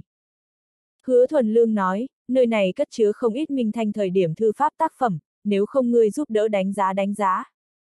Diệp Thanh Nhã nói, tranh thủ thời gian cùng ngươi mẹ nuôi đi thôi, nàng phương diện này tu vi cũng không cạn. Hứa Thuần Lương nói, hai ta nhiều thân bao gần, các ngươi Diệp ra ta trước hết nhất nhận biết chính là ngươi, với ai hôn ta còn không rõ ràng lắm. Ngươi cứ như vậy cùng ta thân, bán ta. Diệp Thanh Nhã hận không thể đi nắm chặt lỗ tai của hắn, bất quá nàng không có làm như vậy, ngoài miệng oán trách, nhưng trong lòng cũng không phải là thật sự tức giận, cũng chính là hứa thuần lương, đổi thành một người khác làm như vậy, nàng nói không chừng thật sẽ trở mặt. Hứa thuần lương nói, thiên địa lương tâm, ta thật không biết nàng muốn. Gian phòng bên trong đột nhiên truyền đến một tiếng kinh hô, Diệp Thanh Nhã cùng hứa thuần lương liếc mắt nhìn nhau, hứa thuần lương trước tiên hướng gian phòng bên trong phóng đi, đi vào trong phòng, hắn lớn tiếng nói, mẹ nuôi. Người thế nào, người, lâm tư cần nhìn qua hứa thuần lương buồn cười biểu lộ, thật sợ hắn sơ ý một chút cười ra tiếng, đứa nhỏ này biểu diễn thiên phú cũng quá kém, đã quyết định liên hợp sáo lộ ta khuê nữ, người đến nhập hí A, có thể không có thể có chút tinh thần chuyên nghiệp. Diệp Thanh Nhã cũng không còn cách nào bảo trì bình tĩnh, cũng đi vào xem rõ ngọn ngành. Lâm Tư Cẩn chỉ vào bắp chân, rắn. Một đầu tiểu thanh xà cắn Lâm Tư Cẩn bắp chân không thả. Hứa thuần lương đi qua nắm tiểu thanh xà bảy tấc, đến đi ra bên ngoài tướng con rắn kia ném tới tường viện bên ngoài, trong lòng mặc niệm, xà lão đệ xin lỗi a, thời khắc mấu chốt phải mời ngươi trợ công. Diệp Thanh Nhã quá thông minh, không thể lưu hạ chứng cứ, vạn nhất để nàng biết được là một đầu không độc rắn, vậy mình và Lâm Tư cần liên thủ trình diễn khổ nhục kế liền uổng phí. Mặc dù là lừa gạt, đây cũng là thiện ý lừa gạt, không phải mẹ con các nàng, người khác ta còn không vui lừa gạt đâu. Diệp Thanh Nhã nhìn thấy mẫu thân trên bàn chân giữ lại hai cái rõ ràng lỗ máu nhỏ, khẩn trương đến thất kinh, làm sao bây giờ? Rắn có hay không độc? Mẹ, người cảm giác thế nào? Dưới tình thế cấp bách, mẹ đều một cách tự nhiên hô lên. Lâm Tư Cần lúc đầu cũng cảm thấy dùng khổ nhục kế tới đối phó nữ nhi có chút hoang đường, nhưng châm trước về sau, cũng vẫn có thể xem là một cái phá cục chi pháp, nhìn xem nữ nhi trong lòng đến cùng có hay không mình. Nếu là nàng quan tâm mình, từ mình cái gì tôn nghiêm đều có thể buông xuống, nếu là nàng đối với mình lạnh lùng như cũ, về sau cũng liền thuận theo tự nhiên. Nhìn thấy nữ nhi khẩn trương đến đều nhanh khóc lên, Lâm Tư Cẩn trong lòng chua chua, nước mắt lã chã mà rơi, nữ nhi a, à, ta nữ nhi ngoan, nguyên lai người vẫn luôn là lo lắng lấy nương thân. Diệp Thanh Nhã nhìn thấy mẫu thân rơi lệ còn tưởng rằng nàng là bị hù, an ủi, người đừng sợ, chúng ta lập tức. Lập tức đưa người đi bệnh viện, hứa thuần lương. Hứa thuần lương một đường chạy chậm trở lại cái này hai mẹ con bên người, đến rồi đến rồi, không cần đi bệnh viện, ta tìm xem, trong nhà có xà dược. Còn không nhanh đi, Phát ra từ nội tâm khẩn trương cùng quan tâm là ngụy không giả bộ được. Hứa thuần lương rất là vui vẻ đi đông xương, không độc rắn, căn bản không cần dùng thuốc, tiêu trừ độc liền được.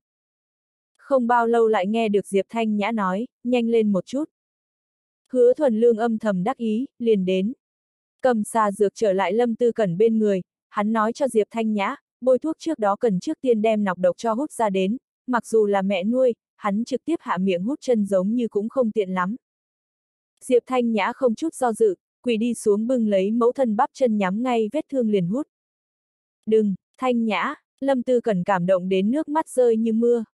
Hứa thuần lương đắc ý hướng nàng đưa cái ánh mắt, Lâm Tư Cẩn trong lòng thầm mắng, tiểu tử hư này, nhìn đem ta bảo bối khuê nữ cho giày vò.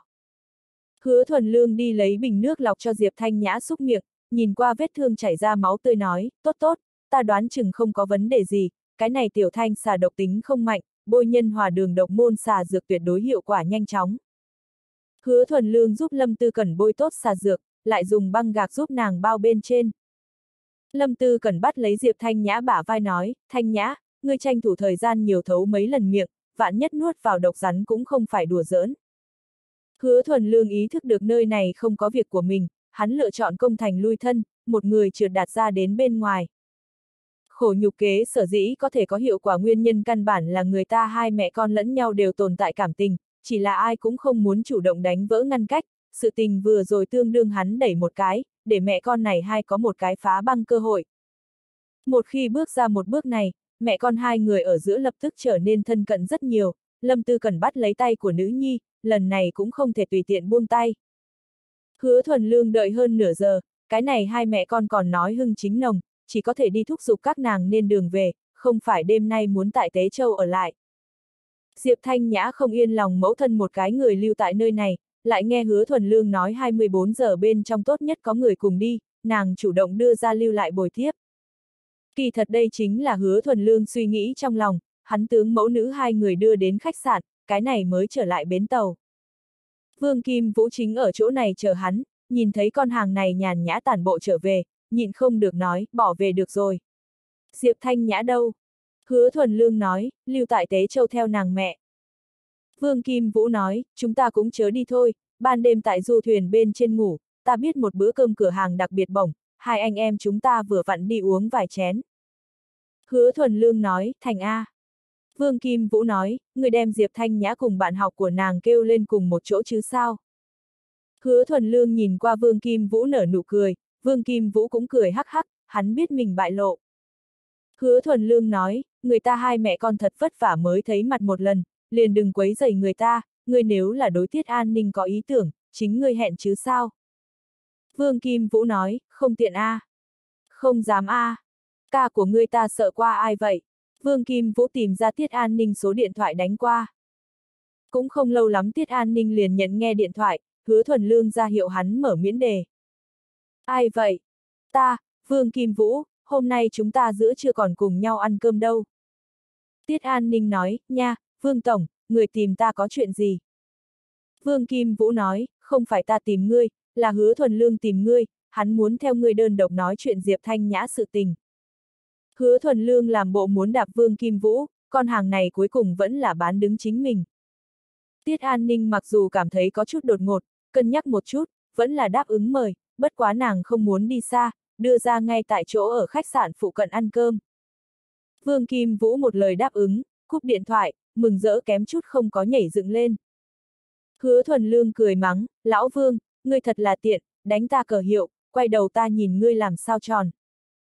Vương Kim Vũ nói, che lấp là sự tình của ngươi, ta phụ trách tính tiền, phụ trách lấy lòng, lão đệ, ta nhưng đã nói trước a, à, ta nửa đời sau hạnh phúc ngay tại đêm nay, ngươi phải giúp ta gõ cổ vũ. Hứa thuần lương nói, ngươi để cho ta cầm chỗ nào gõ.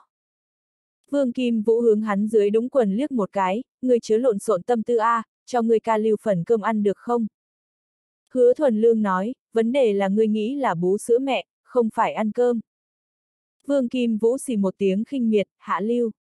Mắt xuyên vật này phi thường kỳ quái, Tiết An Ninh mặc dù cũng coi như tướng mạo đoan chính, nhưng là khẳng định không tính là mỹ nữ, mà lại màu da hắc một chút, cử chỉ tùy tiện, có chút nam hài hương vị, nhưng là Vương Kim Vũ hết lần này tới lần khác liền thích cái này một cái.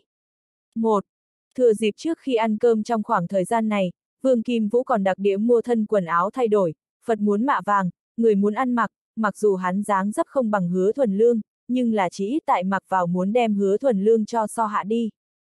Nhưng Vương Kim Vũ luôn cảm giác mình chỗ nào còn thiếu một chút cái gì. Trong nhà chưa tỏ, ngoài ngõ đã tường, hắn lặng lẽ hỏi hứa thuần lương, huynh đệ, người cảm thấy ta còn thiếu điểm cái gì không?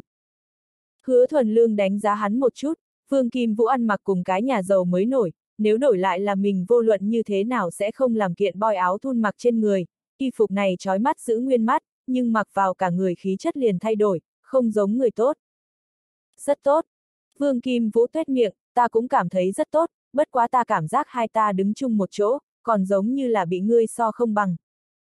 Hứa thuần lương nói, người dứt khoát nói rõ đi, ta không đi được thôi. Hắn làm bộ quay người muốn đi, Vương Kim Vũ mau đem hắn cản lại, đừng a, à, người không đi, ta cùng người ta trò chuyện cái gì. Hứa thuần lương nói, nói thẳng thích người ta, người đối nàng vừa thấy đã yêu không phải. Vương Kim Vũ nhiều ít còn có chút tự mình hiểu lấy, loại này gọn gàng dứt khoát phương thức biểu đạt thích hợp hứa thuần lương, không thích hợp bản thân, nữ nhân duyên phương diện, hắn cùng hứa thuần lương không cách nào so sánh được, chiêu thức giống nhau, hứa thuần lương chăm thử bách linh, mình liền phải đụng đến đầu rơi máu chảy. Hứa thuần lương nói, ta liền buồn bực, người mới nhìn nhân ra mấy giờ, đến cùng thích nàng cái nào một chút. Vương Kim Vũ một mặt ngẩn người mê mẩn nói, cái nào một chút ta đều thích, người có phát hiện hay không trên người nàng có cỗ tử nữ nhân trên người không thấy nhiều tác khí. Nam nhân bà chứ sao? Vương Kim Vũ nói, cả rốt cải trắng đều có chỗ yêu, huynh đệ, phương diện này ta phải hướng ngươi lấy thỉnh kinh. Hứa thuần lương nói, ngừng lại, ta là lưu cho lão bà của ta, cái này cũng không thể để ngươi tùy tiện lấy. Vương Kim Vũ cười lên ha hả, ta nhổ vào, ta không có yêu thích đó, ta thế nhưng là cái lớn thẳng nam. Hứa thuần lương nói, rốt cuộc biết người vấn đề xảy ra ở địa phương nào. Chỗ nào, Vương Kim Vũ một bộ khiêm tốn thỉnh giáo dáng vẻ. Hứa thuần lương nói, kỳ thật đa số nữ nhân đều không thích lớn thẳng nam. Ý của ngươi là phải có điểm độ cong. Hứa thuần lương cố ý gật đầu nói, trẻ con là dễ dạy. Vương Kim Vũ gãi đầu một cái, ngươi để cho ta trồng trò đánh cá lái xe thuyền đều được, nhưng phương diện này ta thật không được, huynh đệ, ngươi dạy ta làm sao cong. Hứa thuần lương nói, dạy ngươi cũng học không được, ngươi chính là trời sinh thẳng nam, đúng, ngươi có muốn hay không đợi thật lâu nhìn thấy người ta trò chuyện cái gì. Vương Kim Vũ nói, ta đang lo chuyện này đâu, cái này không đánh lấy người cờ hiệu sao. Ngươi không sợ ta nói nhiều rồi đem nàng cho câu đáp quá đi. Cho nên a, à, ngươi không sai biệt lắm liền đi, ca quay đầu cho ngươi phát cái đại hồng bao. Hứa thuần lương cười nói, không có nghĩa khí a. À. Vương Kim Vũ nói, ca của ngươi trưởng thành, tốt xấu đến là hạnh phúc của mình cố gắng một chút ngươi nói có đúng hay không. Hứa thuần lương nói, cứ như vậy đi, ta giúp ngươi ra cái chủ ý, tiết an ninh làm gì công tác. Khảo cổ. Hứa thuần lương nói, cho nên ngươi đến từ hướng này cùng với nàng tìm kiếm cộng đồng chủ đề, hấp dẫn lực chú ý của nàng, đào móc hứng thú của nàng. Vương Kim Vũ nói, nhưng ta cũng không hiểu phương diện này a. À. Không hiểu không quan hệ, không hiểu vừa dễ dàng thỉnh giáo nàng, người chủ động đem chỗ yếu của mình bạo lộ ra. Người thật không phải hại ta. Hai người trải qua một cái ngọc thạch đồ cổ bầy, hứa thuần lương chỉ chỉ trên mặt đất, để Vương Kim Vũ tùy tiện mua mấy món quay đầu đưa cho Tiết An Ninh hỗ trợ giám định. Vương Kim Vũ hiện tại mới tính hiểu, đối hứa thuần lương càng phát ra bội phục khởi đến, đáng đời người ta có nữ nhân duyên, đơn giản như vậy thủ đoạn làm sao mình liền không nghĩ ra đến.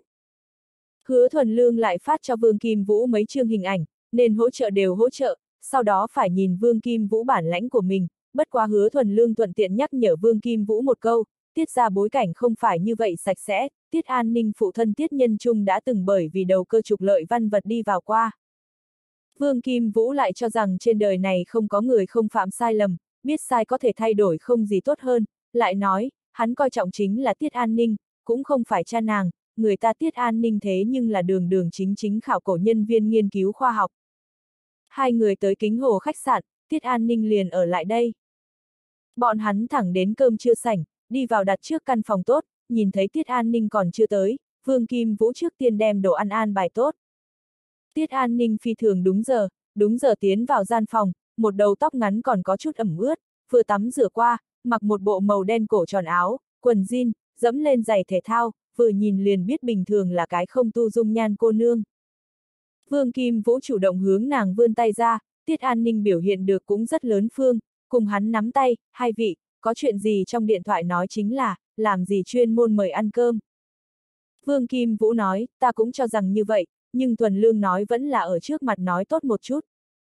Hứa Thuần Lương thật sự là im lặng, người cũng đừng đem lực chú ý hướng ta chỗ này dẫn, ngươi là nhân vật chính, ta chỉ là phụ trách cổ vũ. Tiết An Ninh hướng hứa Thuần Lương cười cười, nói đi, có chuyện gì? Hứa Thuần Lương nói, người biết thanh nhã tỷ ly hôn sự tình A.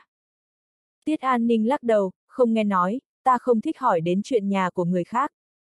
Hứa Thuần Lương nói, ta cũng không có ý tứ gì khác, liền là nhớ ngươi có cơ hội nhiều theo nàng tâm sự, khuyên bảo khuyên bảo nàng. Tiết An Ninh nói, nàng trạng thái không tệ a, không cần cái gì khuyên bảo địa phương. Vương Kim Vũ để phục vụ viên mang thức ăn lên, hứa thuần lương lặng lẽ đá hắn một cước, Vương Kim Vũ giờ mới hiểu được tới, đúng rồi, Tiết Tiểu Thư, ngươi là chuyên gia khảo cổ, ta bình thường cũng thích phương diện này. Tiết An Ninh mỉm cười nói, thích khảo cổ còn là ưa thích cất giữ. Vương Kim Vũ nói, cất giữ, nhưng là ta dù sao không chuyên nghiệp, cho nên cũng làm không rõ thật giả, ta hôm nay mang đến một chút, người giúp ta xem một chút.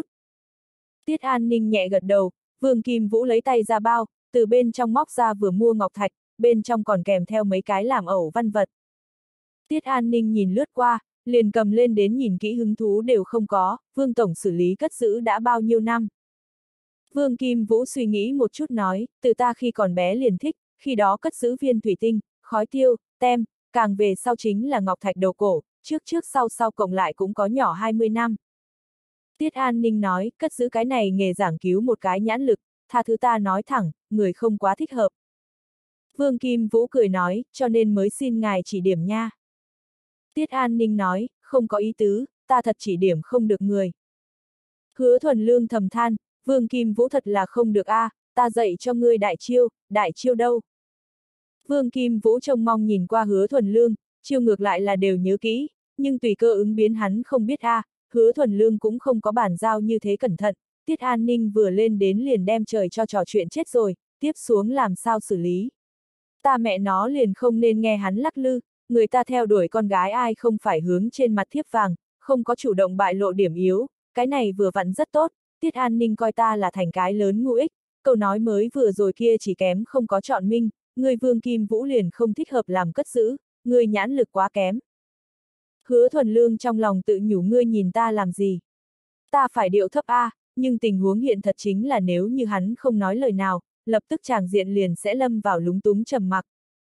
Hứa thuần lương ha ha cười nói, Kim Vũ ca, ta đều nói cho ngươi, đừng như thế nào, người ta tiết tiểu thư là khảo cổ nhân sĩ chuyên nghiệp, người thế mà còn muốn thử xem người ta nhãn lực, để cho ta nói đúng đi, bị tiết tiểu thư khám phá. Vương Kim Vũ thầm than, ta làm sao lại không nghĩ tới cho mình tròn A, nói như vậy nhiều thông minh, hắn cũng cười theo, hổ thẹn, hổ thẹn, ta còn chưa tin tiết tiểu thư chuyên nghiệp tiêu chuẩn tới, vừa rồi đường qua hàng vỉa hè mua điểm ngọc thạch muốn.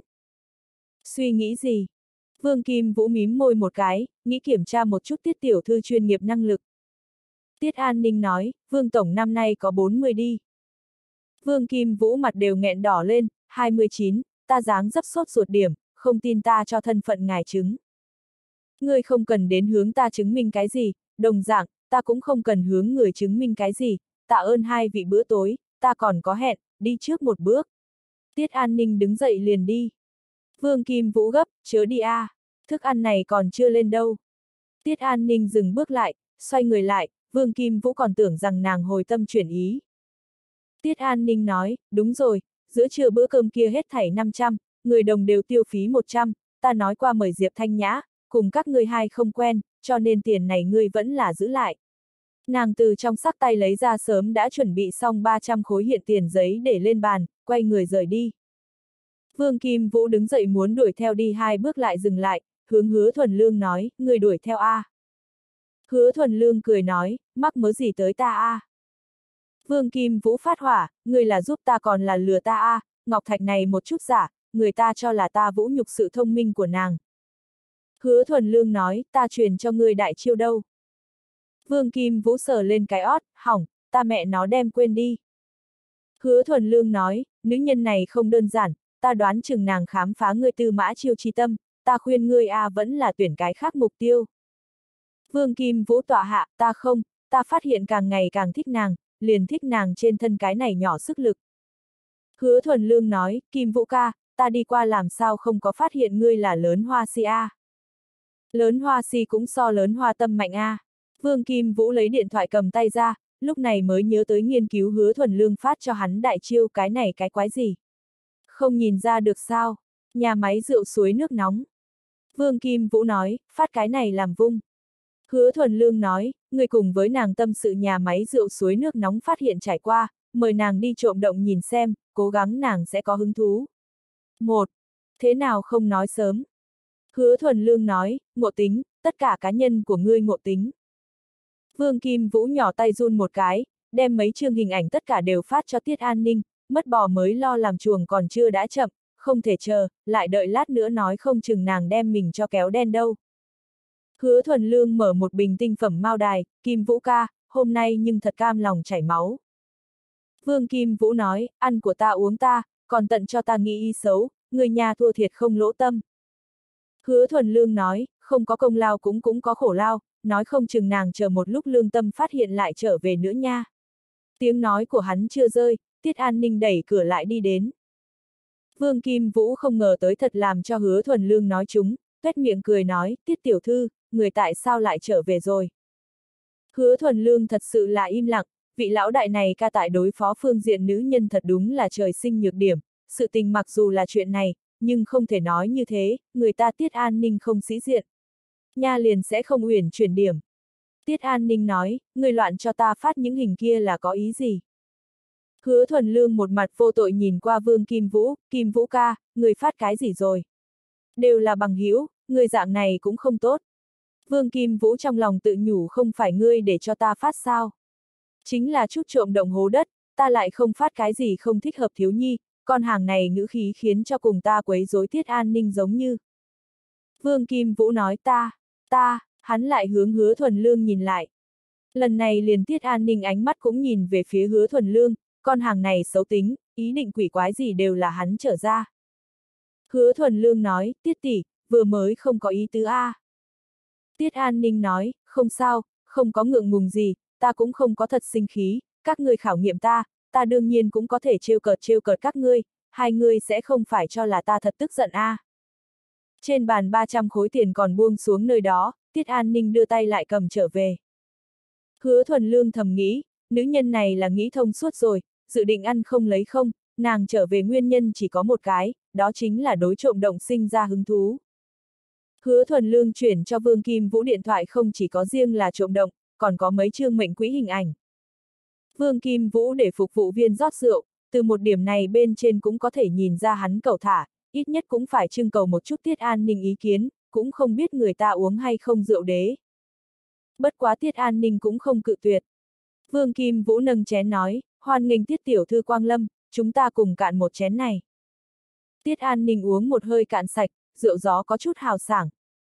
Hứa thuần lương bồi tiếp uống vài chén rượu, Vương Kim Vũ liền dùng chân đá hắn, đây là chê hắn vướng bận, hứa thuần lương âm thầm buồn cười, xem ra Vương Kim Vũ là thật thích, sợ ta cùng ngươi cạnh tranh, mình đối tiết an ninh căn bản không có hứng thú. Vừa vặn có điện thoại, hứa thuần lương làm bộ đi ra cửa tiếp, trở về liền lấy cớ có chuyện muốn đi khẩn cấp xử lý một chút, để hai người bọn họ uống trước, mình nhiều nhất một cái giờ liền trở lại. Tiết An Ninh nhìn ra dụng ý của hắn, lại không có vạch trần. Hứa thuần lương sau khi đi, Vương Kim Vũ cầm rượu lên bình lại cho Tiết An Ninh rót rượu. Tiết An Ninh nói, Vương Tổng, người có phải hay không định đem ta chuốc say?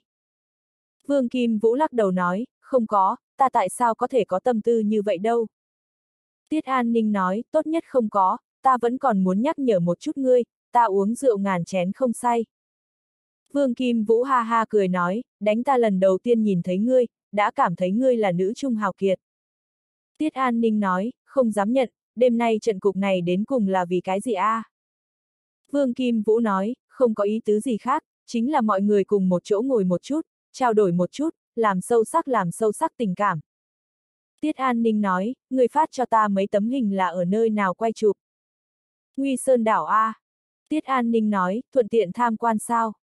Thuận tiện, người khác không tiện chúng ta còn có thể không tiện nha. Tiết An Ninh chủ động kính Vương Kim Vũ một chén, kia chuyện này liền phiền phức Vương Đại ca. Vương Kim Vũ nghe nàng chủ động gọi mình Vương Đại ca, mừng rỡ con mắt đều bắt đầu hít mắt, không có vấn đề, không phải ta thổi, Nguy Sơn đảo liền không có ta an bài không được sự tình. Một, Hứa thuần lương cũng không có đi xa, đi vào phụ cận bên hồ đi một chút, hóng hóng gió, nhớ tới hôm nay gặp được Tế Châu Văn Lữ Cục khảo sát dưới nước chìm thành sự tình, chuyện này hẳn là hướng Đông Châu ngành tương quan thông báo một tiếng. Hứa thuần lương liên hệ Phạm Lý Đạt, tại Văn Lữ Cục hắn quen thuộc nhất chính là Phạm Lý Đạt, mà lại hiện tại cấp quốc gia du lịch nghỉ phép khu kiến thiết bộ chỉ huy vẫn là từ Phạm Lý Đạt phân công quản lý. Bất quá nói lên cái này bộ chỉ huy hiện tại cũng là chỉ còn trên danh nghĩa, chỉ còn lại Lưu Đức Thuận mang theo mấy cái cộng tác viên lưu thủ, trên cơ bản cũng không có nhiều quyền lực. Suy cho cùng vẫn là bởi vì Đông Châu Văn Lữ kiến thiết phương hướng có biến, Uông Kiến Minh đi vào Đông Châu về sau, chế tạo Đông Châu lịch sử văn mạch, trong thành phố tại Văn Lữ phương diện đầu tư là có hạn, chính sách phát sinh biến hóa, đầu tư thiên về điểm tự nhiên tùy theo biến hóa. Uông Kiến Minh cũng không phủ nhận Nguy Sơn Hồ nghỉ phép khu lâu dài chiến lược ý nghĩa, nhưng là Nguy Sơn Hồ nghỉ phép khu quá lớn, cần đầu tư hạn mức cũng là cực kỳ kinh người, đồng dạng tiền có thể đem ở vào Đông Châu trung tâm chợ lịch sử Long Mạch chế tạo, nếu như nhìn về phía Nguy Sơn Hồ, khả năng cũng liền lật lên một đóa nho nhỏ bọt nước. Mà lại trọng yếu nhất là Nguy Sơn Hồ cấp quốc gia nghỉ phép khu là tiền nhiệm lãnh đạo chế tạo hạng mục, bất kỳ người nào cũng không có khả năng làm vì người khác làm quần áo cưới sự tình. Phạm Lý Đạt nói cho hứa thuần lương, văn lữ cục xảy ra chuyện lớn, phó cục trưởng Tiếu Đông trước mắt đã bị mời đi uống trà, nghe nói năm đó kiến thiết gia niên quảng trường thời điểm, cũng có người hướng hắn mật báo, nhưng là Tiếu Đông cũng chưa coi trọng. Lần này Trương Lão Thái công khai kêu oan, cái này phủ bụi hơn 10 năm chuyện xưa lại xuất hiện tại trước mắt mọi người, lúc kia Cục Văn hóa khảo cổ vẫn là độc lập đơn vị, khẳng định phải tìm ra tương quan người có trách nhiệm, rất không khéo, thiếu Đông bị dính líu đi vào. Phạm Lý đạt tâm tình bây giờ phi thường thấp thỏm, đi qua cảm thấy văn lữ bộ môn dễ lăn lộn, làm sao đều không nghĩ tới từ khi Đông Châu ba cục hợp nhất thành lập văn lữ cục về sau, phong ba liền liên tiếp, trước đây phó quốc dân cũng bởi vì Đông Châu đổ nướng sự tình cõng nổi, làm đến cuối cùng từ trước rời đi. Lần này gia niên quảng trường phá hư lịch sử di tích cổ, trộm cướp văn vật sự tình tính chất nghiêm trọng hơn, vừa mới trở thành chức vị chính không lâu Lý Ngọc Sơn đoán chừng cũng là tai kiếp khó thoát, hôm nay đã làm nhập viện thủ tục, mặc dù không biết hắn sinh bệnh là thật là giả, nhưng Lý Ngọc Sơn không hề nghi ngờ thừa nhận áp lực cực lớn, tại áp lực trước mặt hắn lựa chọn trốn tránh. Vào tình huống như bây giờ, Phạm Lý đạt cái nào còn có tâm tình đi quản dưới nước chìm thành sự tình, hắn thở dài nói, lão đệ, kia phiến thủy vực vốn chính là lập lờ nước đôi sự tình, Đông Châu Tế Châu ai cũng nói không thanh, người ta khảo sát chỉ cần thủ tục chính quy chúng ta cũng không tiện nói gì, chính chúng ta không xem ra gì, còn có thể không cho người ta coi trọng. Cách điện thoại hứa thuần lương đều có thể nghe ra hắn cảm xúc xa sút khuyên nhủ, phạm ca, văn lữ cục sự tình người cũng không nên quá lo lắng, người đi qua vẫn luôn tại cục du lịch, coi như đổ về đầu đuổi theo trách, cũng đuổi không kịp người của ngài bên trên. Phạm Lý Đạt nói, hy vọng như thế đi. Hứa thuần lương cúp điện thoại, trong lòng suy nghĩ Đông Châu Văn Lữ Cục sự tình, một chiều thiên tử một chiều thần, xem ra Uông Kiến Minh phải thừa dịp lấy cơ hội lần này điều chỉnh Văn Lữ Cục lãnh đạo kết cấu, dựa theo Phạm Lý Đạt, Tiếu Đông khẳng định sẽ bị cầm xuống, về phần Lý Ngọc Sơn tuổi tác cũng không xê xích gì nhiều, lại thêm hắn lúc đầu cũng không phải Uông Thư Ký để bạt lên, đoán chừng lần này cũng là giữ nhiều lành ít. Sơ cổ tay lên nhìn đồng hồ, đã qua hơn một giờ, Vương Kim Vũ không có gọi điện thoại cho hắn, chứng minh tiệc tối còn không có kết thúc, hắn cùng Thiết An Ninh nâng cốc ngôn hoan coi như vui sướng. Hứa Thuần Lương chuẩn bị đi đầu một bước trở về du thuyền lúc nghỉ ngơi, điện thoại di động vang lên, lại là Tiết An Ninh gọi điện thoại tới, nói cho hắn biết Vương Kim Vũ uống say rồi. Hứa Thuần Lương có chút sở khóc sở cười, cái này Vương Kim Vũ thật là một cái nhân tài, hắn mời Tiết An Ninh uống rượu, cũng không phải muốn chạy để người ta cho uống gục đi, hiện tại ngược lại tốt, Tiết An Ninh không có việc gì, Vương Kim Vũ mình nằm xuống. Các loại hứa thuần lương đuổi tới chỗ, Tiết An Ninh đã đi, chỉ còn lại Vương Kim Vũ một người nằm sấp trên bàn. Hứa thuần lương đi qua vỗ vỗ bờ vai của hắn, tỉnh, khách sạn đóng cửa. Vương Kim Vũ mở to một đôi mông lung con mắt Tiết. Tiết An Ninh đâu? Hứa thuần lương cười nói, người còn không biết xấu hổ hỏi. Người ta bị ngươi cho uống nhẹ nhàng chứ sao? Vương Kim Vũ nói, nàng tử lượng không tệ, ta thích. Hứa thuần lương nhẹ gật đầu, đỡ dậy hắn, được rồi, biết ngươi thích. Vương Kim Vũ ôm bờ vai của hắn nói, ngươi nói nàng có phải hay không thích ta? Hứa Thuần Lương nói, người đây phải hỏi bản thân nàng ý tứ, ta nói không tính. Vương Kim Vũ nói, đi, tìm nàng hỏi một chút đi. Hứa Thuần Lương cười nói, quá muộn, đừng quấy rầy người ta nghỉ ngơi. Vương Kim Vũ dùng sức nhẹ gật đầu, đúng, không quấy dày. Hứa Thuần Lương đi vào ngoài cửa, chuẩn bị gọi xe thời điểm, nhìn thấy một chiếc xe ở bên cạnh họ dừng lại, Tiết An Ninh từ trong tửu điếm ra, nguyên lai là nàng hỗ trợ kêu xe. Vương Kim Vũ nhìn thấy Tiết An Ninh, con mắt lại mật vá lại Tiết. Tiểu thư, Hải Lượng A. Tiết An Ninh nói, ta cũng uống nhiều quá, các ngươi nhanh đi về đi. Hứa Thuần Lương đem Vương Kim Vũ nhét lên xe, lại xuống tới hướng Tiết An Ninh tạm biệt, Tiết tỷ, tạ ơn A, vua ta ca không có cùng ngươi nói hưu nói vượn A. Tiết An Ninh cười nói, không có, người rất bây giờ. Trong xe truyền đến Vương Kim Vũ thanh âm, Tiết tiểu thư ta. 20, ta thật 29 tuổi. Ngươi nhìn ta, thẻ căn cước, con hàng này đối Tiết An Ninh nói hắn hơn 40 vẫn yêu, si. Hứa Thuần Lương cùng Tiết An Ninh đều nhìn không được bật cười. Sáng sớm Diệp Thanh Nhã tỉnh lại, nhìn thấy mẫu thân sớm đã rời giường, đang ngồi ở giường vừa nhìn mình, Diệp Thanh Nhã rụi rụi con mắt mẹ, người như thế sớm a. À. Lâm Tư Cẩn nhẹ gật đầu, tối hôm qua nữ nhi khẩn trương mình, một đêm đều không có ngủ yên, thỉnh thoảng chú ý tình huống của nàng.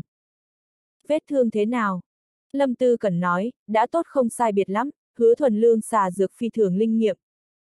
Diệp Thanh Nhã đứng dậy giúp mẫu thân thay thuốc, thuận tiện kiểm tra một chút vết thương, vững tin đã tiêu sưng, lúc này mới yên lòng lại.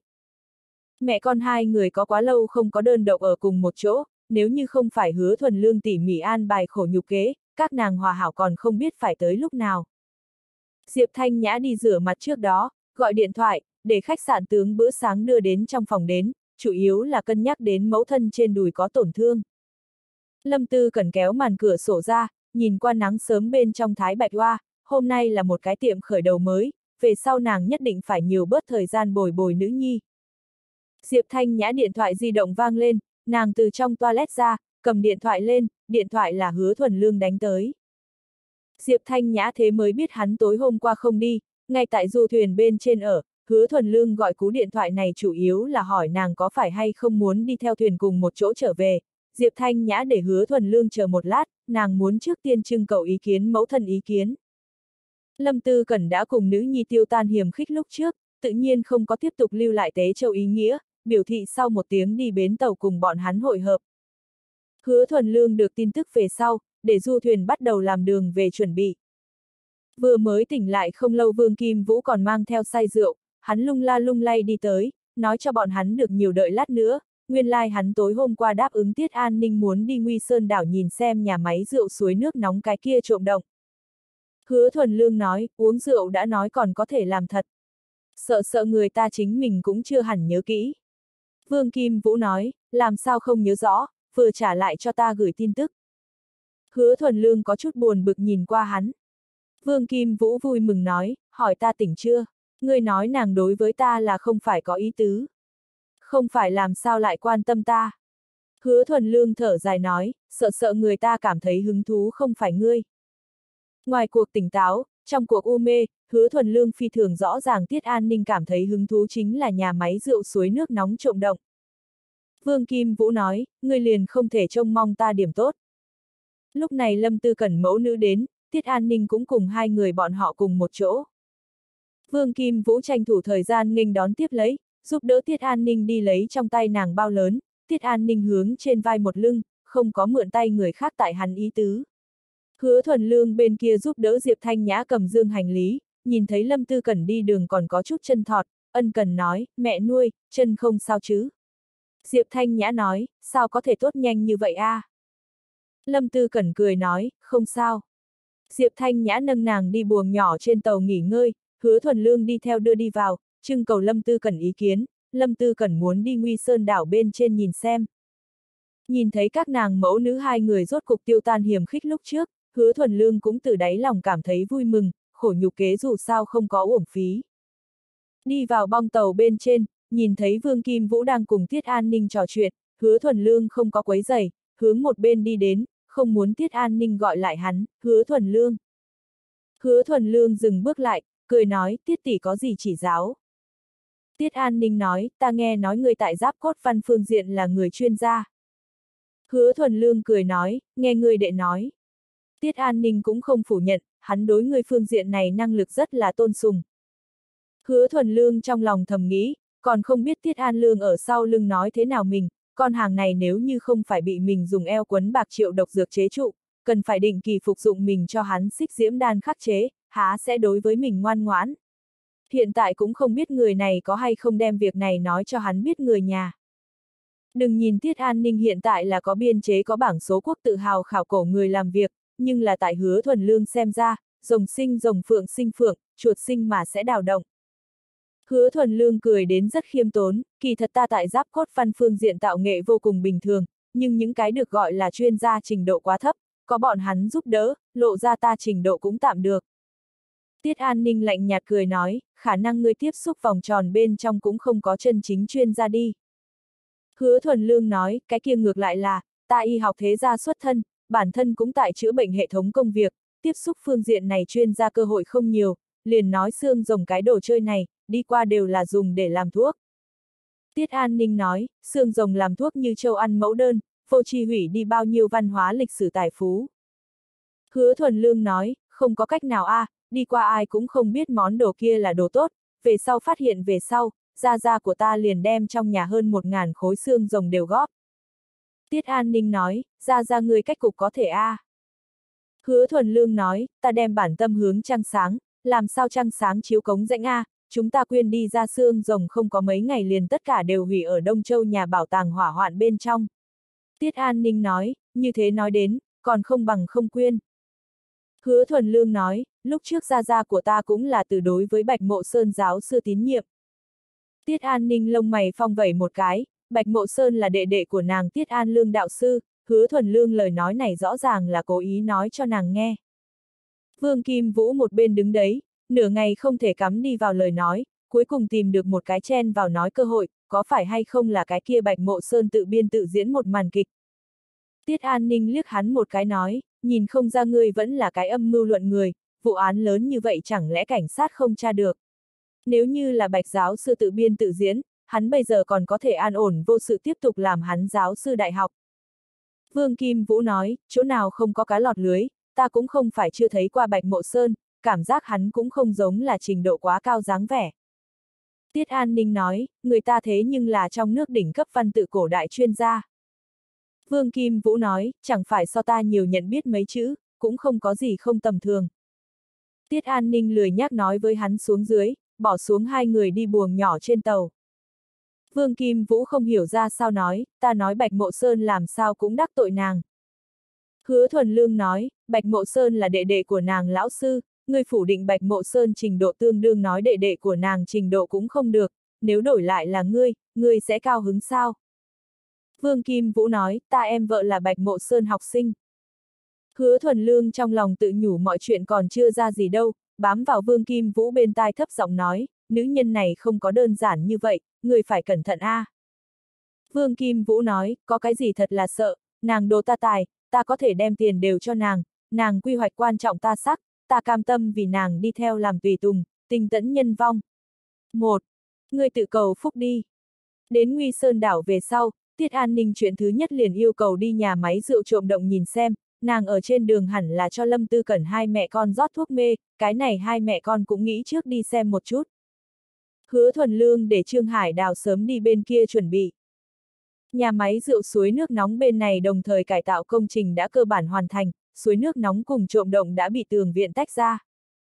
Hứa thuần lương tự hành treo biển hành nghề chấn cấp trọng điểm văn vật bảo hộ đơn vị hiển nhiên không có có nhận đến Hồ Sơn chấn coi trọng, tại náo nhiệt sau một thời gian ngắn, Đông Châu Cục Văn hóa khảo cổ phái ra đội khảo cổ không thu hoạch được gì, hiện tại đã cách mở. Bạch Mộ Sơn cũng tới khảo sát qua, bất quá không bao lâu cũng đi. Hiện tại Nguy Sơn đảo du khách rất ít, cho dù có du khách cũng sẽ không chuyên tới chỗ như thế. Bình thường nơi này trên cửa chính khóa, nếu như hứa thuần lương không dẫn người tới tham quan, mọi người cơ hồ đều quên nơi này.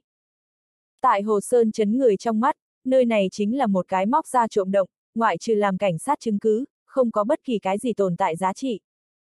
Trương Hải Đào bây giờ còn đang cấp quốc gia du lịch nghỉ phép khu kiến thiết bộ chỉ huy đương cộng tác viên, nghe người phụ trách Lưu Đức Thuận ý tứ, bọn hắn cái này làm việc điểm chẳng mấy chốc sẽ thủ tiêu, chủ yếu là văn lữ cục hiện tại công làm trọng tâm có chỗ trách đi, mà mới tới chấn lãnh đạo đối bọn hắn chiếm dụng chấn chính phủ ký túc xá sự tình cũng rất có phê bình kín đáo. Tần Chính Dương sau khi đi, Hồ Sơn chấn cải biến rất nhiều. Đi qua làm việc điểm là Tần Chính Dương phê, đó cũng là nhìn hứa thuần lương mặt mũi, hiện tại bọn hắn hai cái đều trở về Đông Châu, kế nhiệm lãnh đạo đương nhiên sẽ không lại thay bọn hắn cho nhân tình này. Trương Hải đào chính suy nghĩ muốn hay không đi Đông Châu tìm hứa thuần lương, để hắn giúp mình lại mưu đầu đường ra, vừa vặn hứa thuần lương liền đến. Trương Hải đào trước mắt còn có cái thân phận chính là rượu này nhà máy suối nước nóng văn bảo đảm viên, phạm vi quản hạt là kia ba miệng cổ hầm ao cùng cái đạo động này, suối nước nóng không có quan hệ gì với hắn. Lâm Tư cần bởi vì trên đùi có tổn thương, tự nhiên không có khả năng cùng bọn hắn đi nhìn cái gì trộm động, hứa thuần lương để Trương Hải Đào mang theo các nàng đi nhà máy rượu suối nước nóng đi dạo, có thể thuận tiện dùng suối nước nóng nước phao phao cước. Chính hắn thì cùng Vương Kim Vũ cùng một chỗ đi theo Tiết An Ninh tiến vào trộm động. Tiết An Ninh từ trong ba lô lấy ra cường quang đèn pin, vừa mới mở ra đèn pin, trộm trong động ánh đèn sáng rõ, lại là hứa thuần lương mở ra trộm động ánh đèn tổng mở. Tiết An Ninh nhìn hắn một cái, trong ánh mắt rõ ràng mang theo bất mãn, rõ ràng có điện cũng không nói sớm. Hứa thuần lương nói, tiết tỷ, trang bị rất đầy đủ a. À. Vương Kim Vũ nói, tiết tiểu thư đến cùng là chuyên gia a, cùng Đông Châu Cục Văn hóa khảo cổ đám kia khảo cổ không giống, ngươi là quân chính quy, bọn hắn chính là gánh hát rong. Hứa thuần lương ho khan một tiếng, Vương Kim Vũ trận này rượu về sau, liếm công tiến nhanh. Tiết An Ninh nói, người ta cũng là quân chính quy. Hứa thuần lương nói, chúng ta ba người như thế một tổ hợp giống hay không sợ kim tổ ba người. Vương Kim Vũ ha ha cười nói, vậy nhưng không đồng dạng, người ta là trộm mộ, chúng ta là khảo cổ. Hứa thuần lương nói, tên không giống thôi, trộm mộ cũng phải có được phong phú lịch sử tri thức, khảo cổ cũng phải hiểu trộm mộ kỹ thuật, tiết tỷ, người nói có đúng hay không? Tiết An Ninh nghe ra người này trong lời nói có hàm ý, lạnh nhạt nói, mục đích không giống, khảo cổ mục đích là vì đào móc văn hóa, truyền thừa văn minh, trộm mộ mục đích đúng là cầu tài, hứa thuần lương, người đối với chúng ta khảo cổ cái nghề này có thành kiến A. Hứa thuần lương nói, không có gì thành kiến, ta chính là chỉ đùa một chút. Trò đùa không có như thế mở.